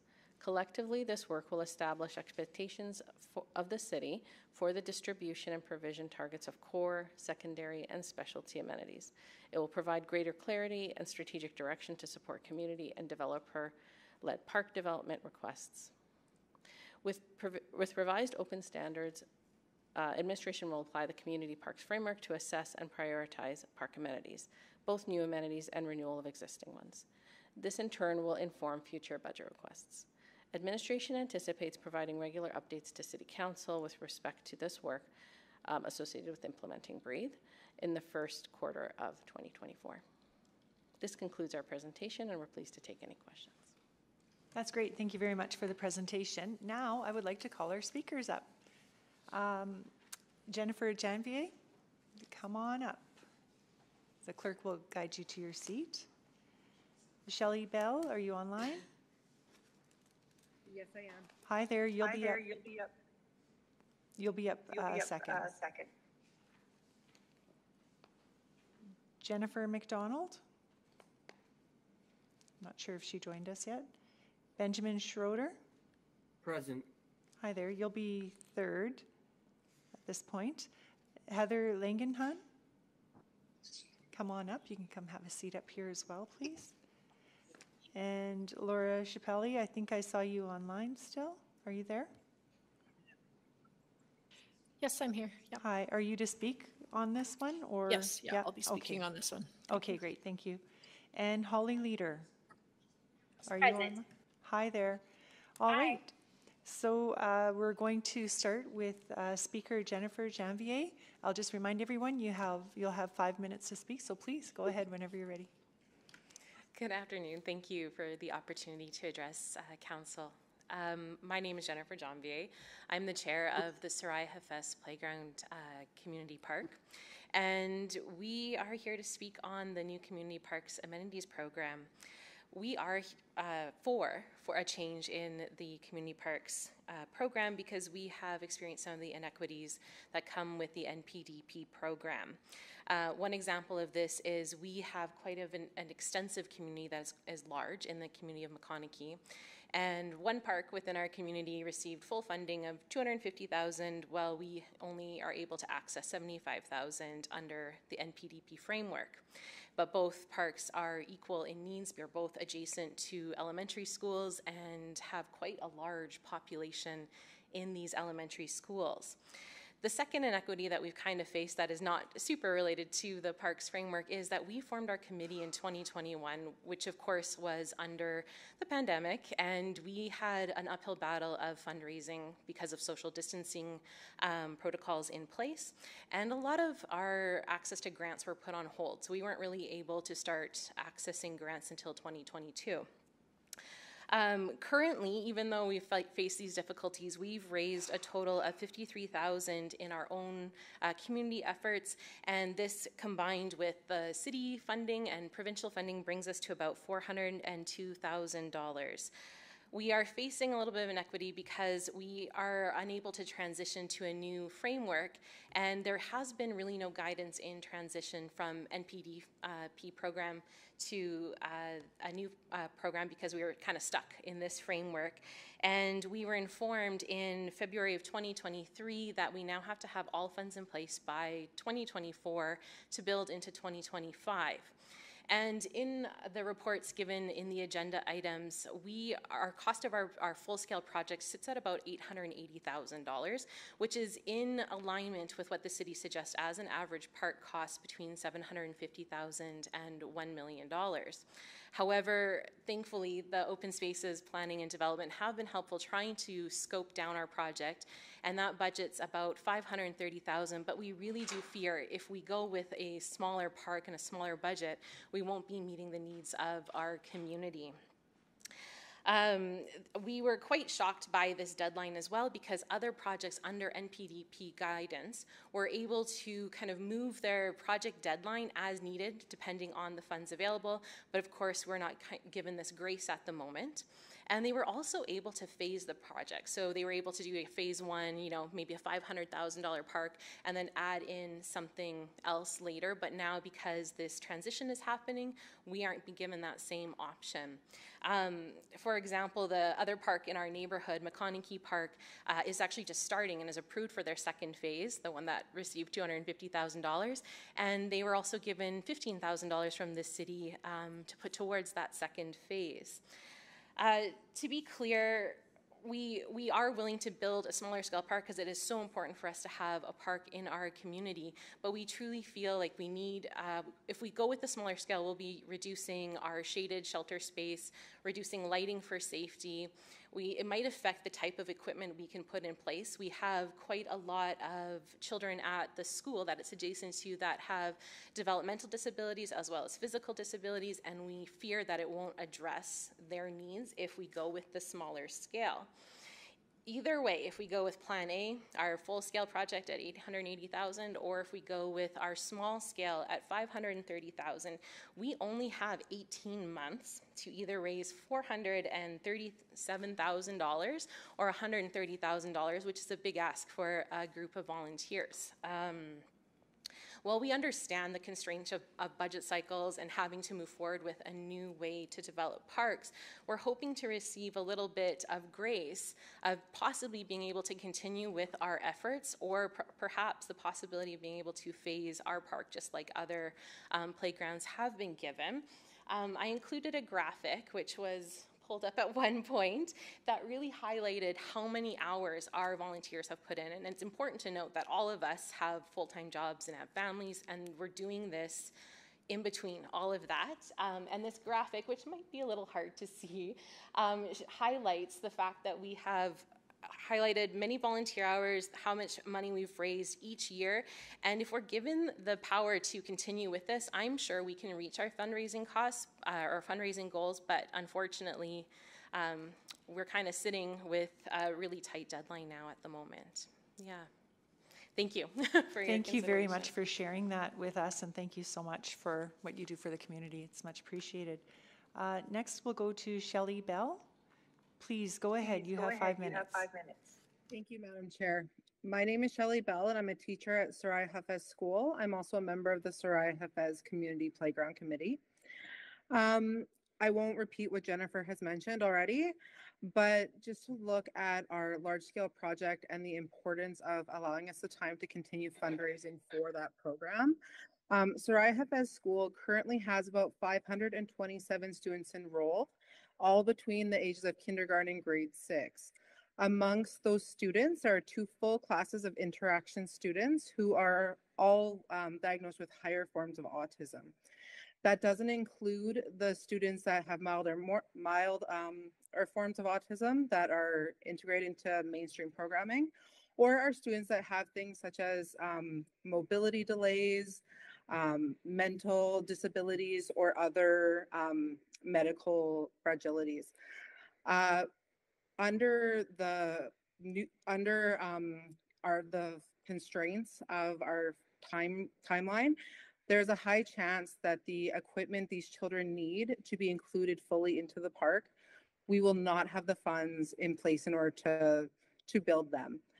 Um, by giving us more time, we'll be able to um, use our full scale project which will um, better include these children and help them to be able to to have the equipment needed for their gross development, as well as their interaction and mental health development as their peers and other children in the community. Uh, McConachie itself is also a very diverse community. Right down the street, we have McConachie Gardens, which is a seniors residence, um, which the school has been partnering with and trying to create um, intergenerational um, connections. The residents here, many of them um, have been in the are in the facilities for long term and do not have the outdoor spaces um, in which we can in which they can use and promote mental health and different activities and active living.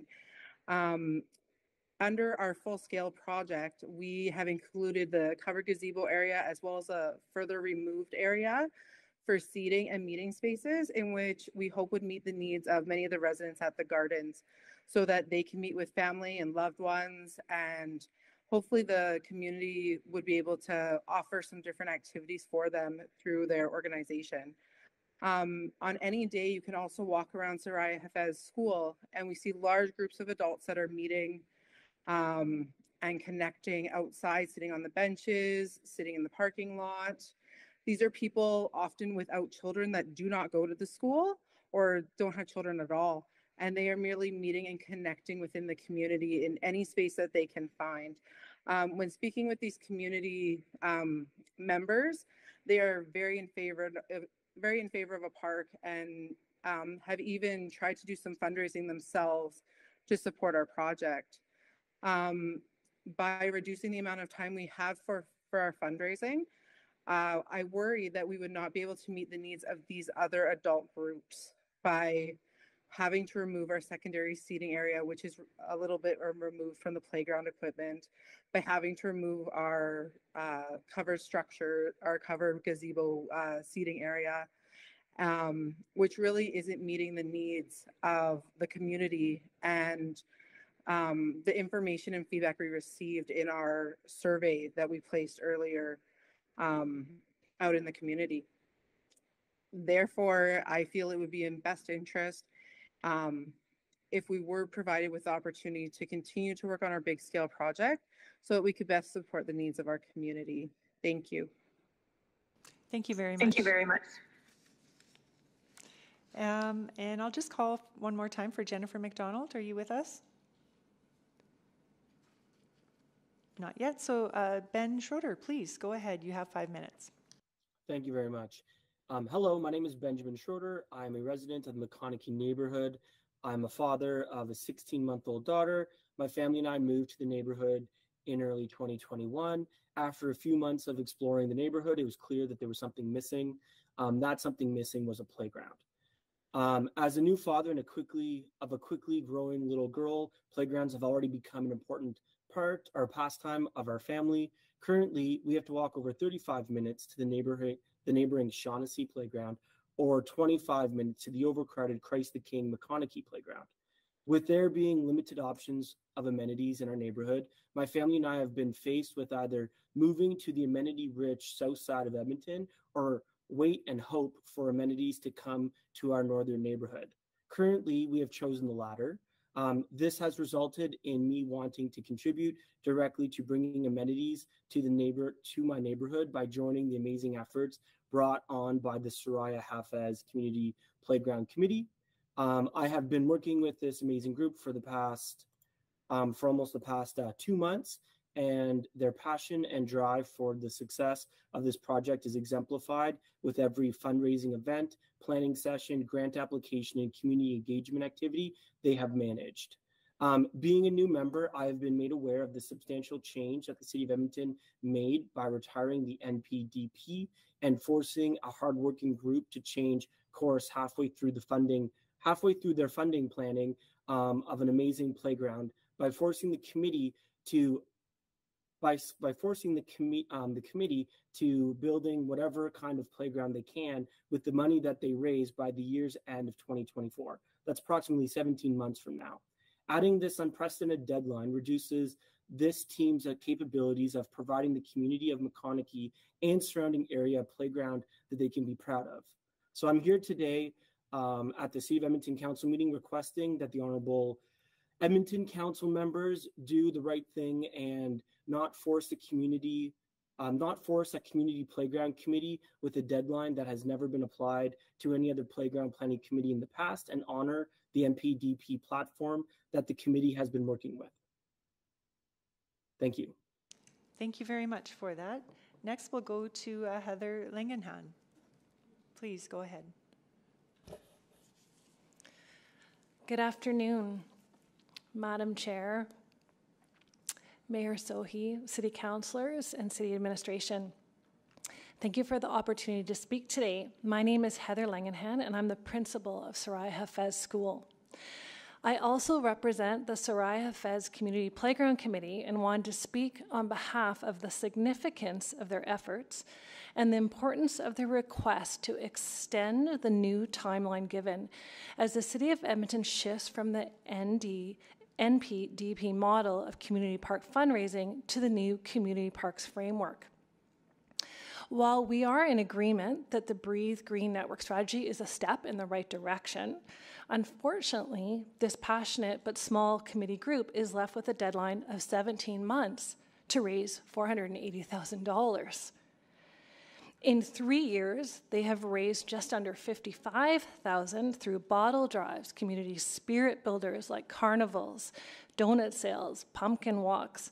They've organized business donations and sponsorships, and the opportunities and list goes on. However, the group was established during COVID and the pandemic restrictions in 2020 21, despite the barriers that were presented. All they're asking for is an extension of the time required to complete a community playground that is inclusive, that is safe, and serves children and families. They've done all the right things, including surveying and listening to the community at large about what they value in a community playground, just as they were expected to do under the NPDP model over 500 students, all of which live in the community of McConachie, shared what was important to them at school and in their neighborhood, as the NPDP model required. Now, with a shortened timeline to build the park, all stakeholders said that they wanted and valued will not happen if an extension of time is not given. This isn't some fancy you know, state of the art park we're asking for here, um, but it is inclusive and safe, which costs all that money. The park they're trying to build is in the northeast area of the city, an area that is known to be in need of parks and playgrounds. Soraya Hafez School is a growing hub for families after school hours, if you've heard already, and, and they're left to play in a concrete parking lot, and yet they're still doing it. Having been the principal of other schools, I see firsthand the difference a playground makes in the positive development of children's social skills, their ability to learn, their creativity, their resilience, and pure happiness. As a principal, I also see the need for students to be off of technology and outside, to play and to be creative. The NPDP model is what we were given as a community, and this group has met all of the required expectations. We're all witness to the challenges of mental health, complex special needs, creating Indigenous representation, and community that need inclusion. This park requires time for these parents to continue their unwavering commitment to a community park that honors each of these important considerations. But it does take time. They are not asking for money, just time to raise it. They told the community based on their feedback that this was happening. How will the city answer these questions when a park they value and committed to will not be built? During the transition from NPDP to the Breathe Green Network strategy, please support these families, this community, this school, and most of all, the children who will benefit from a park by granting an extension to any community working tirelessly to build a safe, inclusive, Indigenous honored park, one fundraiser at a time. This is a win win for the City of Edmonton, the Northeast, and most importantly, these children. Thank you very much for listening today. Thank you very much for joining us today and your patience as well. Uh, next, we'll go to Laura Cunningham Shpeley. Please go ahead. Uh, okay, can you hear me? I'm Yes, we coming to can. you from the plaza today. I'm not, but I think it's prudent just to talk about important public spaces in our city and how dedicated the EFCL has been over many, many decades in this city to ensure that there are good public spaces. So as the executive director for the Edmonton Federation of Community Leagues, I'm here today to support the Community Parks Framework in order to ensure wider equity and distribution of vital gathering spaces and amenities across the city. So, as I said, it's prudent for me to acknowledge that community leagues have helped to build over $500 million worth of recreation amenities across the city in our history. They do this while working full time, raising their families, and much, much more. So, this has all been built by volunteers who've committed those thousands of hours of their lives to creating safe and engaging infrastructure in their neighborhoods. And this continues to this day, as we've heard from these incredible people already this afternoon. This is a significant shift. This new community parks framework is a significant shift for community leagues to come out of the space of funding playgrounds and spray parks, as over the years it's become increasingly difficult for them to raise those required funds and to keep volunteers motivated. It takes so many years to do this work and to raise the money. So these projects often build really strong relationships in the community. We know that there are other ways that this can happen, but playgrounds and parks are full of hope. They're full of really great things that bring community together. And we know as EFCL will be committed to ensuring there are other ways to bring community together. So we agree that the current NPDP approach has to be reevaluated through an equity lens. However, the loss of direct community funding should be replaced rather than foregone completely. We recognize, as the group has mentioned here today, that there were groups that just weren't ready on that October 15th, 2022 deadline. They had already begun the process of community engagement, they'd been doing some fundraising, and now they have to enter the community parks framework process at some point. And and at this point, with a priority over the next few years that's already been identified in the reports, we'd like to understand, you know, where does this leave these new these communities that have existing aging infrastructure in that renewal process. So I see that there's seven parks that have um, amenities that will be renewed in the coming years. So I'm interested to know how other parks needs will be addressed over the next few years if something comes up for them, if they have other renewal um, instances that are needed in their parks. On the map that we were shown earlier today, there were five sites that were identified as having very poor asset conditions. The playgrounds were in very bad shape, and yet those haven't been prioritized um, for renewal or rebuilding over the next coming years, to my understanding.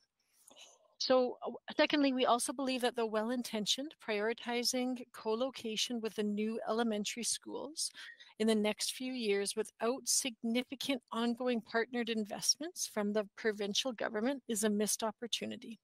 We accept the premise that a playground is preferred to no playground, again, as I hear from my friends here today. However, it is so worthwhile to also actively engage with the provincial government to provide ongoing funding for this infrastructure that is clearly deemed as essential to elementary schools and to meet the needs of the kids in the community with their wide range of developmental abilities. Playgrounds today are imagined as spaces where the whole community can benefit, as we heard with a previous item regarding downtown. When we build them with this vision, they serve the active recreation and social needs for the whole community with accessible features like benches, adult exercise opportunities, shelters, bike tracks, all sorts of fun things. This not only ensures a longevity of the investment, but it also makes it for a safer community space when there's something for everyone to participate in. So we believe that the Community Parks Framework sets out to do the right thing. We are supportive of a more equitable, data driven asset management approach. We're just concerned that with a focus on school adjacent playgrounds with the new growth funding, that it will mean a narrowed vision of who to create the space for, losing a place where the community can showcase its history, promote, uh, promote inclusivity and connection, and create a space that's unique to the needs of the neighborhood. So again, as this report notes, community parks improve personal community well-being and make our cities more livable, climate resilient, and socially connected. The EFCL and its members look forward to working with administration and council to advocate for greater investment in recreation amenities in the next four-year budget cycle, with specific investments that should be identified for renewal. From the conversations early today, it would be good to be included when the city begins to engage with philanthropists or foundations to look for funding for partnering in parks. Diversifying our funding is really essential right now for these public spaces to be continue to be uh, important spaces in our community. So we'll continue to work with leagues as they raise awareness of the required maintenance and upgrade requirements for their play structures and as they aspire to have spaces in their community which reflect the population and uniqueness of the communities where they live. Thank you. Thank you. Okay, next we'll go to Holly Leader. Go ahead, Holly. You have five minutes. Great, thank you so much. Um, so my name is Holly Lear and I'm a parent of students that attend Soraya Hafez School. I'm also um, a volunteer member of the Soraya Hafez Community Playground Committee and, and I've been with them since uh, their inception back in uh, 2021. Um, and I think I just need to echo a few of the things that have been said. And uh, I know it might sound a little bit like a broken record, but I think it's important to hear these things more than once just to understand the impact that it's having now on our committee um, to um, being under the new framework uh, to to or yeah kind of like going to that and we were starting out under the NPDP um, framework uh, and I just think there's there's some key points here that are kind of being missed. And some of those things are when we surveyed the community, they they expressed some things that they wanted to see in our playground, what this space was going to look like for um, certain groups within our community. Um, we have uh, you know a whole host of different age category of people that access this space. We have students from this school. We have um, groups that, like uh, Shelby was saying, that meet in this space um, after hours from school time. Uh, we have seniors that partner with this school. Um, the list goes on and on. There are many different groups that access this space um, and to to basically be put in a situation where um, we are now having to scale back this space that we have um, essentially said to our community we are doing. We have been, you know, giving them the green light, saying this is what is happening. Um, and now, you know, it really was um, kind of thrust upon us that, that we were going to be put under this new framework. It was a, a real shock to all of us, um, including our NRC, Shannon Murray. Um, and so I just, uh, I really would like some consideration put to the fact that um, we we are like heather said just being we want to have more time to do the things that we're doing um, in order to give our community what is needed. And like was said before earlier McConachie is a huge demographic and a huge um, just the statistically how many how many families live there. And we want uh, consideration given to that fact right? Um, and i guess one of my big questions that comes out of all of this is just what is the harm in letting us go forth with our volunteer time and fundraising? Because we just want the time, like Heather said, to be able to see this project through and to be able to do our plan A playground um, and not have to scale back and see some of those groups of people lose out because of that.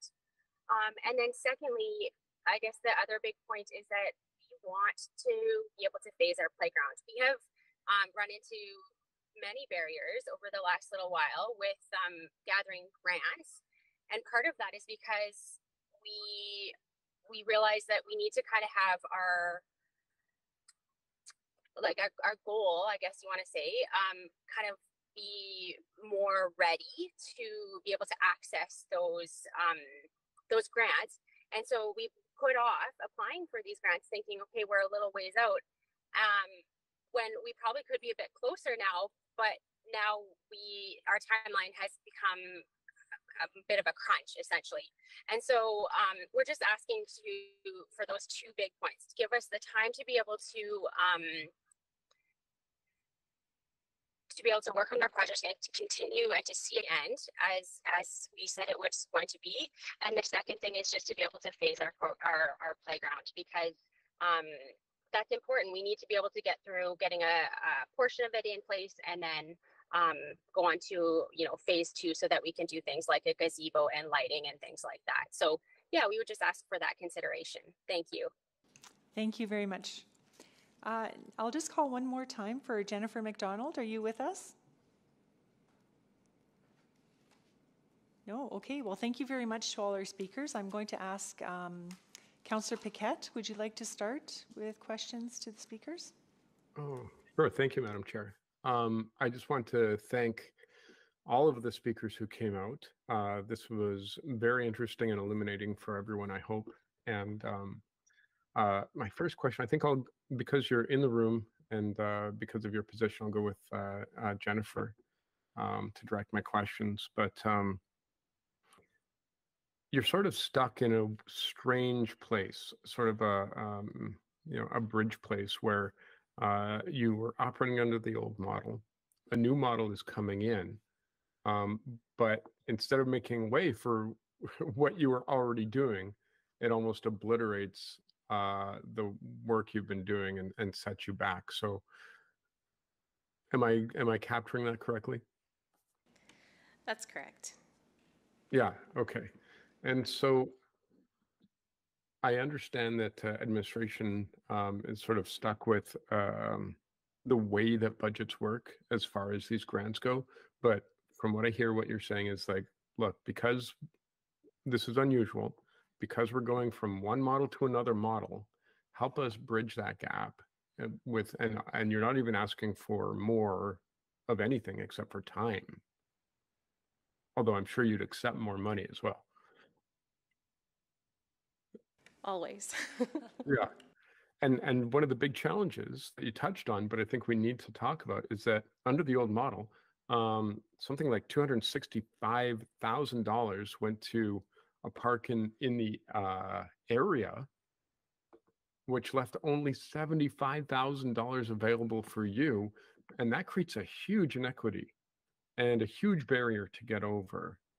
And so that's sort of uh, the root of, of your problems. The old model and the inequitable way that parks were funded as far as these grants, and then this new model where uh, it just becomes impossible for you to meet your deadlines before that's it.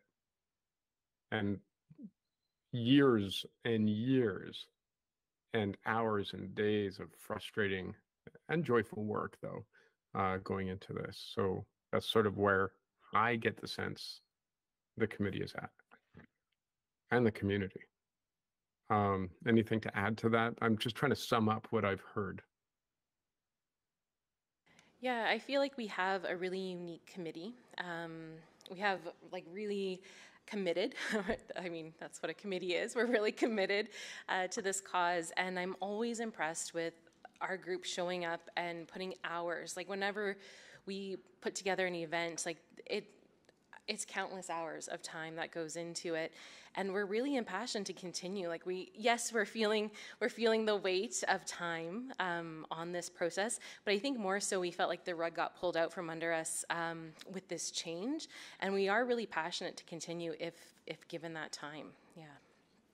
Yeah okay so i i totally agree and i'm just wondering because um, i don't have the answer. Maybe i'll ask administration but maybe you have the answer do you know how many other communities might be in a similar position to you right now? I think I've heard there's 21 projects that is in the same position. Okay, and maybe I'll jump over to Laura if she wants to add to that. Yeah, I, I think that number is correct from my understanding as well. Yep. Okay, and then um, okay, thank you. That's that's good to know. Um, that sounds like a lot, but in the grand scheme of things, it's uh, just a handful of what uh, what we're working on uh, citywide with all of our communities. So, Jennifer, what's a realistic deadline for you? And uh, in a perfect world, what would your timeline be? That's always been a really hard question to answer because you know it's it's very hard to predict what our fundraising efforts will bring in. It's it's kind well, I'm of sure world over. events don't put a damper in that. Yeah. Um, like pandemics and inflation. Yeah, I, I, I felt like we had a chance of having, you know, funds in place beyond 26, 26 27. Um, I'm not trying to drag out the project at all because we really have the need for a park now. Um, but even if we could just, you know, come up with some extra funds for some seating areas, or even just have the ability to phase it, and we're not sure how that will work under the new amenities program. So even Yeah. if we had to to have a smaller budget and build something within the, the um, city's budget cycle, but having the promise of being able to continue to work to do something more is something that we're really interested in doing. Absolutely. So that didn't out really time. answer, but Thank you to you and to everyone who came out to speak. Thank you. Yes, thank you. And we're at uh, 3:30 right now, so we take a 15-minute break at this point, and then we'll be back at 3:45, and we'll continue with questions to the speakers, okay? Thank you.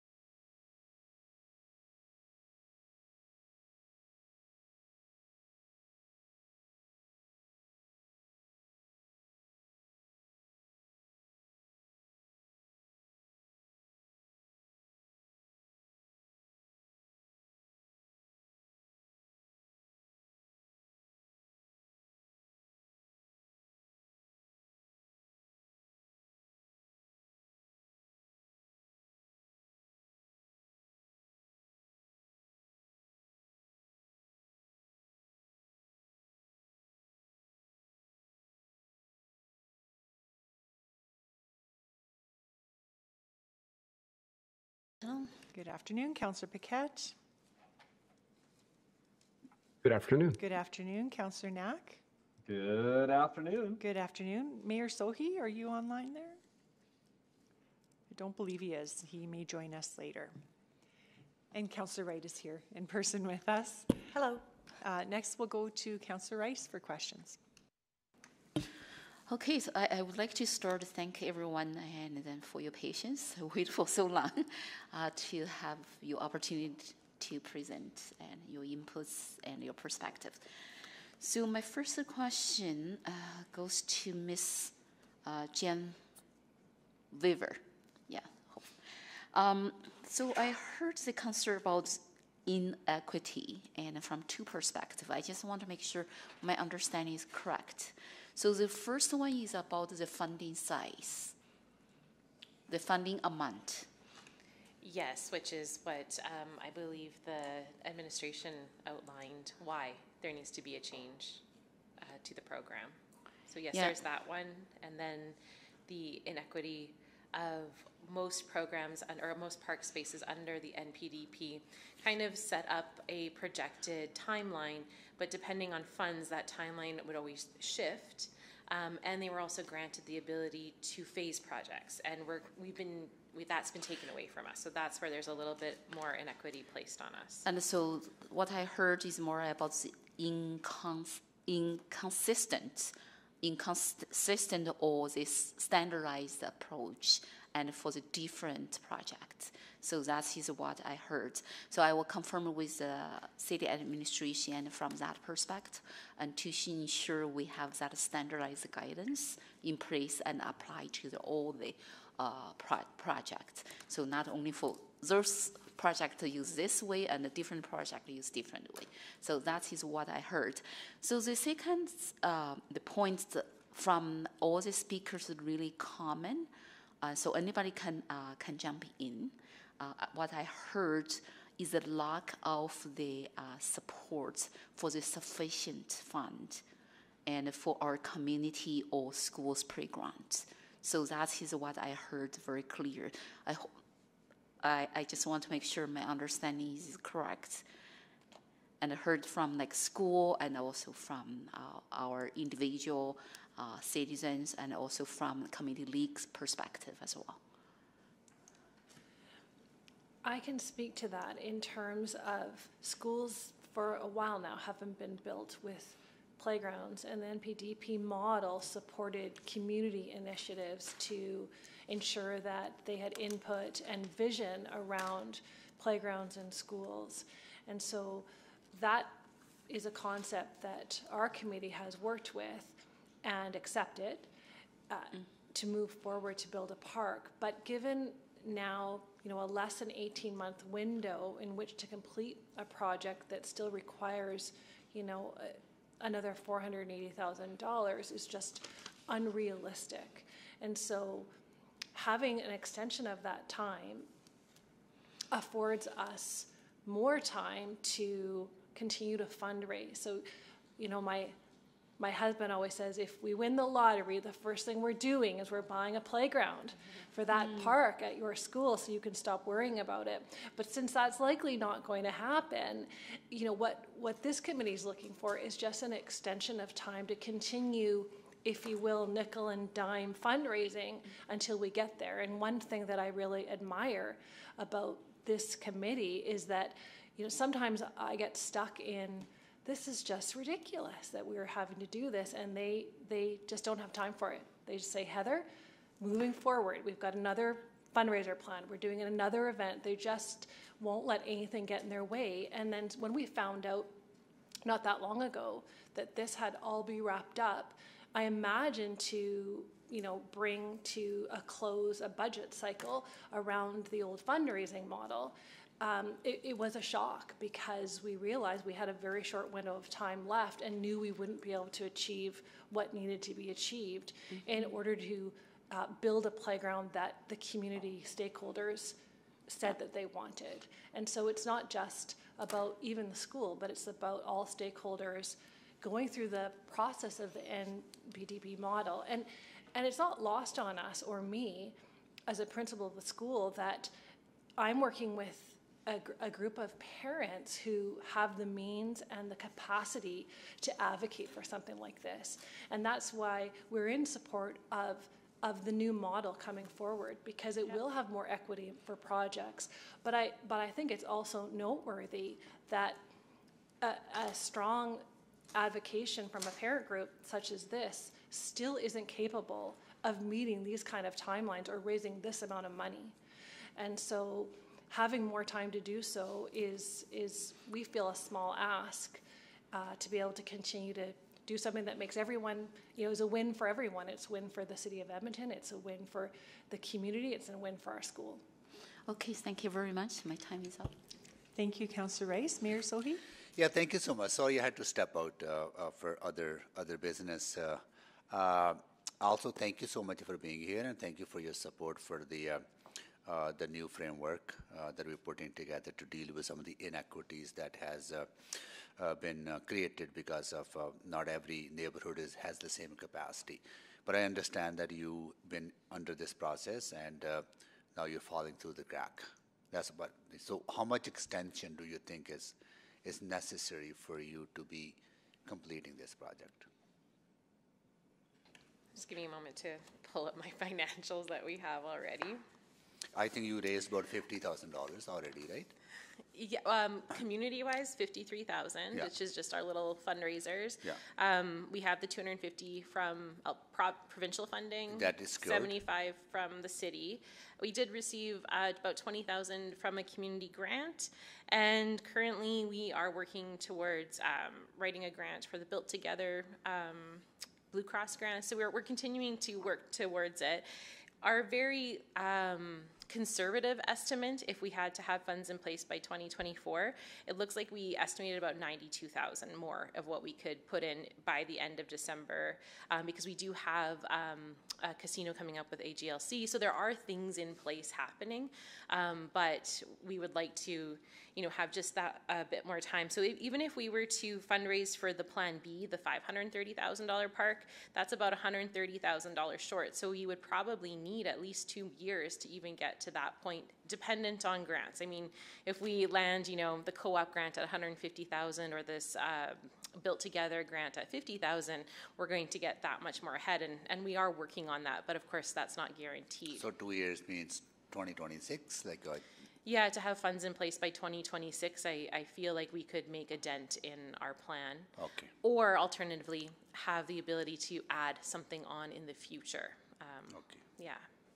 That itself is, I mean, takes, I know that's the challenge with community-led projects that uh, you are required to do so much and take so much time to fundraise and build. It's just a frustration. Like I, I used to be part of my daughter's uh, uh, school and we built a park there, but it took us, oh my God, years to to get the fundraising. But you're you are on the way, right? You're on the way, and uh, so if I understand, you got 53 or 53,000 of your money, 250,000 from the province. That's secured, right? That's confirmed, Yeah, that's any new school build. and 75,000 from the city, confirmed, right? Uh, okay, then you will need time to raise the rest of uh, whatever the balance is. Are there any other community uh, uh, uh, other organizations or communities in a similar situation that you are, you're aware of? I believe so. I think there was quite a number of us that kind of started this process with NPDP around 2020, 2021. And so there's a lot of us that are only, you know, two or three years in. And, and um, I think we're the only ones here to speak today. But I do think there's a number of other playgrounds and uh, community developments that are in the same boat. Okay. All right. So today your ask is, uh, it's not about money. You will raise that money. It is about extension of the time and that be uh, exempted. Uh, I know we use the term grandfather, but that is, uh, we are avoiding using that grandfather term because it has some racist connotations to it, right? But so that, so what you're looking for is more, you know, exempt you from the uh, uh, program in a way that you carry on beyond the expiry of the program. That's correct. Okay, got it. Okay. All right, we'll ask that question to administration. Okay, thank you, Mayor Sohi. Councillor Wright.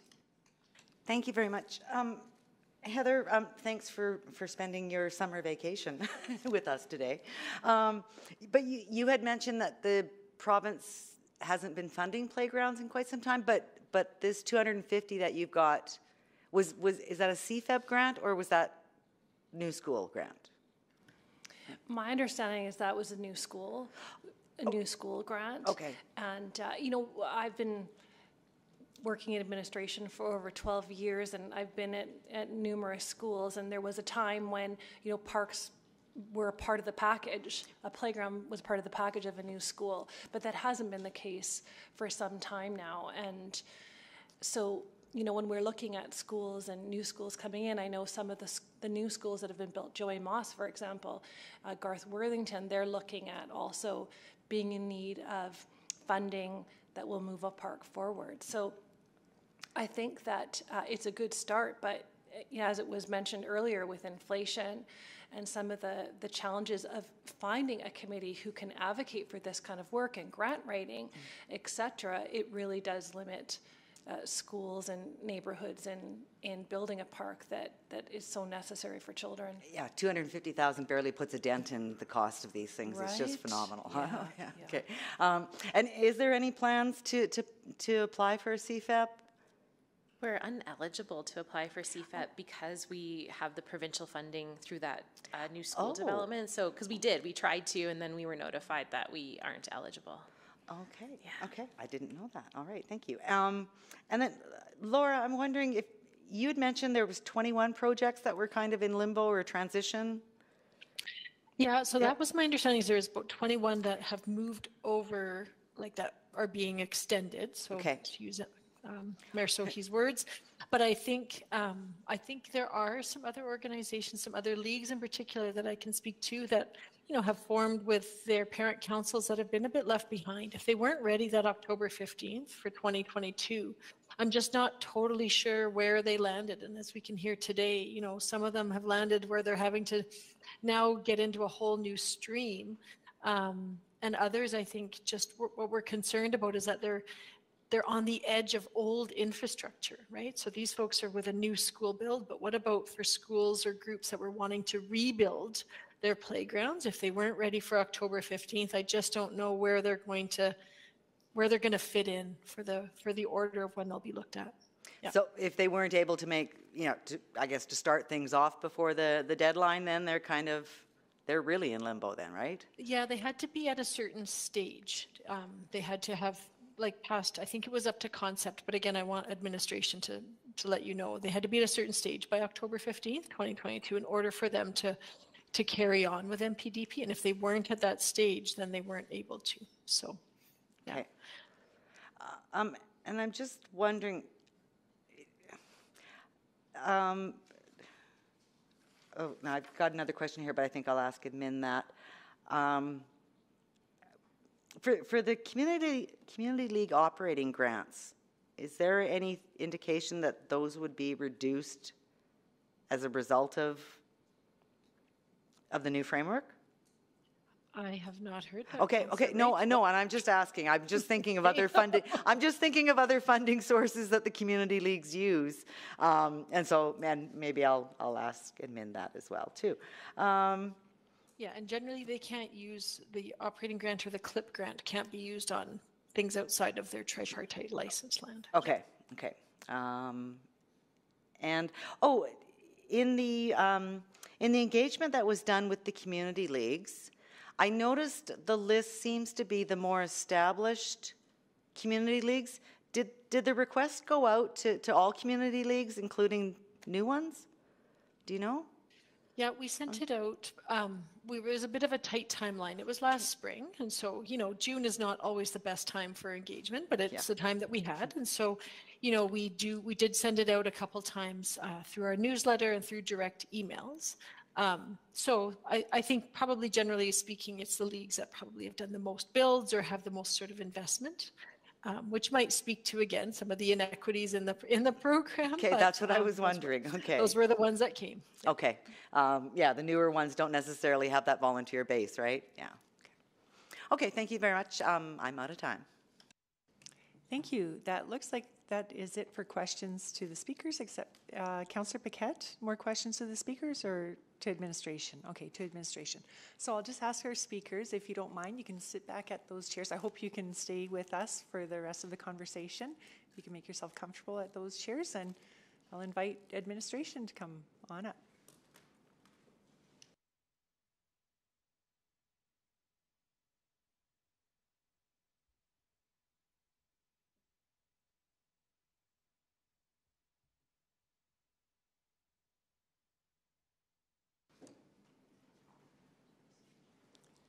Okay, Councillor Paquette, go ahead.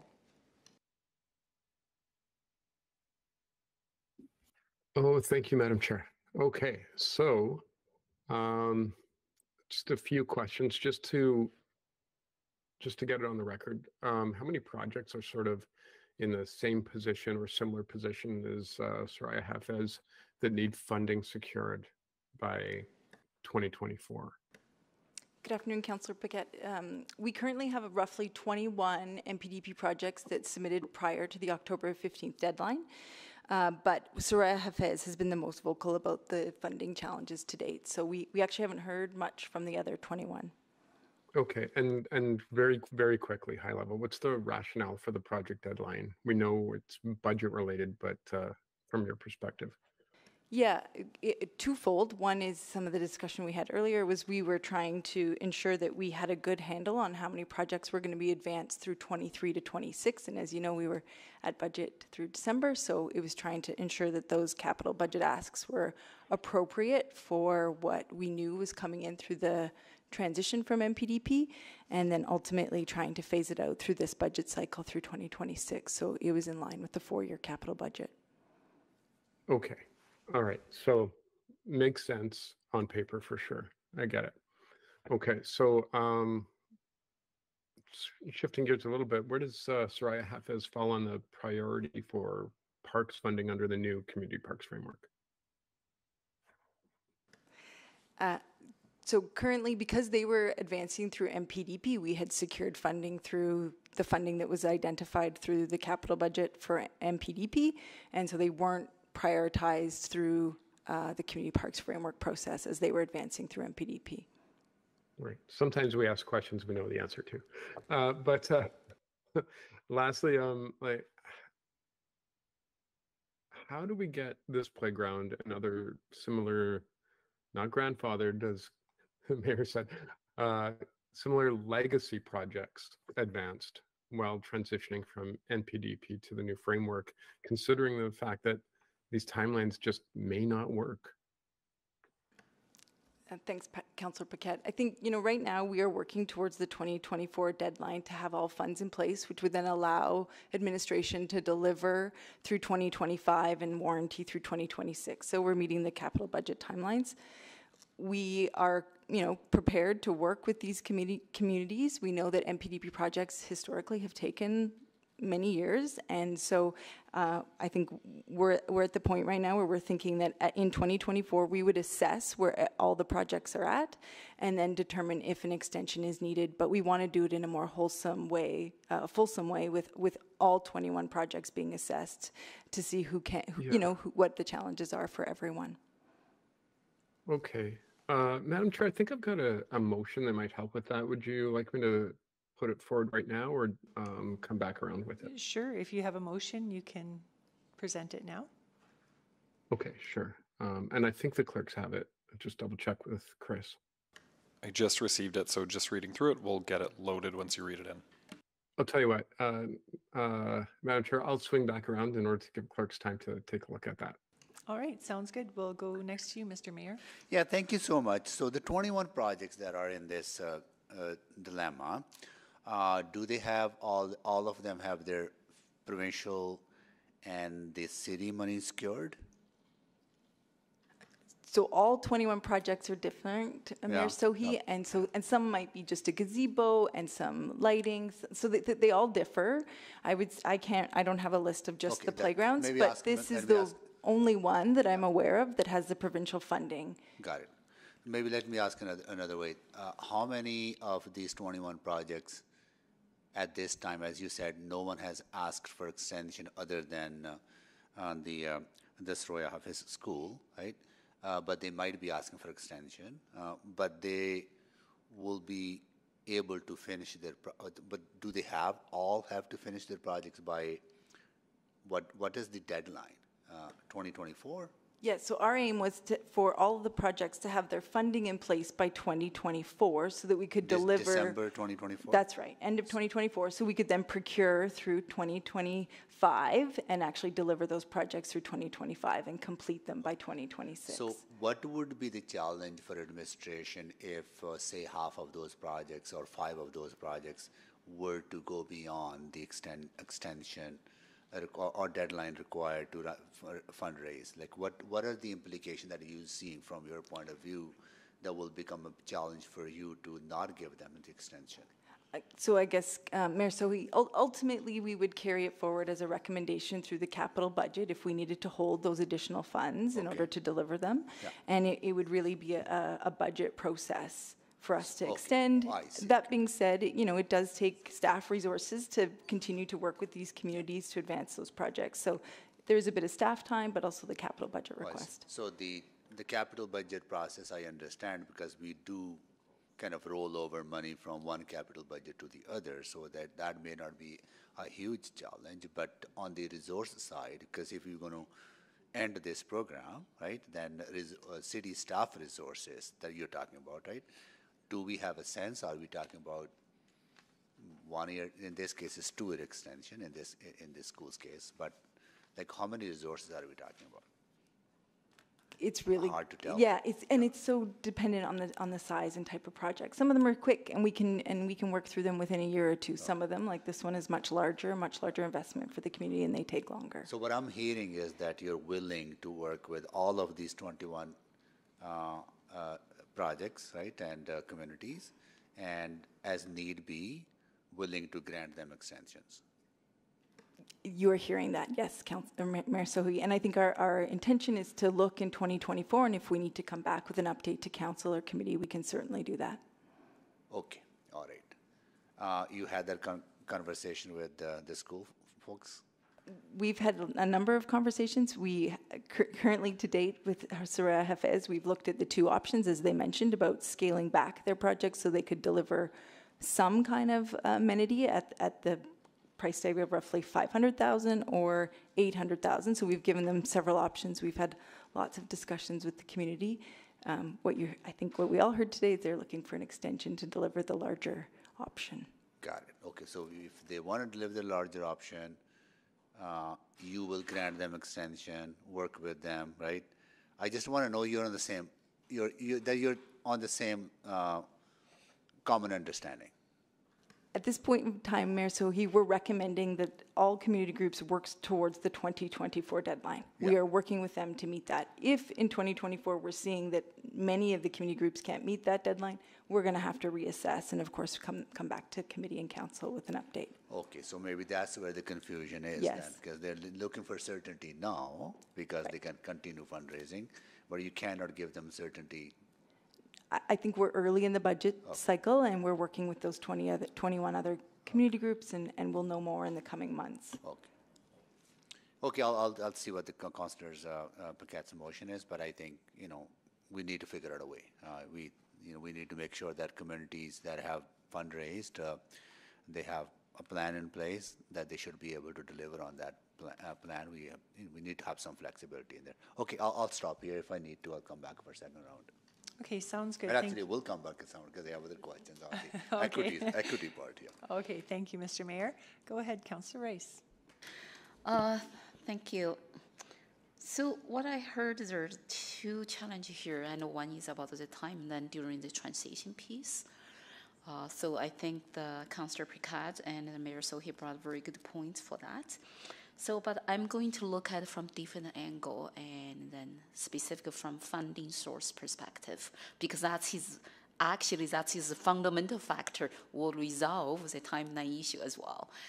Um, So based on the report here, and we indicated very clear, and we have the uh, project already advanced before October 15, 2022, under um, NPDP and the program, but that is- NPDP is going to retire soon.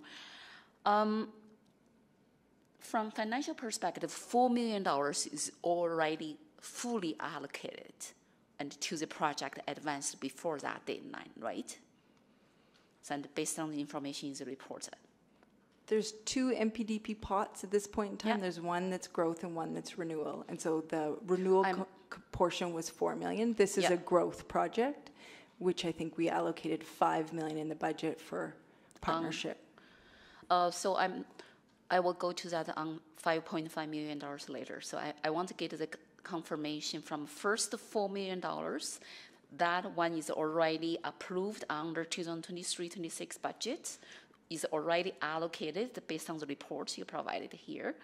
And however, there another six million dollars $6 million, and in the report indicated um, will be allocated to advance renewal priority. But this $6 million already approved are also, right? So in 3200, CM 3200, which is a renewal composite, we have 4 million allocated to NPDP and 6 million allocated to the renewal priorities that were prioritized through the Community Parks Framework. So we use the Community Parks Framework to identify our renewal priorities. Uh, but this, you don't have the $6 million approved. Is it under the unfunded package? No, the 6 million is under 3200, which was approved through the budget process. It is part of a renewal composite. Okay, so then my related questions about in the proposed capital budget, uh, page 657, that is $5.5 million, and under community park amenities growth profile. So that one is unfunded. That remained unfunded through the capital budget process, correct? Uh, but that one is more uh, under the new approach. But for other million dollars, millions dollars already approved is under the old approach. We try to wrap up for the old one. There is a combination. So the combination. we are, because the focus for the capital budget process was renewal priorities, we have advanced renewal of NPDP projects and renewal of projects prioritized under the community parks framework. The only growth funding for neighborhood community parks was the 5 million of partnership dollars identified for NPDP. There was no funding, uh, growth funding identified for community parks amenities outside of NPDP. But what, what I heard today from today's conversation and even from previous public speakers, but we do need, we do say that needs for the community park amenities. So right now we're only talking about the playground, but the community amenities is not only cover the playground. There are many other communities as well, right? Yes. So, and also, uh, if that is the case, uh, I'd rather see this conversation at a council level, not only focus on playground. And playground is really important piece, but that one we need to finish and under the motion and uh, Councillor Paquette may provide it, will provide later.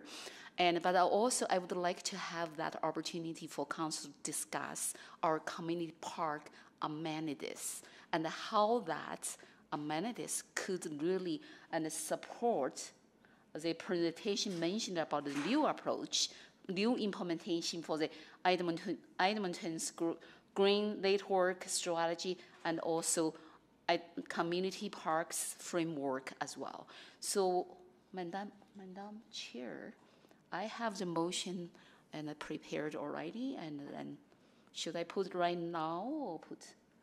Sure, you can put it on right now. Give me one second. I get the wording here from City Clerk already.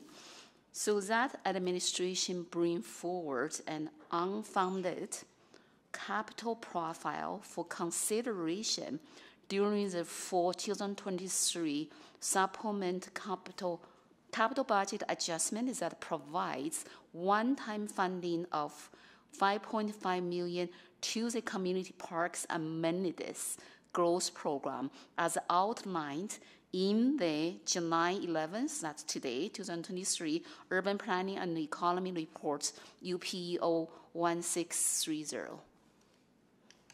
Thank you, Councillor Rice. We do have a motion on the floor. Uh, Clerk Martin, I just wanted to ask you a question. We still can um, vote on two motions for this item, correct? Correct. Depending on what they are, um, you could have this main motion and a subsequent later, as an Right. example. Okay, thank you very much. Uh, Thank you, Councillor Rice. Next, we'll go to Councillor Tang.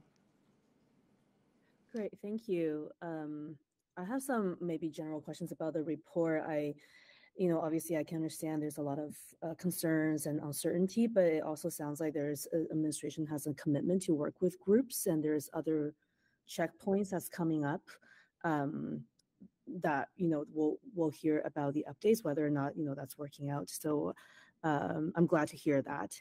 Uh, and I also just want to say, you know, I really enjoy this report. I thought it was actually fairly clear. Um, and I really appreciate the approach in thinking about parks amenity. Um, I just, I, I guess there's a part about how uh, the urban park management plan updates coming back for Q1 2024, after which you'll be looking at the equity assessment and the prioritization of park development. I'm wondering how long this next phase would take.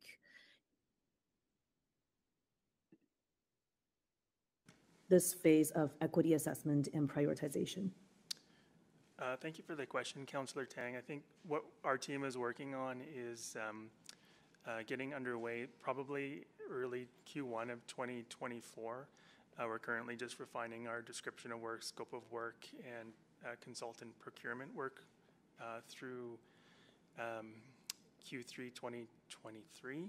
Uh, So I would anticipate the bulk of work to play out in 2024. And that initial update to council will probably be a highlight, highlighting the approach that we're taking and um, in, as much information as we have available. Um, but So- that the analysis will probably 2024, 25. Okay, great. Thank, that's helpful. Thank you. And then, and, and you're working with, for example, leagues to understand what amenities we do have and we need to refresh, right? Correct. Okay. Um, and I guess just a, a, bit of a question on um, on parks not on, sorry, on non-city owned land like school board land. I know this has come up quite a bit um, in the past, and I'm just wondering any if any of the conversations at the joint use agreement table, together with this current framework, is it is it helping to um, how is that going? You know, is it helping to clarify some issues there? Uh, I would say the conversations are playing out concurrent, so absolutely. Okay. Um, it'll be an ongoing discussion, but uh, we do recognize that um, that component is an important component, uh, both as part of the joint use agreement and how we reconcile that through breathe implementation. And I imagine um, maybe those conversations will provide some clarity on directions, um, but ultimately it still comes down to a funding question, would, it not? Yes. Okay, and uh, and that's not necessarily related to the the the funding that's in, encompassed in the motion here, but it will be further down the road. Correct. Because it will be non-city owned land. Um, and and so with some of these uh, different neighborhoods, we're talking about uh, really a lot of issues seen in mature neighborhoods and and and newer developing neighborhoods. And I'm wondering if you can clarify how this framework applies in these two instances.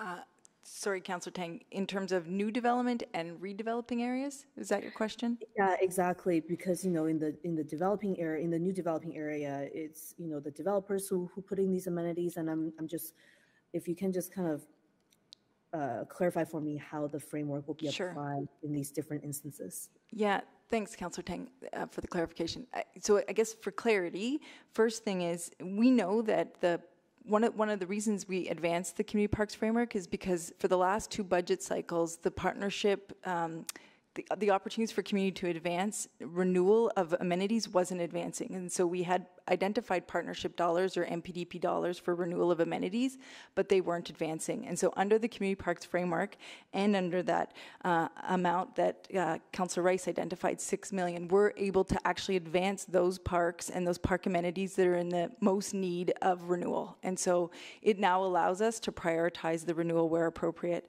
On the growth side, we still are advancing um, community park amenities where we're doing the grade level seed or GLS is our common term for that. And so there's, there, we are still advancing that.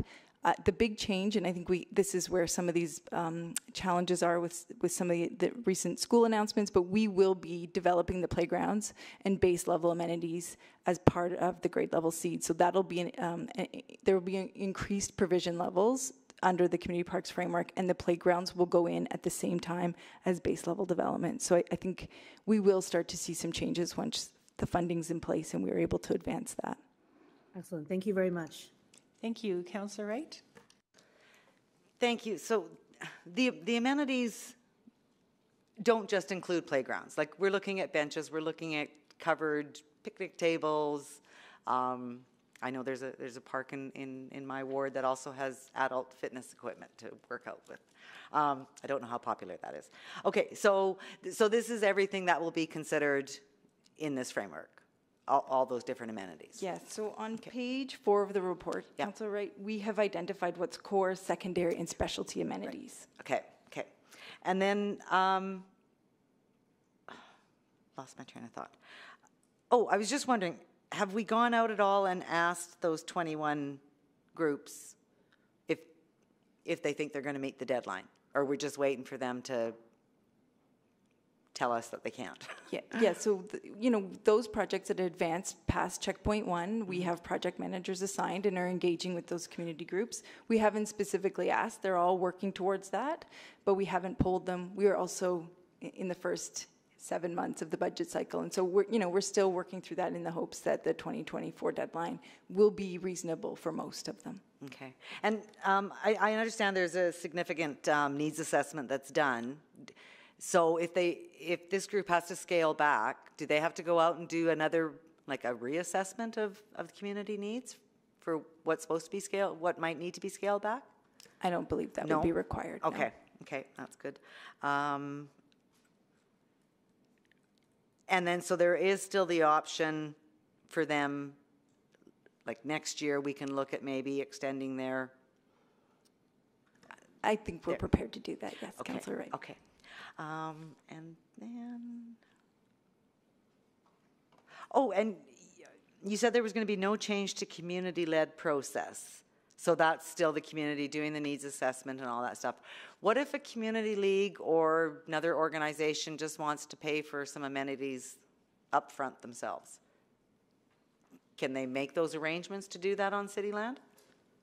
So to date, we, we do have that through the uh, community garden process, and um, I, I, think there there are rare cases where that's happening, where it's a straight donation. They still have to meet our provision, the provision levels, and we have to meet CSA standards. So there are some challenges with that.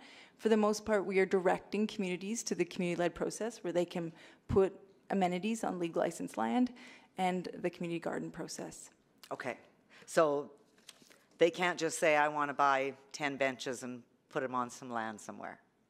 That is not a process we use at this point in time. Okay, thank you very much. That's all I have. Thank you. Mayor Sohi? Yeah, uh, so I just want to loop back to give some certainty to the uh, uh, to the uh, uh, folks from the uh, Soraya Hafez school. Right, they're here. They have an issue. I just want to get your thought. Like, how do you? I know you're working with this deadline, right? And you might have to come back but they need some certainty today that uh, if they need to go, which, which they would have to go beyond 2024, right, that you will work with them to grant an extension. I, I, our answer is yes. I mean, our preference ultimately from an administration is that we take a, an equitable approach and try and work for everyone towards the 2024 deadline. If they cannot meet that, for the small or the larger uh, options yeah. they've pursued, we can we can certainly do that. Okay, I, I hope you'll have that conversation with them, right? Sure. Because you know we want to, uh, if they are ready to fundraise and do that, right? So extension is, I think it's is you know very reasonable request, right? So I absolutely got to keep other other projects in mind as well. I want to come back to the inequities that the uh, uh, NPDP program has created. Uh, moving forward, I know you have money for renewal under the community parks framework, uh, but you don't have money for growth. Um, can you give us further breakdown around, uh, you know, the the core amenities and the secondary amenities as you define in the report and the you know have core, secondary, and specialty, right? Can you give us a more breakdown about like which communities are lacking core? Uh, because I hear from north side, uh, you know, developers in the southwest and west and others build amenities as they build parks and others, right? There are kind of cores to some scale. I want to get a sense because I really want to ap- apply this equity lens to the entire city and catch up on some of the inequities that I hear about, particularly from north side of the city. Can you give us a breakdown, not maybe today, but as you bring forward the unfunded service package uh, that will hone in a little bit more and provide us more details on the uh, inequities related to core uh, uh, aspect of the amenities. Is that possible? Yes, we can certainly do that. The map in the council report does provide a bit of that on, at a general level. Mayor Sohi, we do know where the inequities currently exist. And that being said, we also know there is the 250 uh, partnership dollars from the province. And previously we, you know, we were planning to advance playground development where we had partnership dollars. That was always, you know, where, where we can leverage existing funding, we were going to start there. Uh, but then through future budget approvals, ultimately or budget requests, uh, hopefully start to address the uh, inequity I know you identify northeast, northwest, southwest, west Henday, Ellerslie, Whitemud, but they're based on all, all three categories, core, secondary, and specialty. What I'm interested in, a breakdown of that further and understanding which communities are actually lacking the core. We can certainly come back with That is, that. that's within 400 meters of, uh, that's the distance, right? Yeah, okay. Uh, The, so, because in order to have that discussion, uh, how much at uh, the, maybe I'll stop here, because I, I, that's, that's where I want to get, maybe have the uh, discussion during the, uh, during the, during the, during the budget discussion. Okay, good. Okay, thanks. Thank you. Okay, we have a motion on the floor. Anyone to speak to it? Councillor Rice, would you like to close? Uh, thank you very much. And then I really appreciate today's conversation and also the opportunity for us to heard uh, during this transition piece and our communities, our schools, and face certain challenge and also some um, inconsistent or inequity issues. Um, uh, to me, I think there are two issues here. One is the transition time non-standardized process or guidance, and that one is already including our next step and in our city administration presentation. So I'm really looking forward and for that be reflected in Councillor Paquette motion and then to really address that with a specific uh, timeline to uh, resolve some uh, concerns there. And so this motion on the floor specifically want to focus on some uh, broad scope and for the community parks amenities. And because we heard uh, from our Edmontonians nods and uh, during develop from under development to the development to the renew and to the mature neighborhoods. And there are so many demanding and the needs for the community amenities, amenities, not only about the uh, uh, one important piece. There are some other like spring uh, parks and other benches and other type of things, and we talked about earlier. So this also covers entire city and including our downtown uh, existing park as well for how we can identify uh, the some priority and to add some amenities to the existing parks. So I really looking for the conversation and ha- what happened and in the uh, fall for our budget discussion, seeing if we could find resources to support those piece of development and across our entire city, specific after COVID-19. Our people, our Edmontonians get out to our community parks. We need to have more facilities, amenities to support, to enjoy their daily life. And so that is really important for the quality of life our our Edmontonians. So I hope my colleague supports this motion and we can open the opportunity for the further discussion and in the fall. And thank you very much. Thank you. I'll ask committee members to please vote now.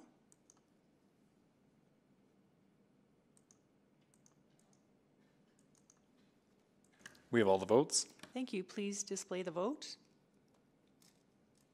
And that has carried.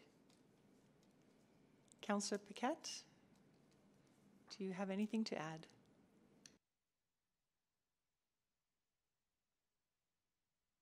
Thank you. Sorry, I was doing a cut and paste for the mayor. Okay, so yeah, um, I've got uh, a subsequent motion, uh, which is great because I don't have to ask for money in it now.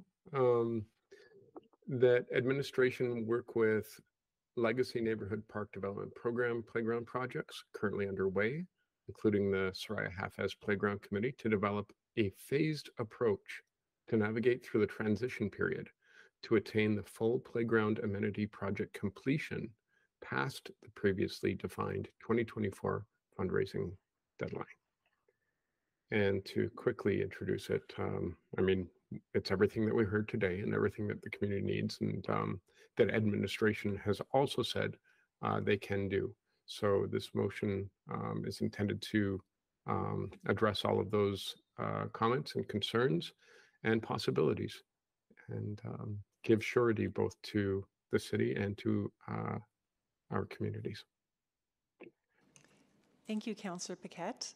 Uh, I just wanted to check with administration to make sure that um, it's understood that we're looking to see if um, the time could be extended, also a, a phased approach if necessary. Uh, I guess depending on where or who is um, suggesting that they would like a phased approach. That's The only flag I would make is that it is capital budget, and so we would need approval to, uh, you know, carry those funds forward from council at the, at the appropriate time. Right, okay, great, thank you for that. Uh, Anyone to speak to it? Mr. Mayor? I just have a, this is great motion. Thank you, Councillor uh, Paquette. Uh, I just have one question, uh, which uh, I don't want to limit the, the community's ability or, or have some flexibility for the community because the only question I have is related to uh, the attaining the full playground amenity project completion because they may phase back or do less or more, right? So I don't want to be restricting their ability, Councillor Paquette, in a, in a way that uh, if the motion talks about full park development and amenity, that might they may not be able to raise all the money. They may be able to raise 80% of the money. So I think give them flexibility on Plan B, right? So maybe if we take out uh, the word full and just keep the attain the playground amenity project completion, uh, then they can work with the administration, give them that flexibility. Is that okay? Yeah, I, my only worry is that we, if we take out full, then uh, we may not be uh, giving the direction that uh, all of the plans get fulfilled if possible, um, and that it would leave a door open for scaling back when maybe that's not what the community is uh, interested in. So I'm, I'm open either way. Maybe maybe administration's understanding of that. How do you how do you interpret uh, the full completion? You know, as, as we are trying to phase it out, our, we do, we do need a, a completion deadline ultimately, if every year we're, if every budget cycle we're extending the deadline. So I, I do think, I, I, my preference is that it, it is, there still is an expectation that they complete it at a certain stage, not extending past each budget cycle. Yeah. So does that does this motion give you that kind of flexibility, like, uh, or is is too prescriptive, right? My preference is we move away from full completion if it, especially if they want to phase them. Yeah, is, is, I just gonna, get- wanna get a nod from the community if, if that f- does give you that flexibility, or you wanna have a full in, included in. I know you can't speak to it, uh, this is the process that, uh, uh, I know, yeah. Huh? Yeah. Okay, yeah, Uh, so I'll stop here, maybe Councillor, uh, uh, Principe, go ahead. Yeah, uh, yeah, I just wanted clarity on that as well to make sure that uh, the community would still have that ability to phase the project if necessary. Um, and I'm comfortable with what administration has said. Uh, Councillor Paquette, would you like to close? Uh, sure. And I- I'll just say, if we're worried about the, the wording of full, um, and we're having the same conversation in 2030, there may be bigger issues at hand, which might be good to flag as well. so, um, yeah, I will just say uh, thank you once again to the community, the community who came out to speak. Um, this is only one small portion of the extensive efforts they make, as uh, the mayor uh, indicated earlier. The the hours and the and the and the sweat equity that people put into these things is astounding.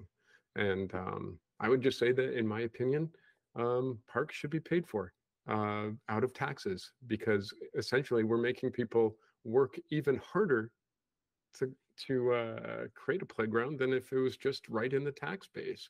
It would be a lot easier for families and for communities. But this is what we've got for now, and uh, we will carry through. But at least this way, um, it takes some of the stress off the table, um, provides a little bit more support, and um, a little bit more clarity uh, for both administration and for the community that uh, this is sort of something that council is very, very interested in. So thank you. Uh, I hope I get support from my colleagues. Thank you, Councillor Paquette. Please vote. We do have one counselor asking to be put on the board, so we're just putting them on right now. Okay. No, it- no, I, I asked to be on the board for questions before Councillor Paquette closed, so it's too late now. Thank you. Okay, my apologies. We'll get the vote loaded.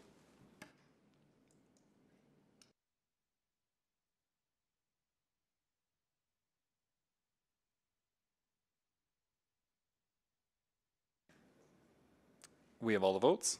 Please display the vote. And that has carried. So next we're off to item seven, or sorry, 8.1. Thank you, everyone, for being with us here today. So I'll ask administration to come forward, and whenever you're ready, please uh, make an introduction or presentation.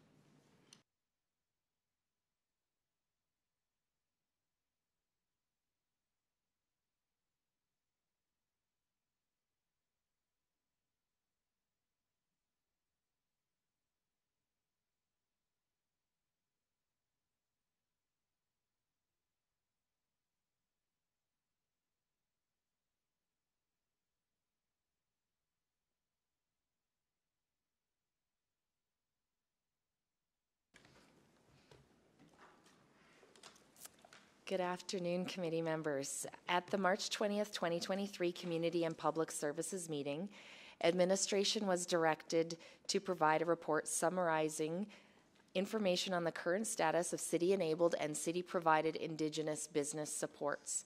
This report has been prepared in collaboration with the Social Development Branch, the Indigenous Relations Office, and outlines both the city-enabled and city-provided Indigenous business supports. Administration has identified three types of support for Indigenous businesses within Edmonton. Starting with city provided business support, the City of Edmonton provides direct support to Indigenous entrepreneurs and businesses through the one on one business support service and the Economic Action Plan grant. Economic development programs and supports offered by the city are intended to be inclusive and accessible by all business owners and entrepreneurs and help them navigate city processes and overcome barriers to opening or expansion.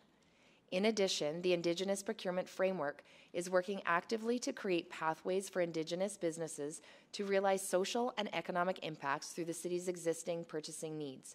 The Indigenous Relations Office produces the Indigenous Edmonton Directory and Community Bulletin that has a wide range of available resources for individuals and business owners.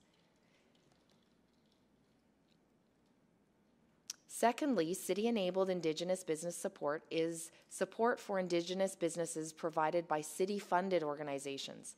The city currently has a multi year funding agreement with Access, Edmonton's Indigenous Business and Professional Association. Access provides a variety of Indigenous business supports with the vision to make Edmonton the Indigenous business and professional capital of Canada. The City of Edmonton also provides financial support to enable the Indigenous Artist Market Collective and covers their costs to participate in the downtown farmers market. Lastly, the economic development ecosystem in the Edmonton region fosters Indigenous business support provided by external organizations and other orders of government. These organizations and orders of government operate within the local business ecosystem and are vital to the success of local Indigenous businesses. Support by these external parties range from grants and funding to mentorship and business accelerators and is listed in attachment 2 of the report. All three types of support work towards growing an inclusive and diversified economy and the implementation of Edmonton's Economic Action Plan. Administration will also continue to advance economic reconciliation through the Indigenous Framework and the Truth and Reconciliation Commission Municipal Response Plan. Utilizing the Indigenous Framework as a guide, administration's role is connecting Indigenous peoples to programs, services, people, and resources that enrich the community and foster relationships to create positive change. Thank you for the opportunity to be here today, and we welcome any questions you may have. Well, and thank you. Next, we will go to our speaker, Brooks Hanowich. Are you online? We received notification he had to leave at 4:30. Oh, sorry, Brooks. Okay, um, so I guess we'll go to questions of administration now. Please, Councillor Paquette, go ahead.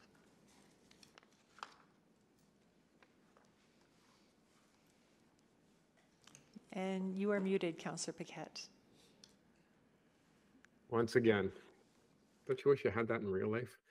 Uh, so, um, yeah, I didn't. I didn't get to see Brooks' notes that he apparently sent over, uh, so we'll miss that. But uh, this is a great, uh, like, um, what do we call this? Great inquiry response. So thank you for that.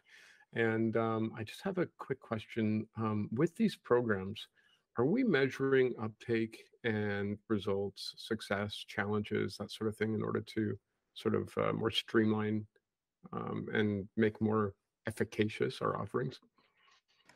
That is what we uh, strive to do with all of our programs. Um, I think one of the challenges we have, uh, particularly with Indigenous business supports, is although our programs are inclusive, um, whether uh, we're supporting an Indigenous business or not is um, not mandatory for any of our programs. So that's um, disclosed um, voluntarily. So we know we have a small proportion of our existing uh, programs that is supporting um, Indigenous community businesses directly, but it could be much larger than that, just simply because we've got a little bit of a, a data gap with our existing uh, programs. But okay. in terms of are the programs meeting the needs, especially with our grant programs, that's a requirement to um, have the results and outcomes specifically related to the intention of uh, which that funding was provided. Okay, interesting. Um, do we have a plan for closing that data gap?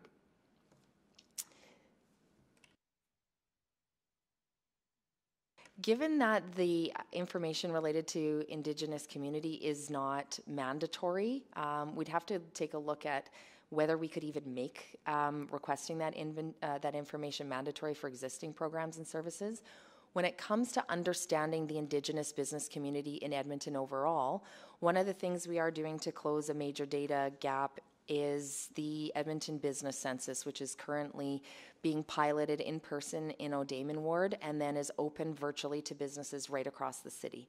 So it won't necessarily be specific to our programs and services we offer, but we can have a better understanding of that business community in the city of Edmonton. Okay.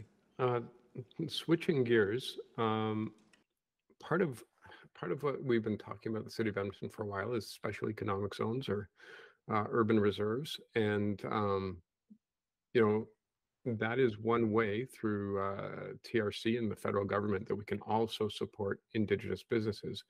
I, I, know that that wasn't contemplated in the report, so I'm not trying to uh, um, get a jump on that, but uh, I'm just uh, wondering if that's something that uh, we've seen any movement on. I know that Councillor Hamilton made a motion on that several years ago, and I know that this is something that the mayor has spoken about as well. I'm wondering if Jamie from um, Indigenous Relations Office is on the line that could comment.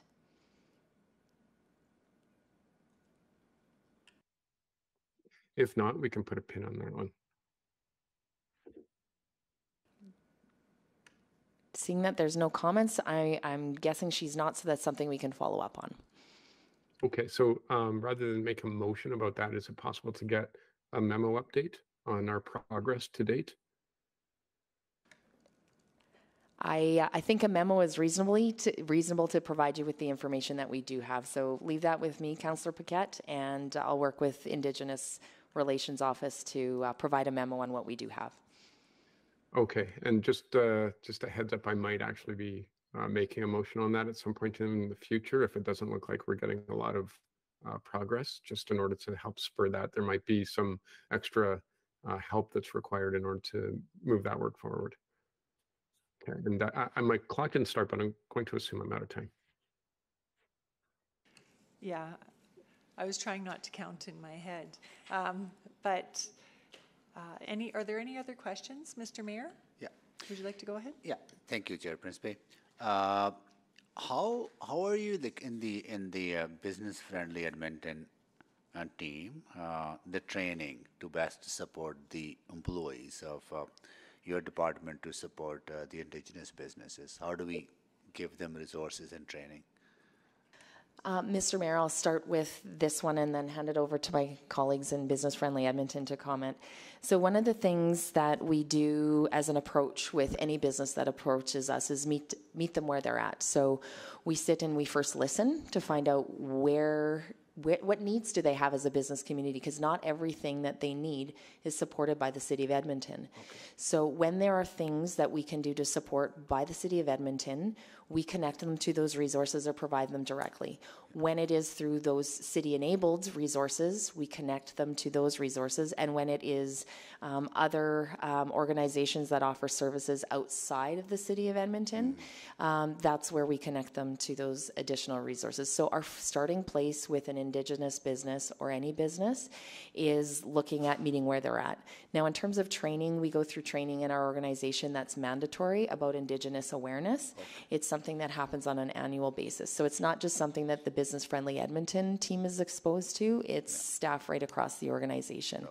Tom or Jackie, anything yeah, maybe to add? Uh, the reason I'm asking this question is that we we still hear from indigenous youth and racialized youth that uh, they're having difficulty uh, kind of have navigating the resources that are available and the uh, and the grants and business support and sometimes very unique cultural specific business uh, regalia, regalia and uh, ribbon skirts and others. I so just trying to that's what I'm trying to understand.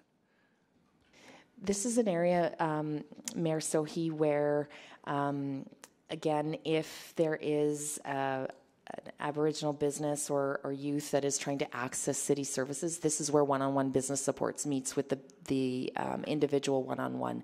Now, should the staff in uh, the business friendly Edmonton team run into a space that is you know, culturally we're unfamiliar. That's where we've got Indigenous Relations so Office and other partners that we can get that advice to ensure, again, we are meeting the needs of, of the business or the individual that's looking for that business support. Go ahead. I didn't mean to stop you, but I just wanted to give you context for my question. I just wanted to add that that feedback is very helpful, actually, and we're um, looking at a program review of one-on-one support in the fall. So, in the spirit of continuous improvement, I do also think that um, cultural specific training and awareness for our staff specifically would be amazing, and I would welcome a conversation about that and how we would better uh, better equip our staff to support all entrepreneurs. Yeah. So the uh, I think action three in the uh, in the economic action plan speaks to uh, uh, like how, how, would you have data? Maybe this could be part of the memo. How many indigenous businesses have accessed that grant?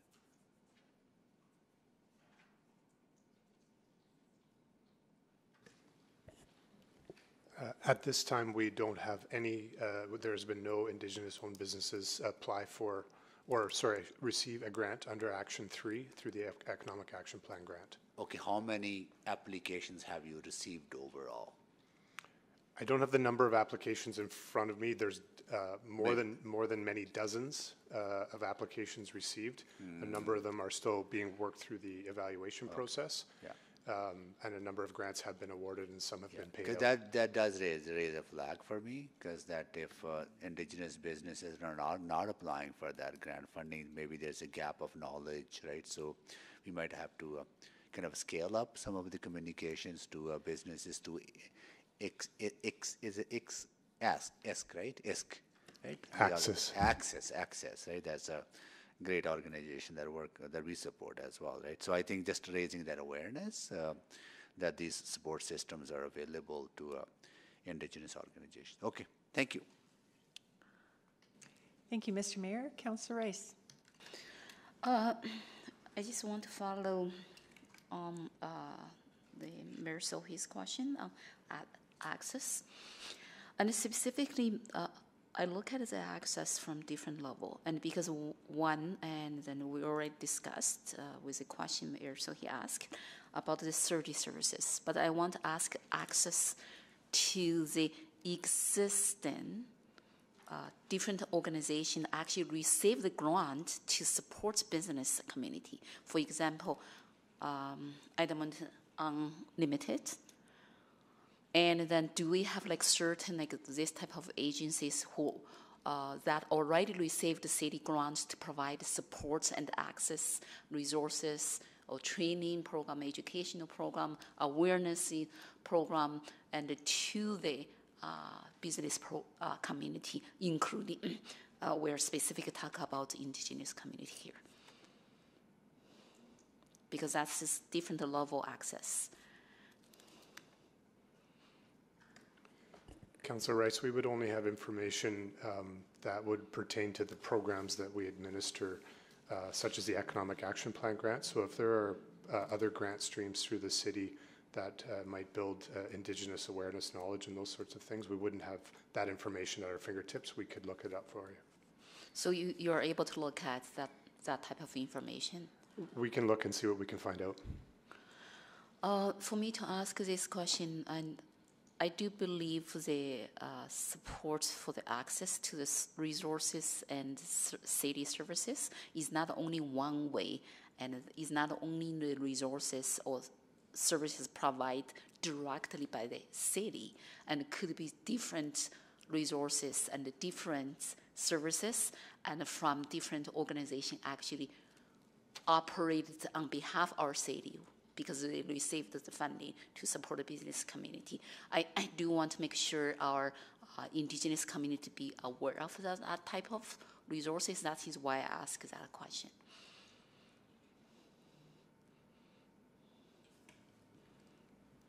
So, to what extent the um, Indigenous community is aware of resources Yeah. that are delivered by city enabled, as well as those other organizations that aren't city enabled? I can't speak specifically to that. That's a something that we can work on in terms of our existing agreements, and to ask that exact question: to what extent are they promoting?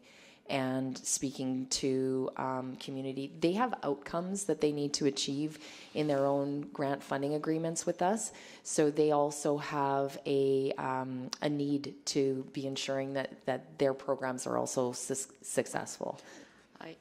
I, like that point specific uh, through agreement pers- review perspective. And because if they receive funding from our city, and then we have agreement with them, and then by look at that scope of agreement, and then to ensure and certain supports and resources in place and could provide additional support to our indigenous business community as well. So I just want to add that point there. Okay, that's my question. Thank you. Thank you, Councillor Rice. Councillor Paquette. Oh, thank you, Madam Chair. Um, you know, I think I will have a motion about this. So um, I'm wondering if it would be better to just requisition this uh, to council so we can take care of it after break, or we can just close the item now because I'm still kind of and based on the responses. I, I think I have to tweak my motion a little bit. So uh, I'll just seek some guidance from chair. We can requisition, uh, or I can start the whole process anew with a brand new motion after the break. After the, uh, when we reconvene in council. Might be cleaner and easier to just requisition this up so we have a placeholder.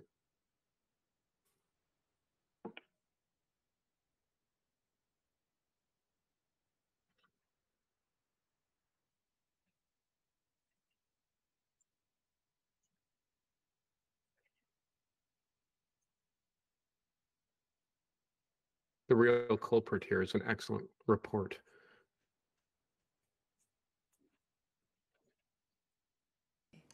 Uh, Councillor Paquette, would you uh, consider we receive this for information and then you bring a motion forward uh, at the next? Yeah, we can do that. Is We can receive for information and then select it at council. Yeah, even that would a notice of motion? Even a notice of motion today?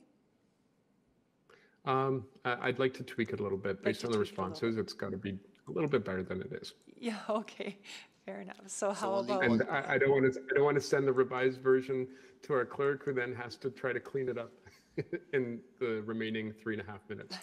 But- But if it's Thank you only, for that uh, consideration. Just clari- clarification, if it's received for information, then this does not go to council, That's right. Correct. right? So Councillor Paquette would not be able to exempt it and make a motion there. So I think the o- only option for him to make a motion is to requisite to council. Yeah. If you wish for this to go to council, requisition's the option. If you want to come back to committee, you could do a postponement of the item, or you could receive it for information and do another motion. I'm open to all of it. Okay, whichever works for you, Councillor Paquette.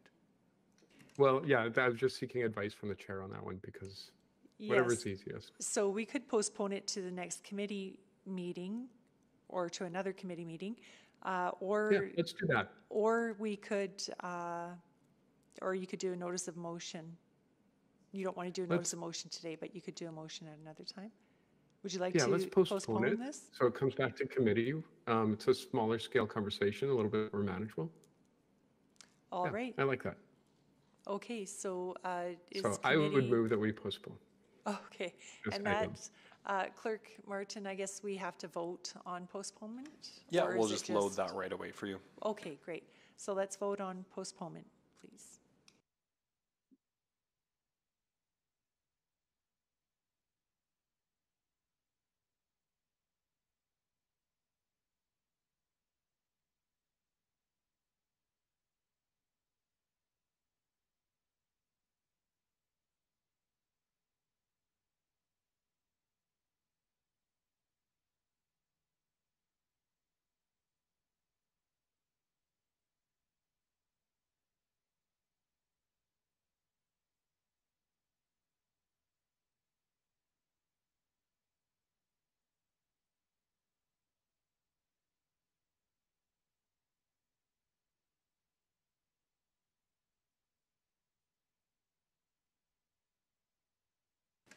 We have all the votes. Please display the vote. And that has carried. Thank you, Councillor Paquette. Thank you. And one last process question. Because we're postponing, does that mean that we can reopen by a vote uh, to hear from public speakers so that Mr. Hanowich can uh, I give us believe his so, thoughts? yeah, I believe we can. We can make note of that in the committee report. Yes. Great thinking. Look at you. Good job. Great. Okay, next You're the private. re- best, though. Next, private reports, none. Motions pending, none.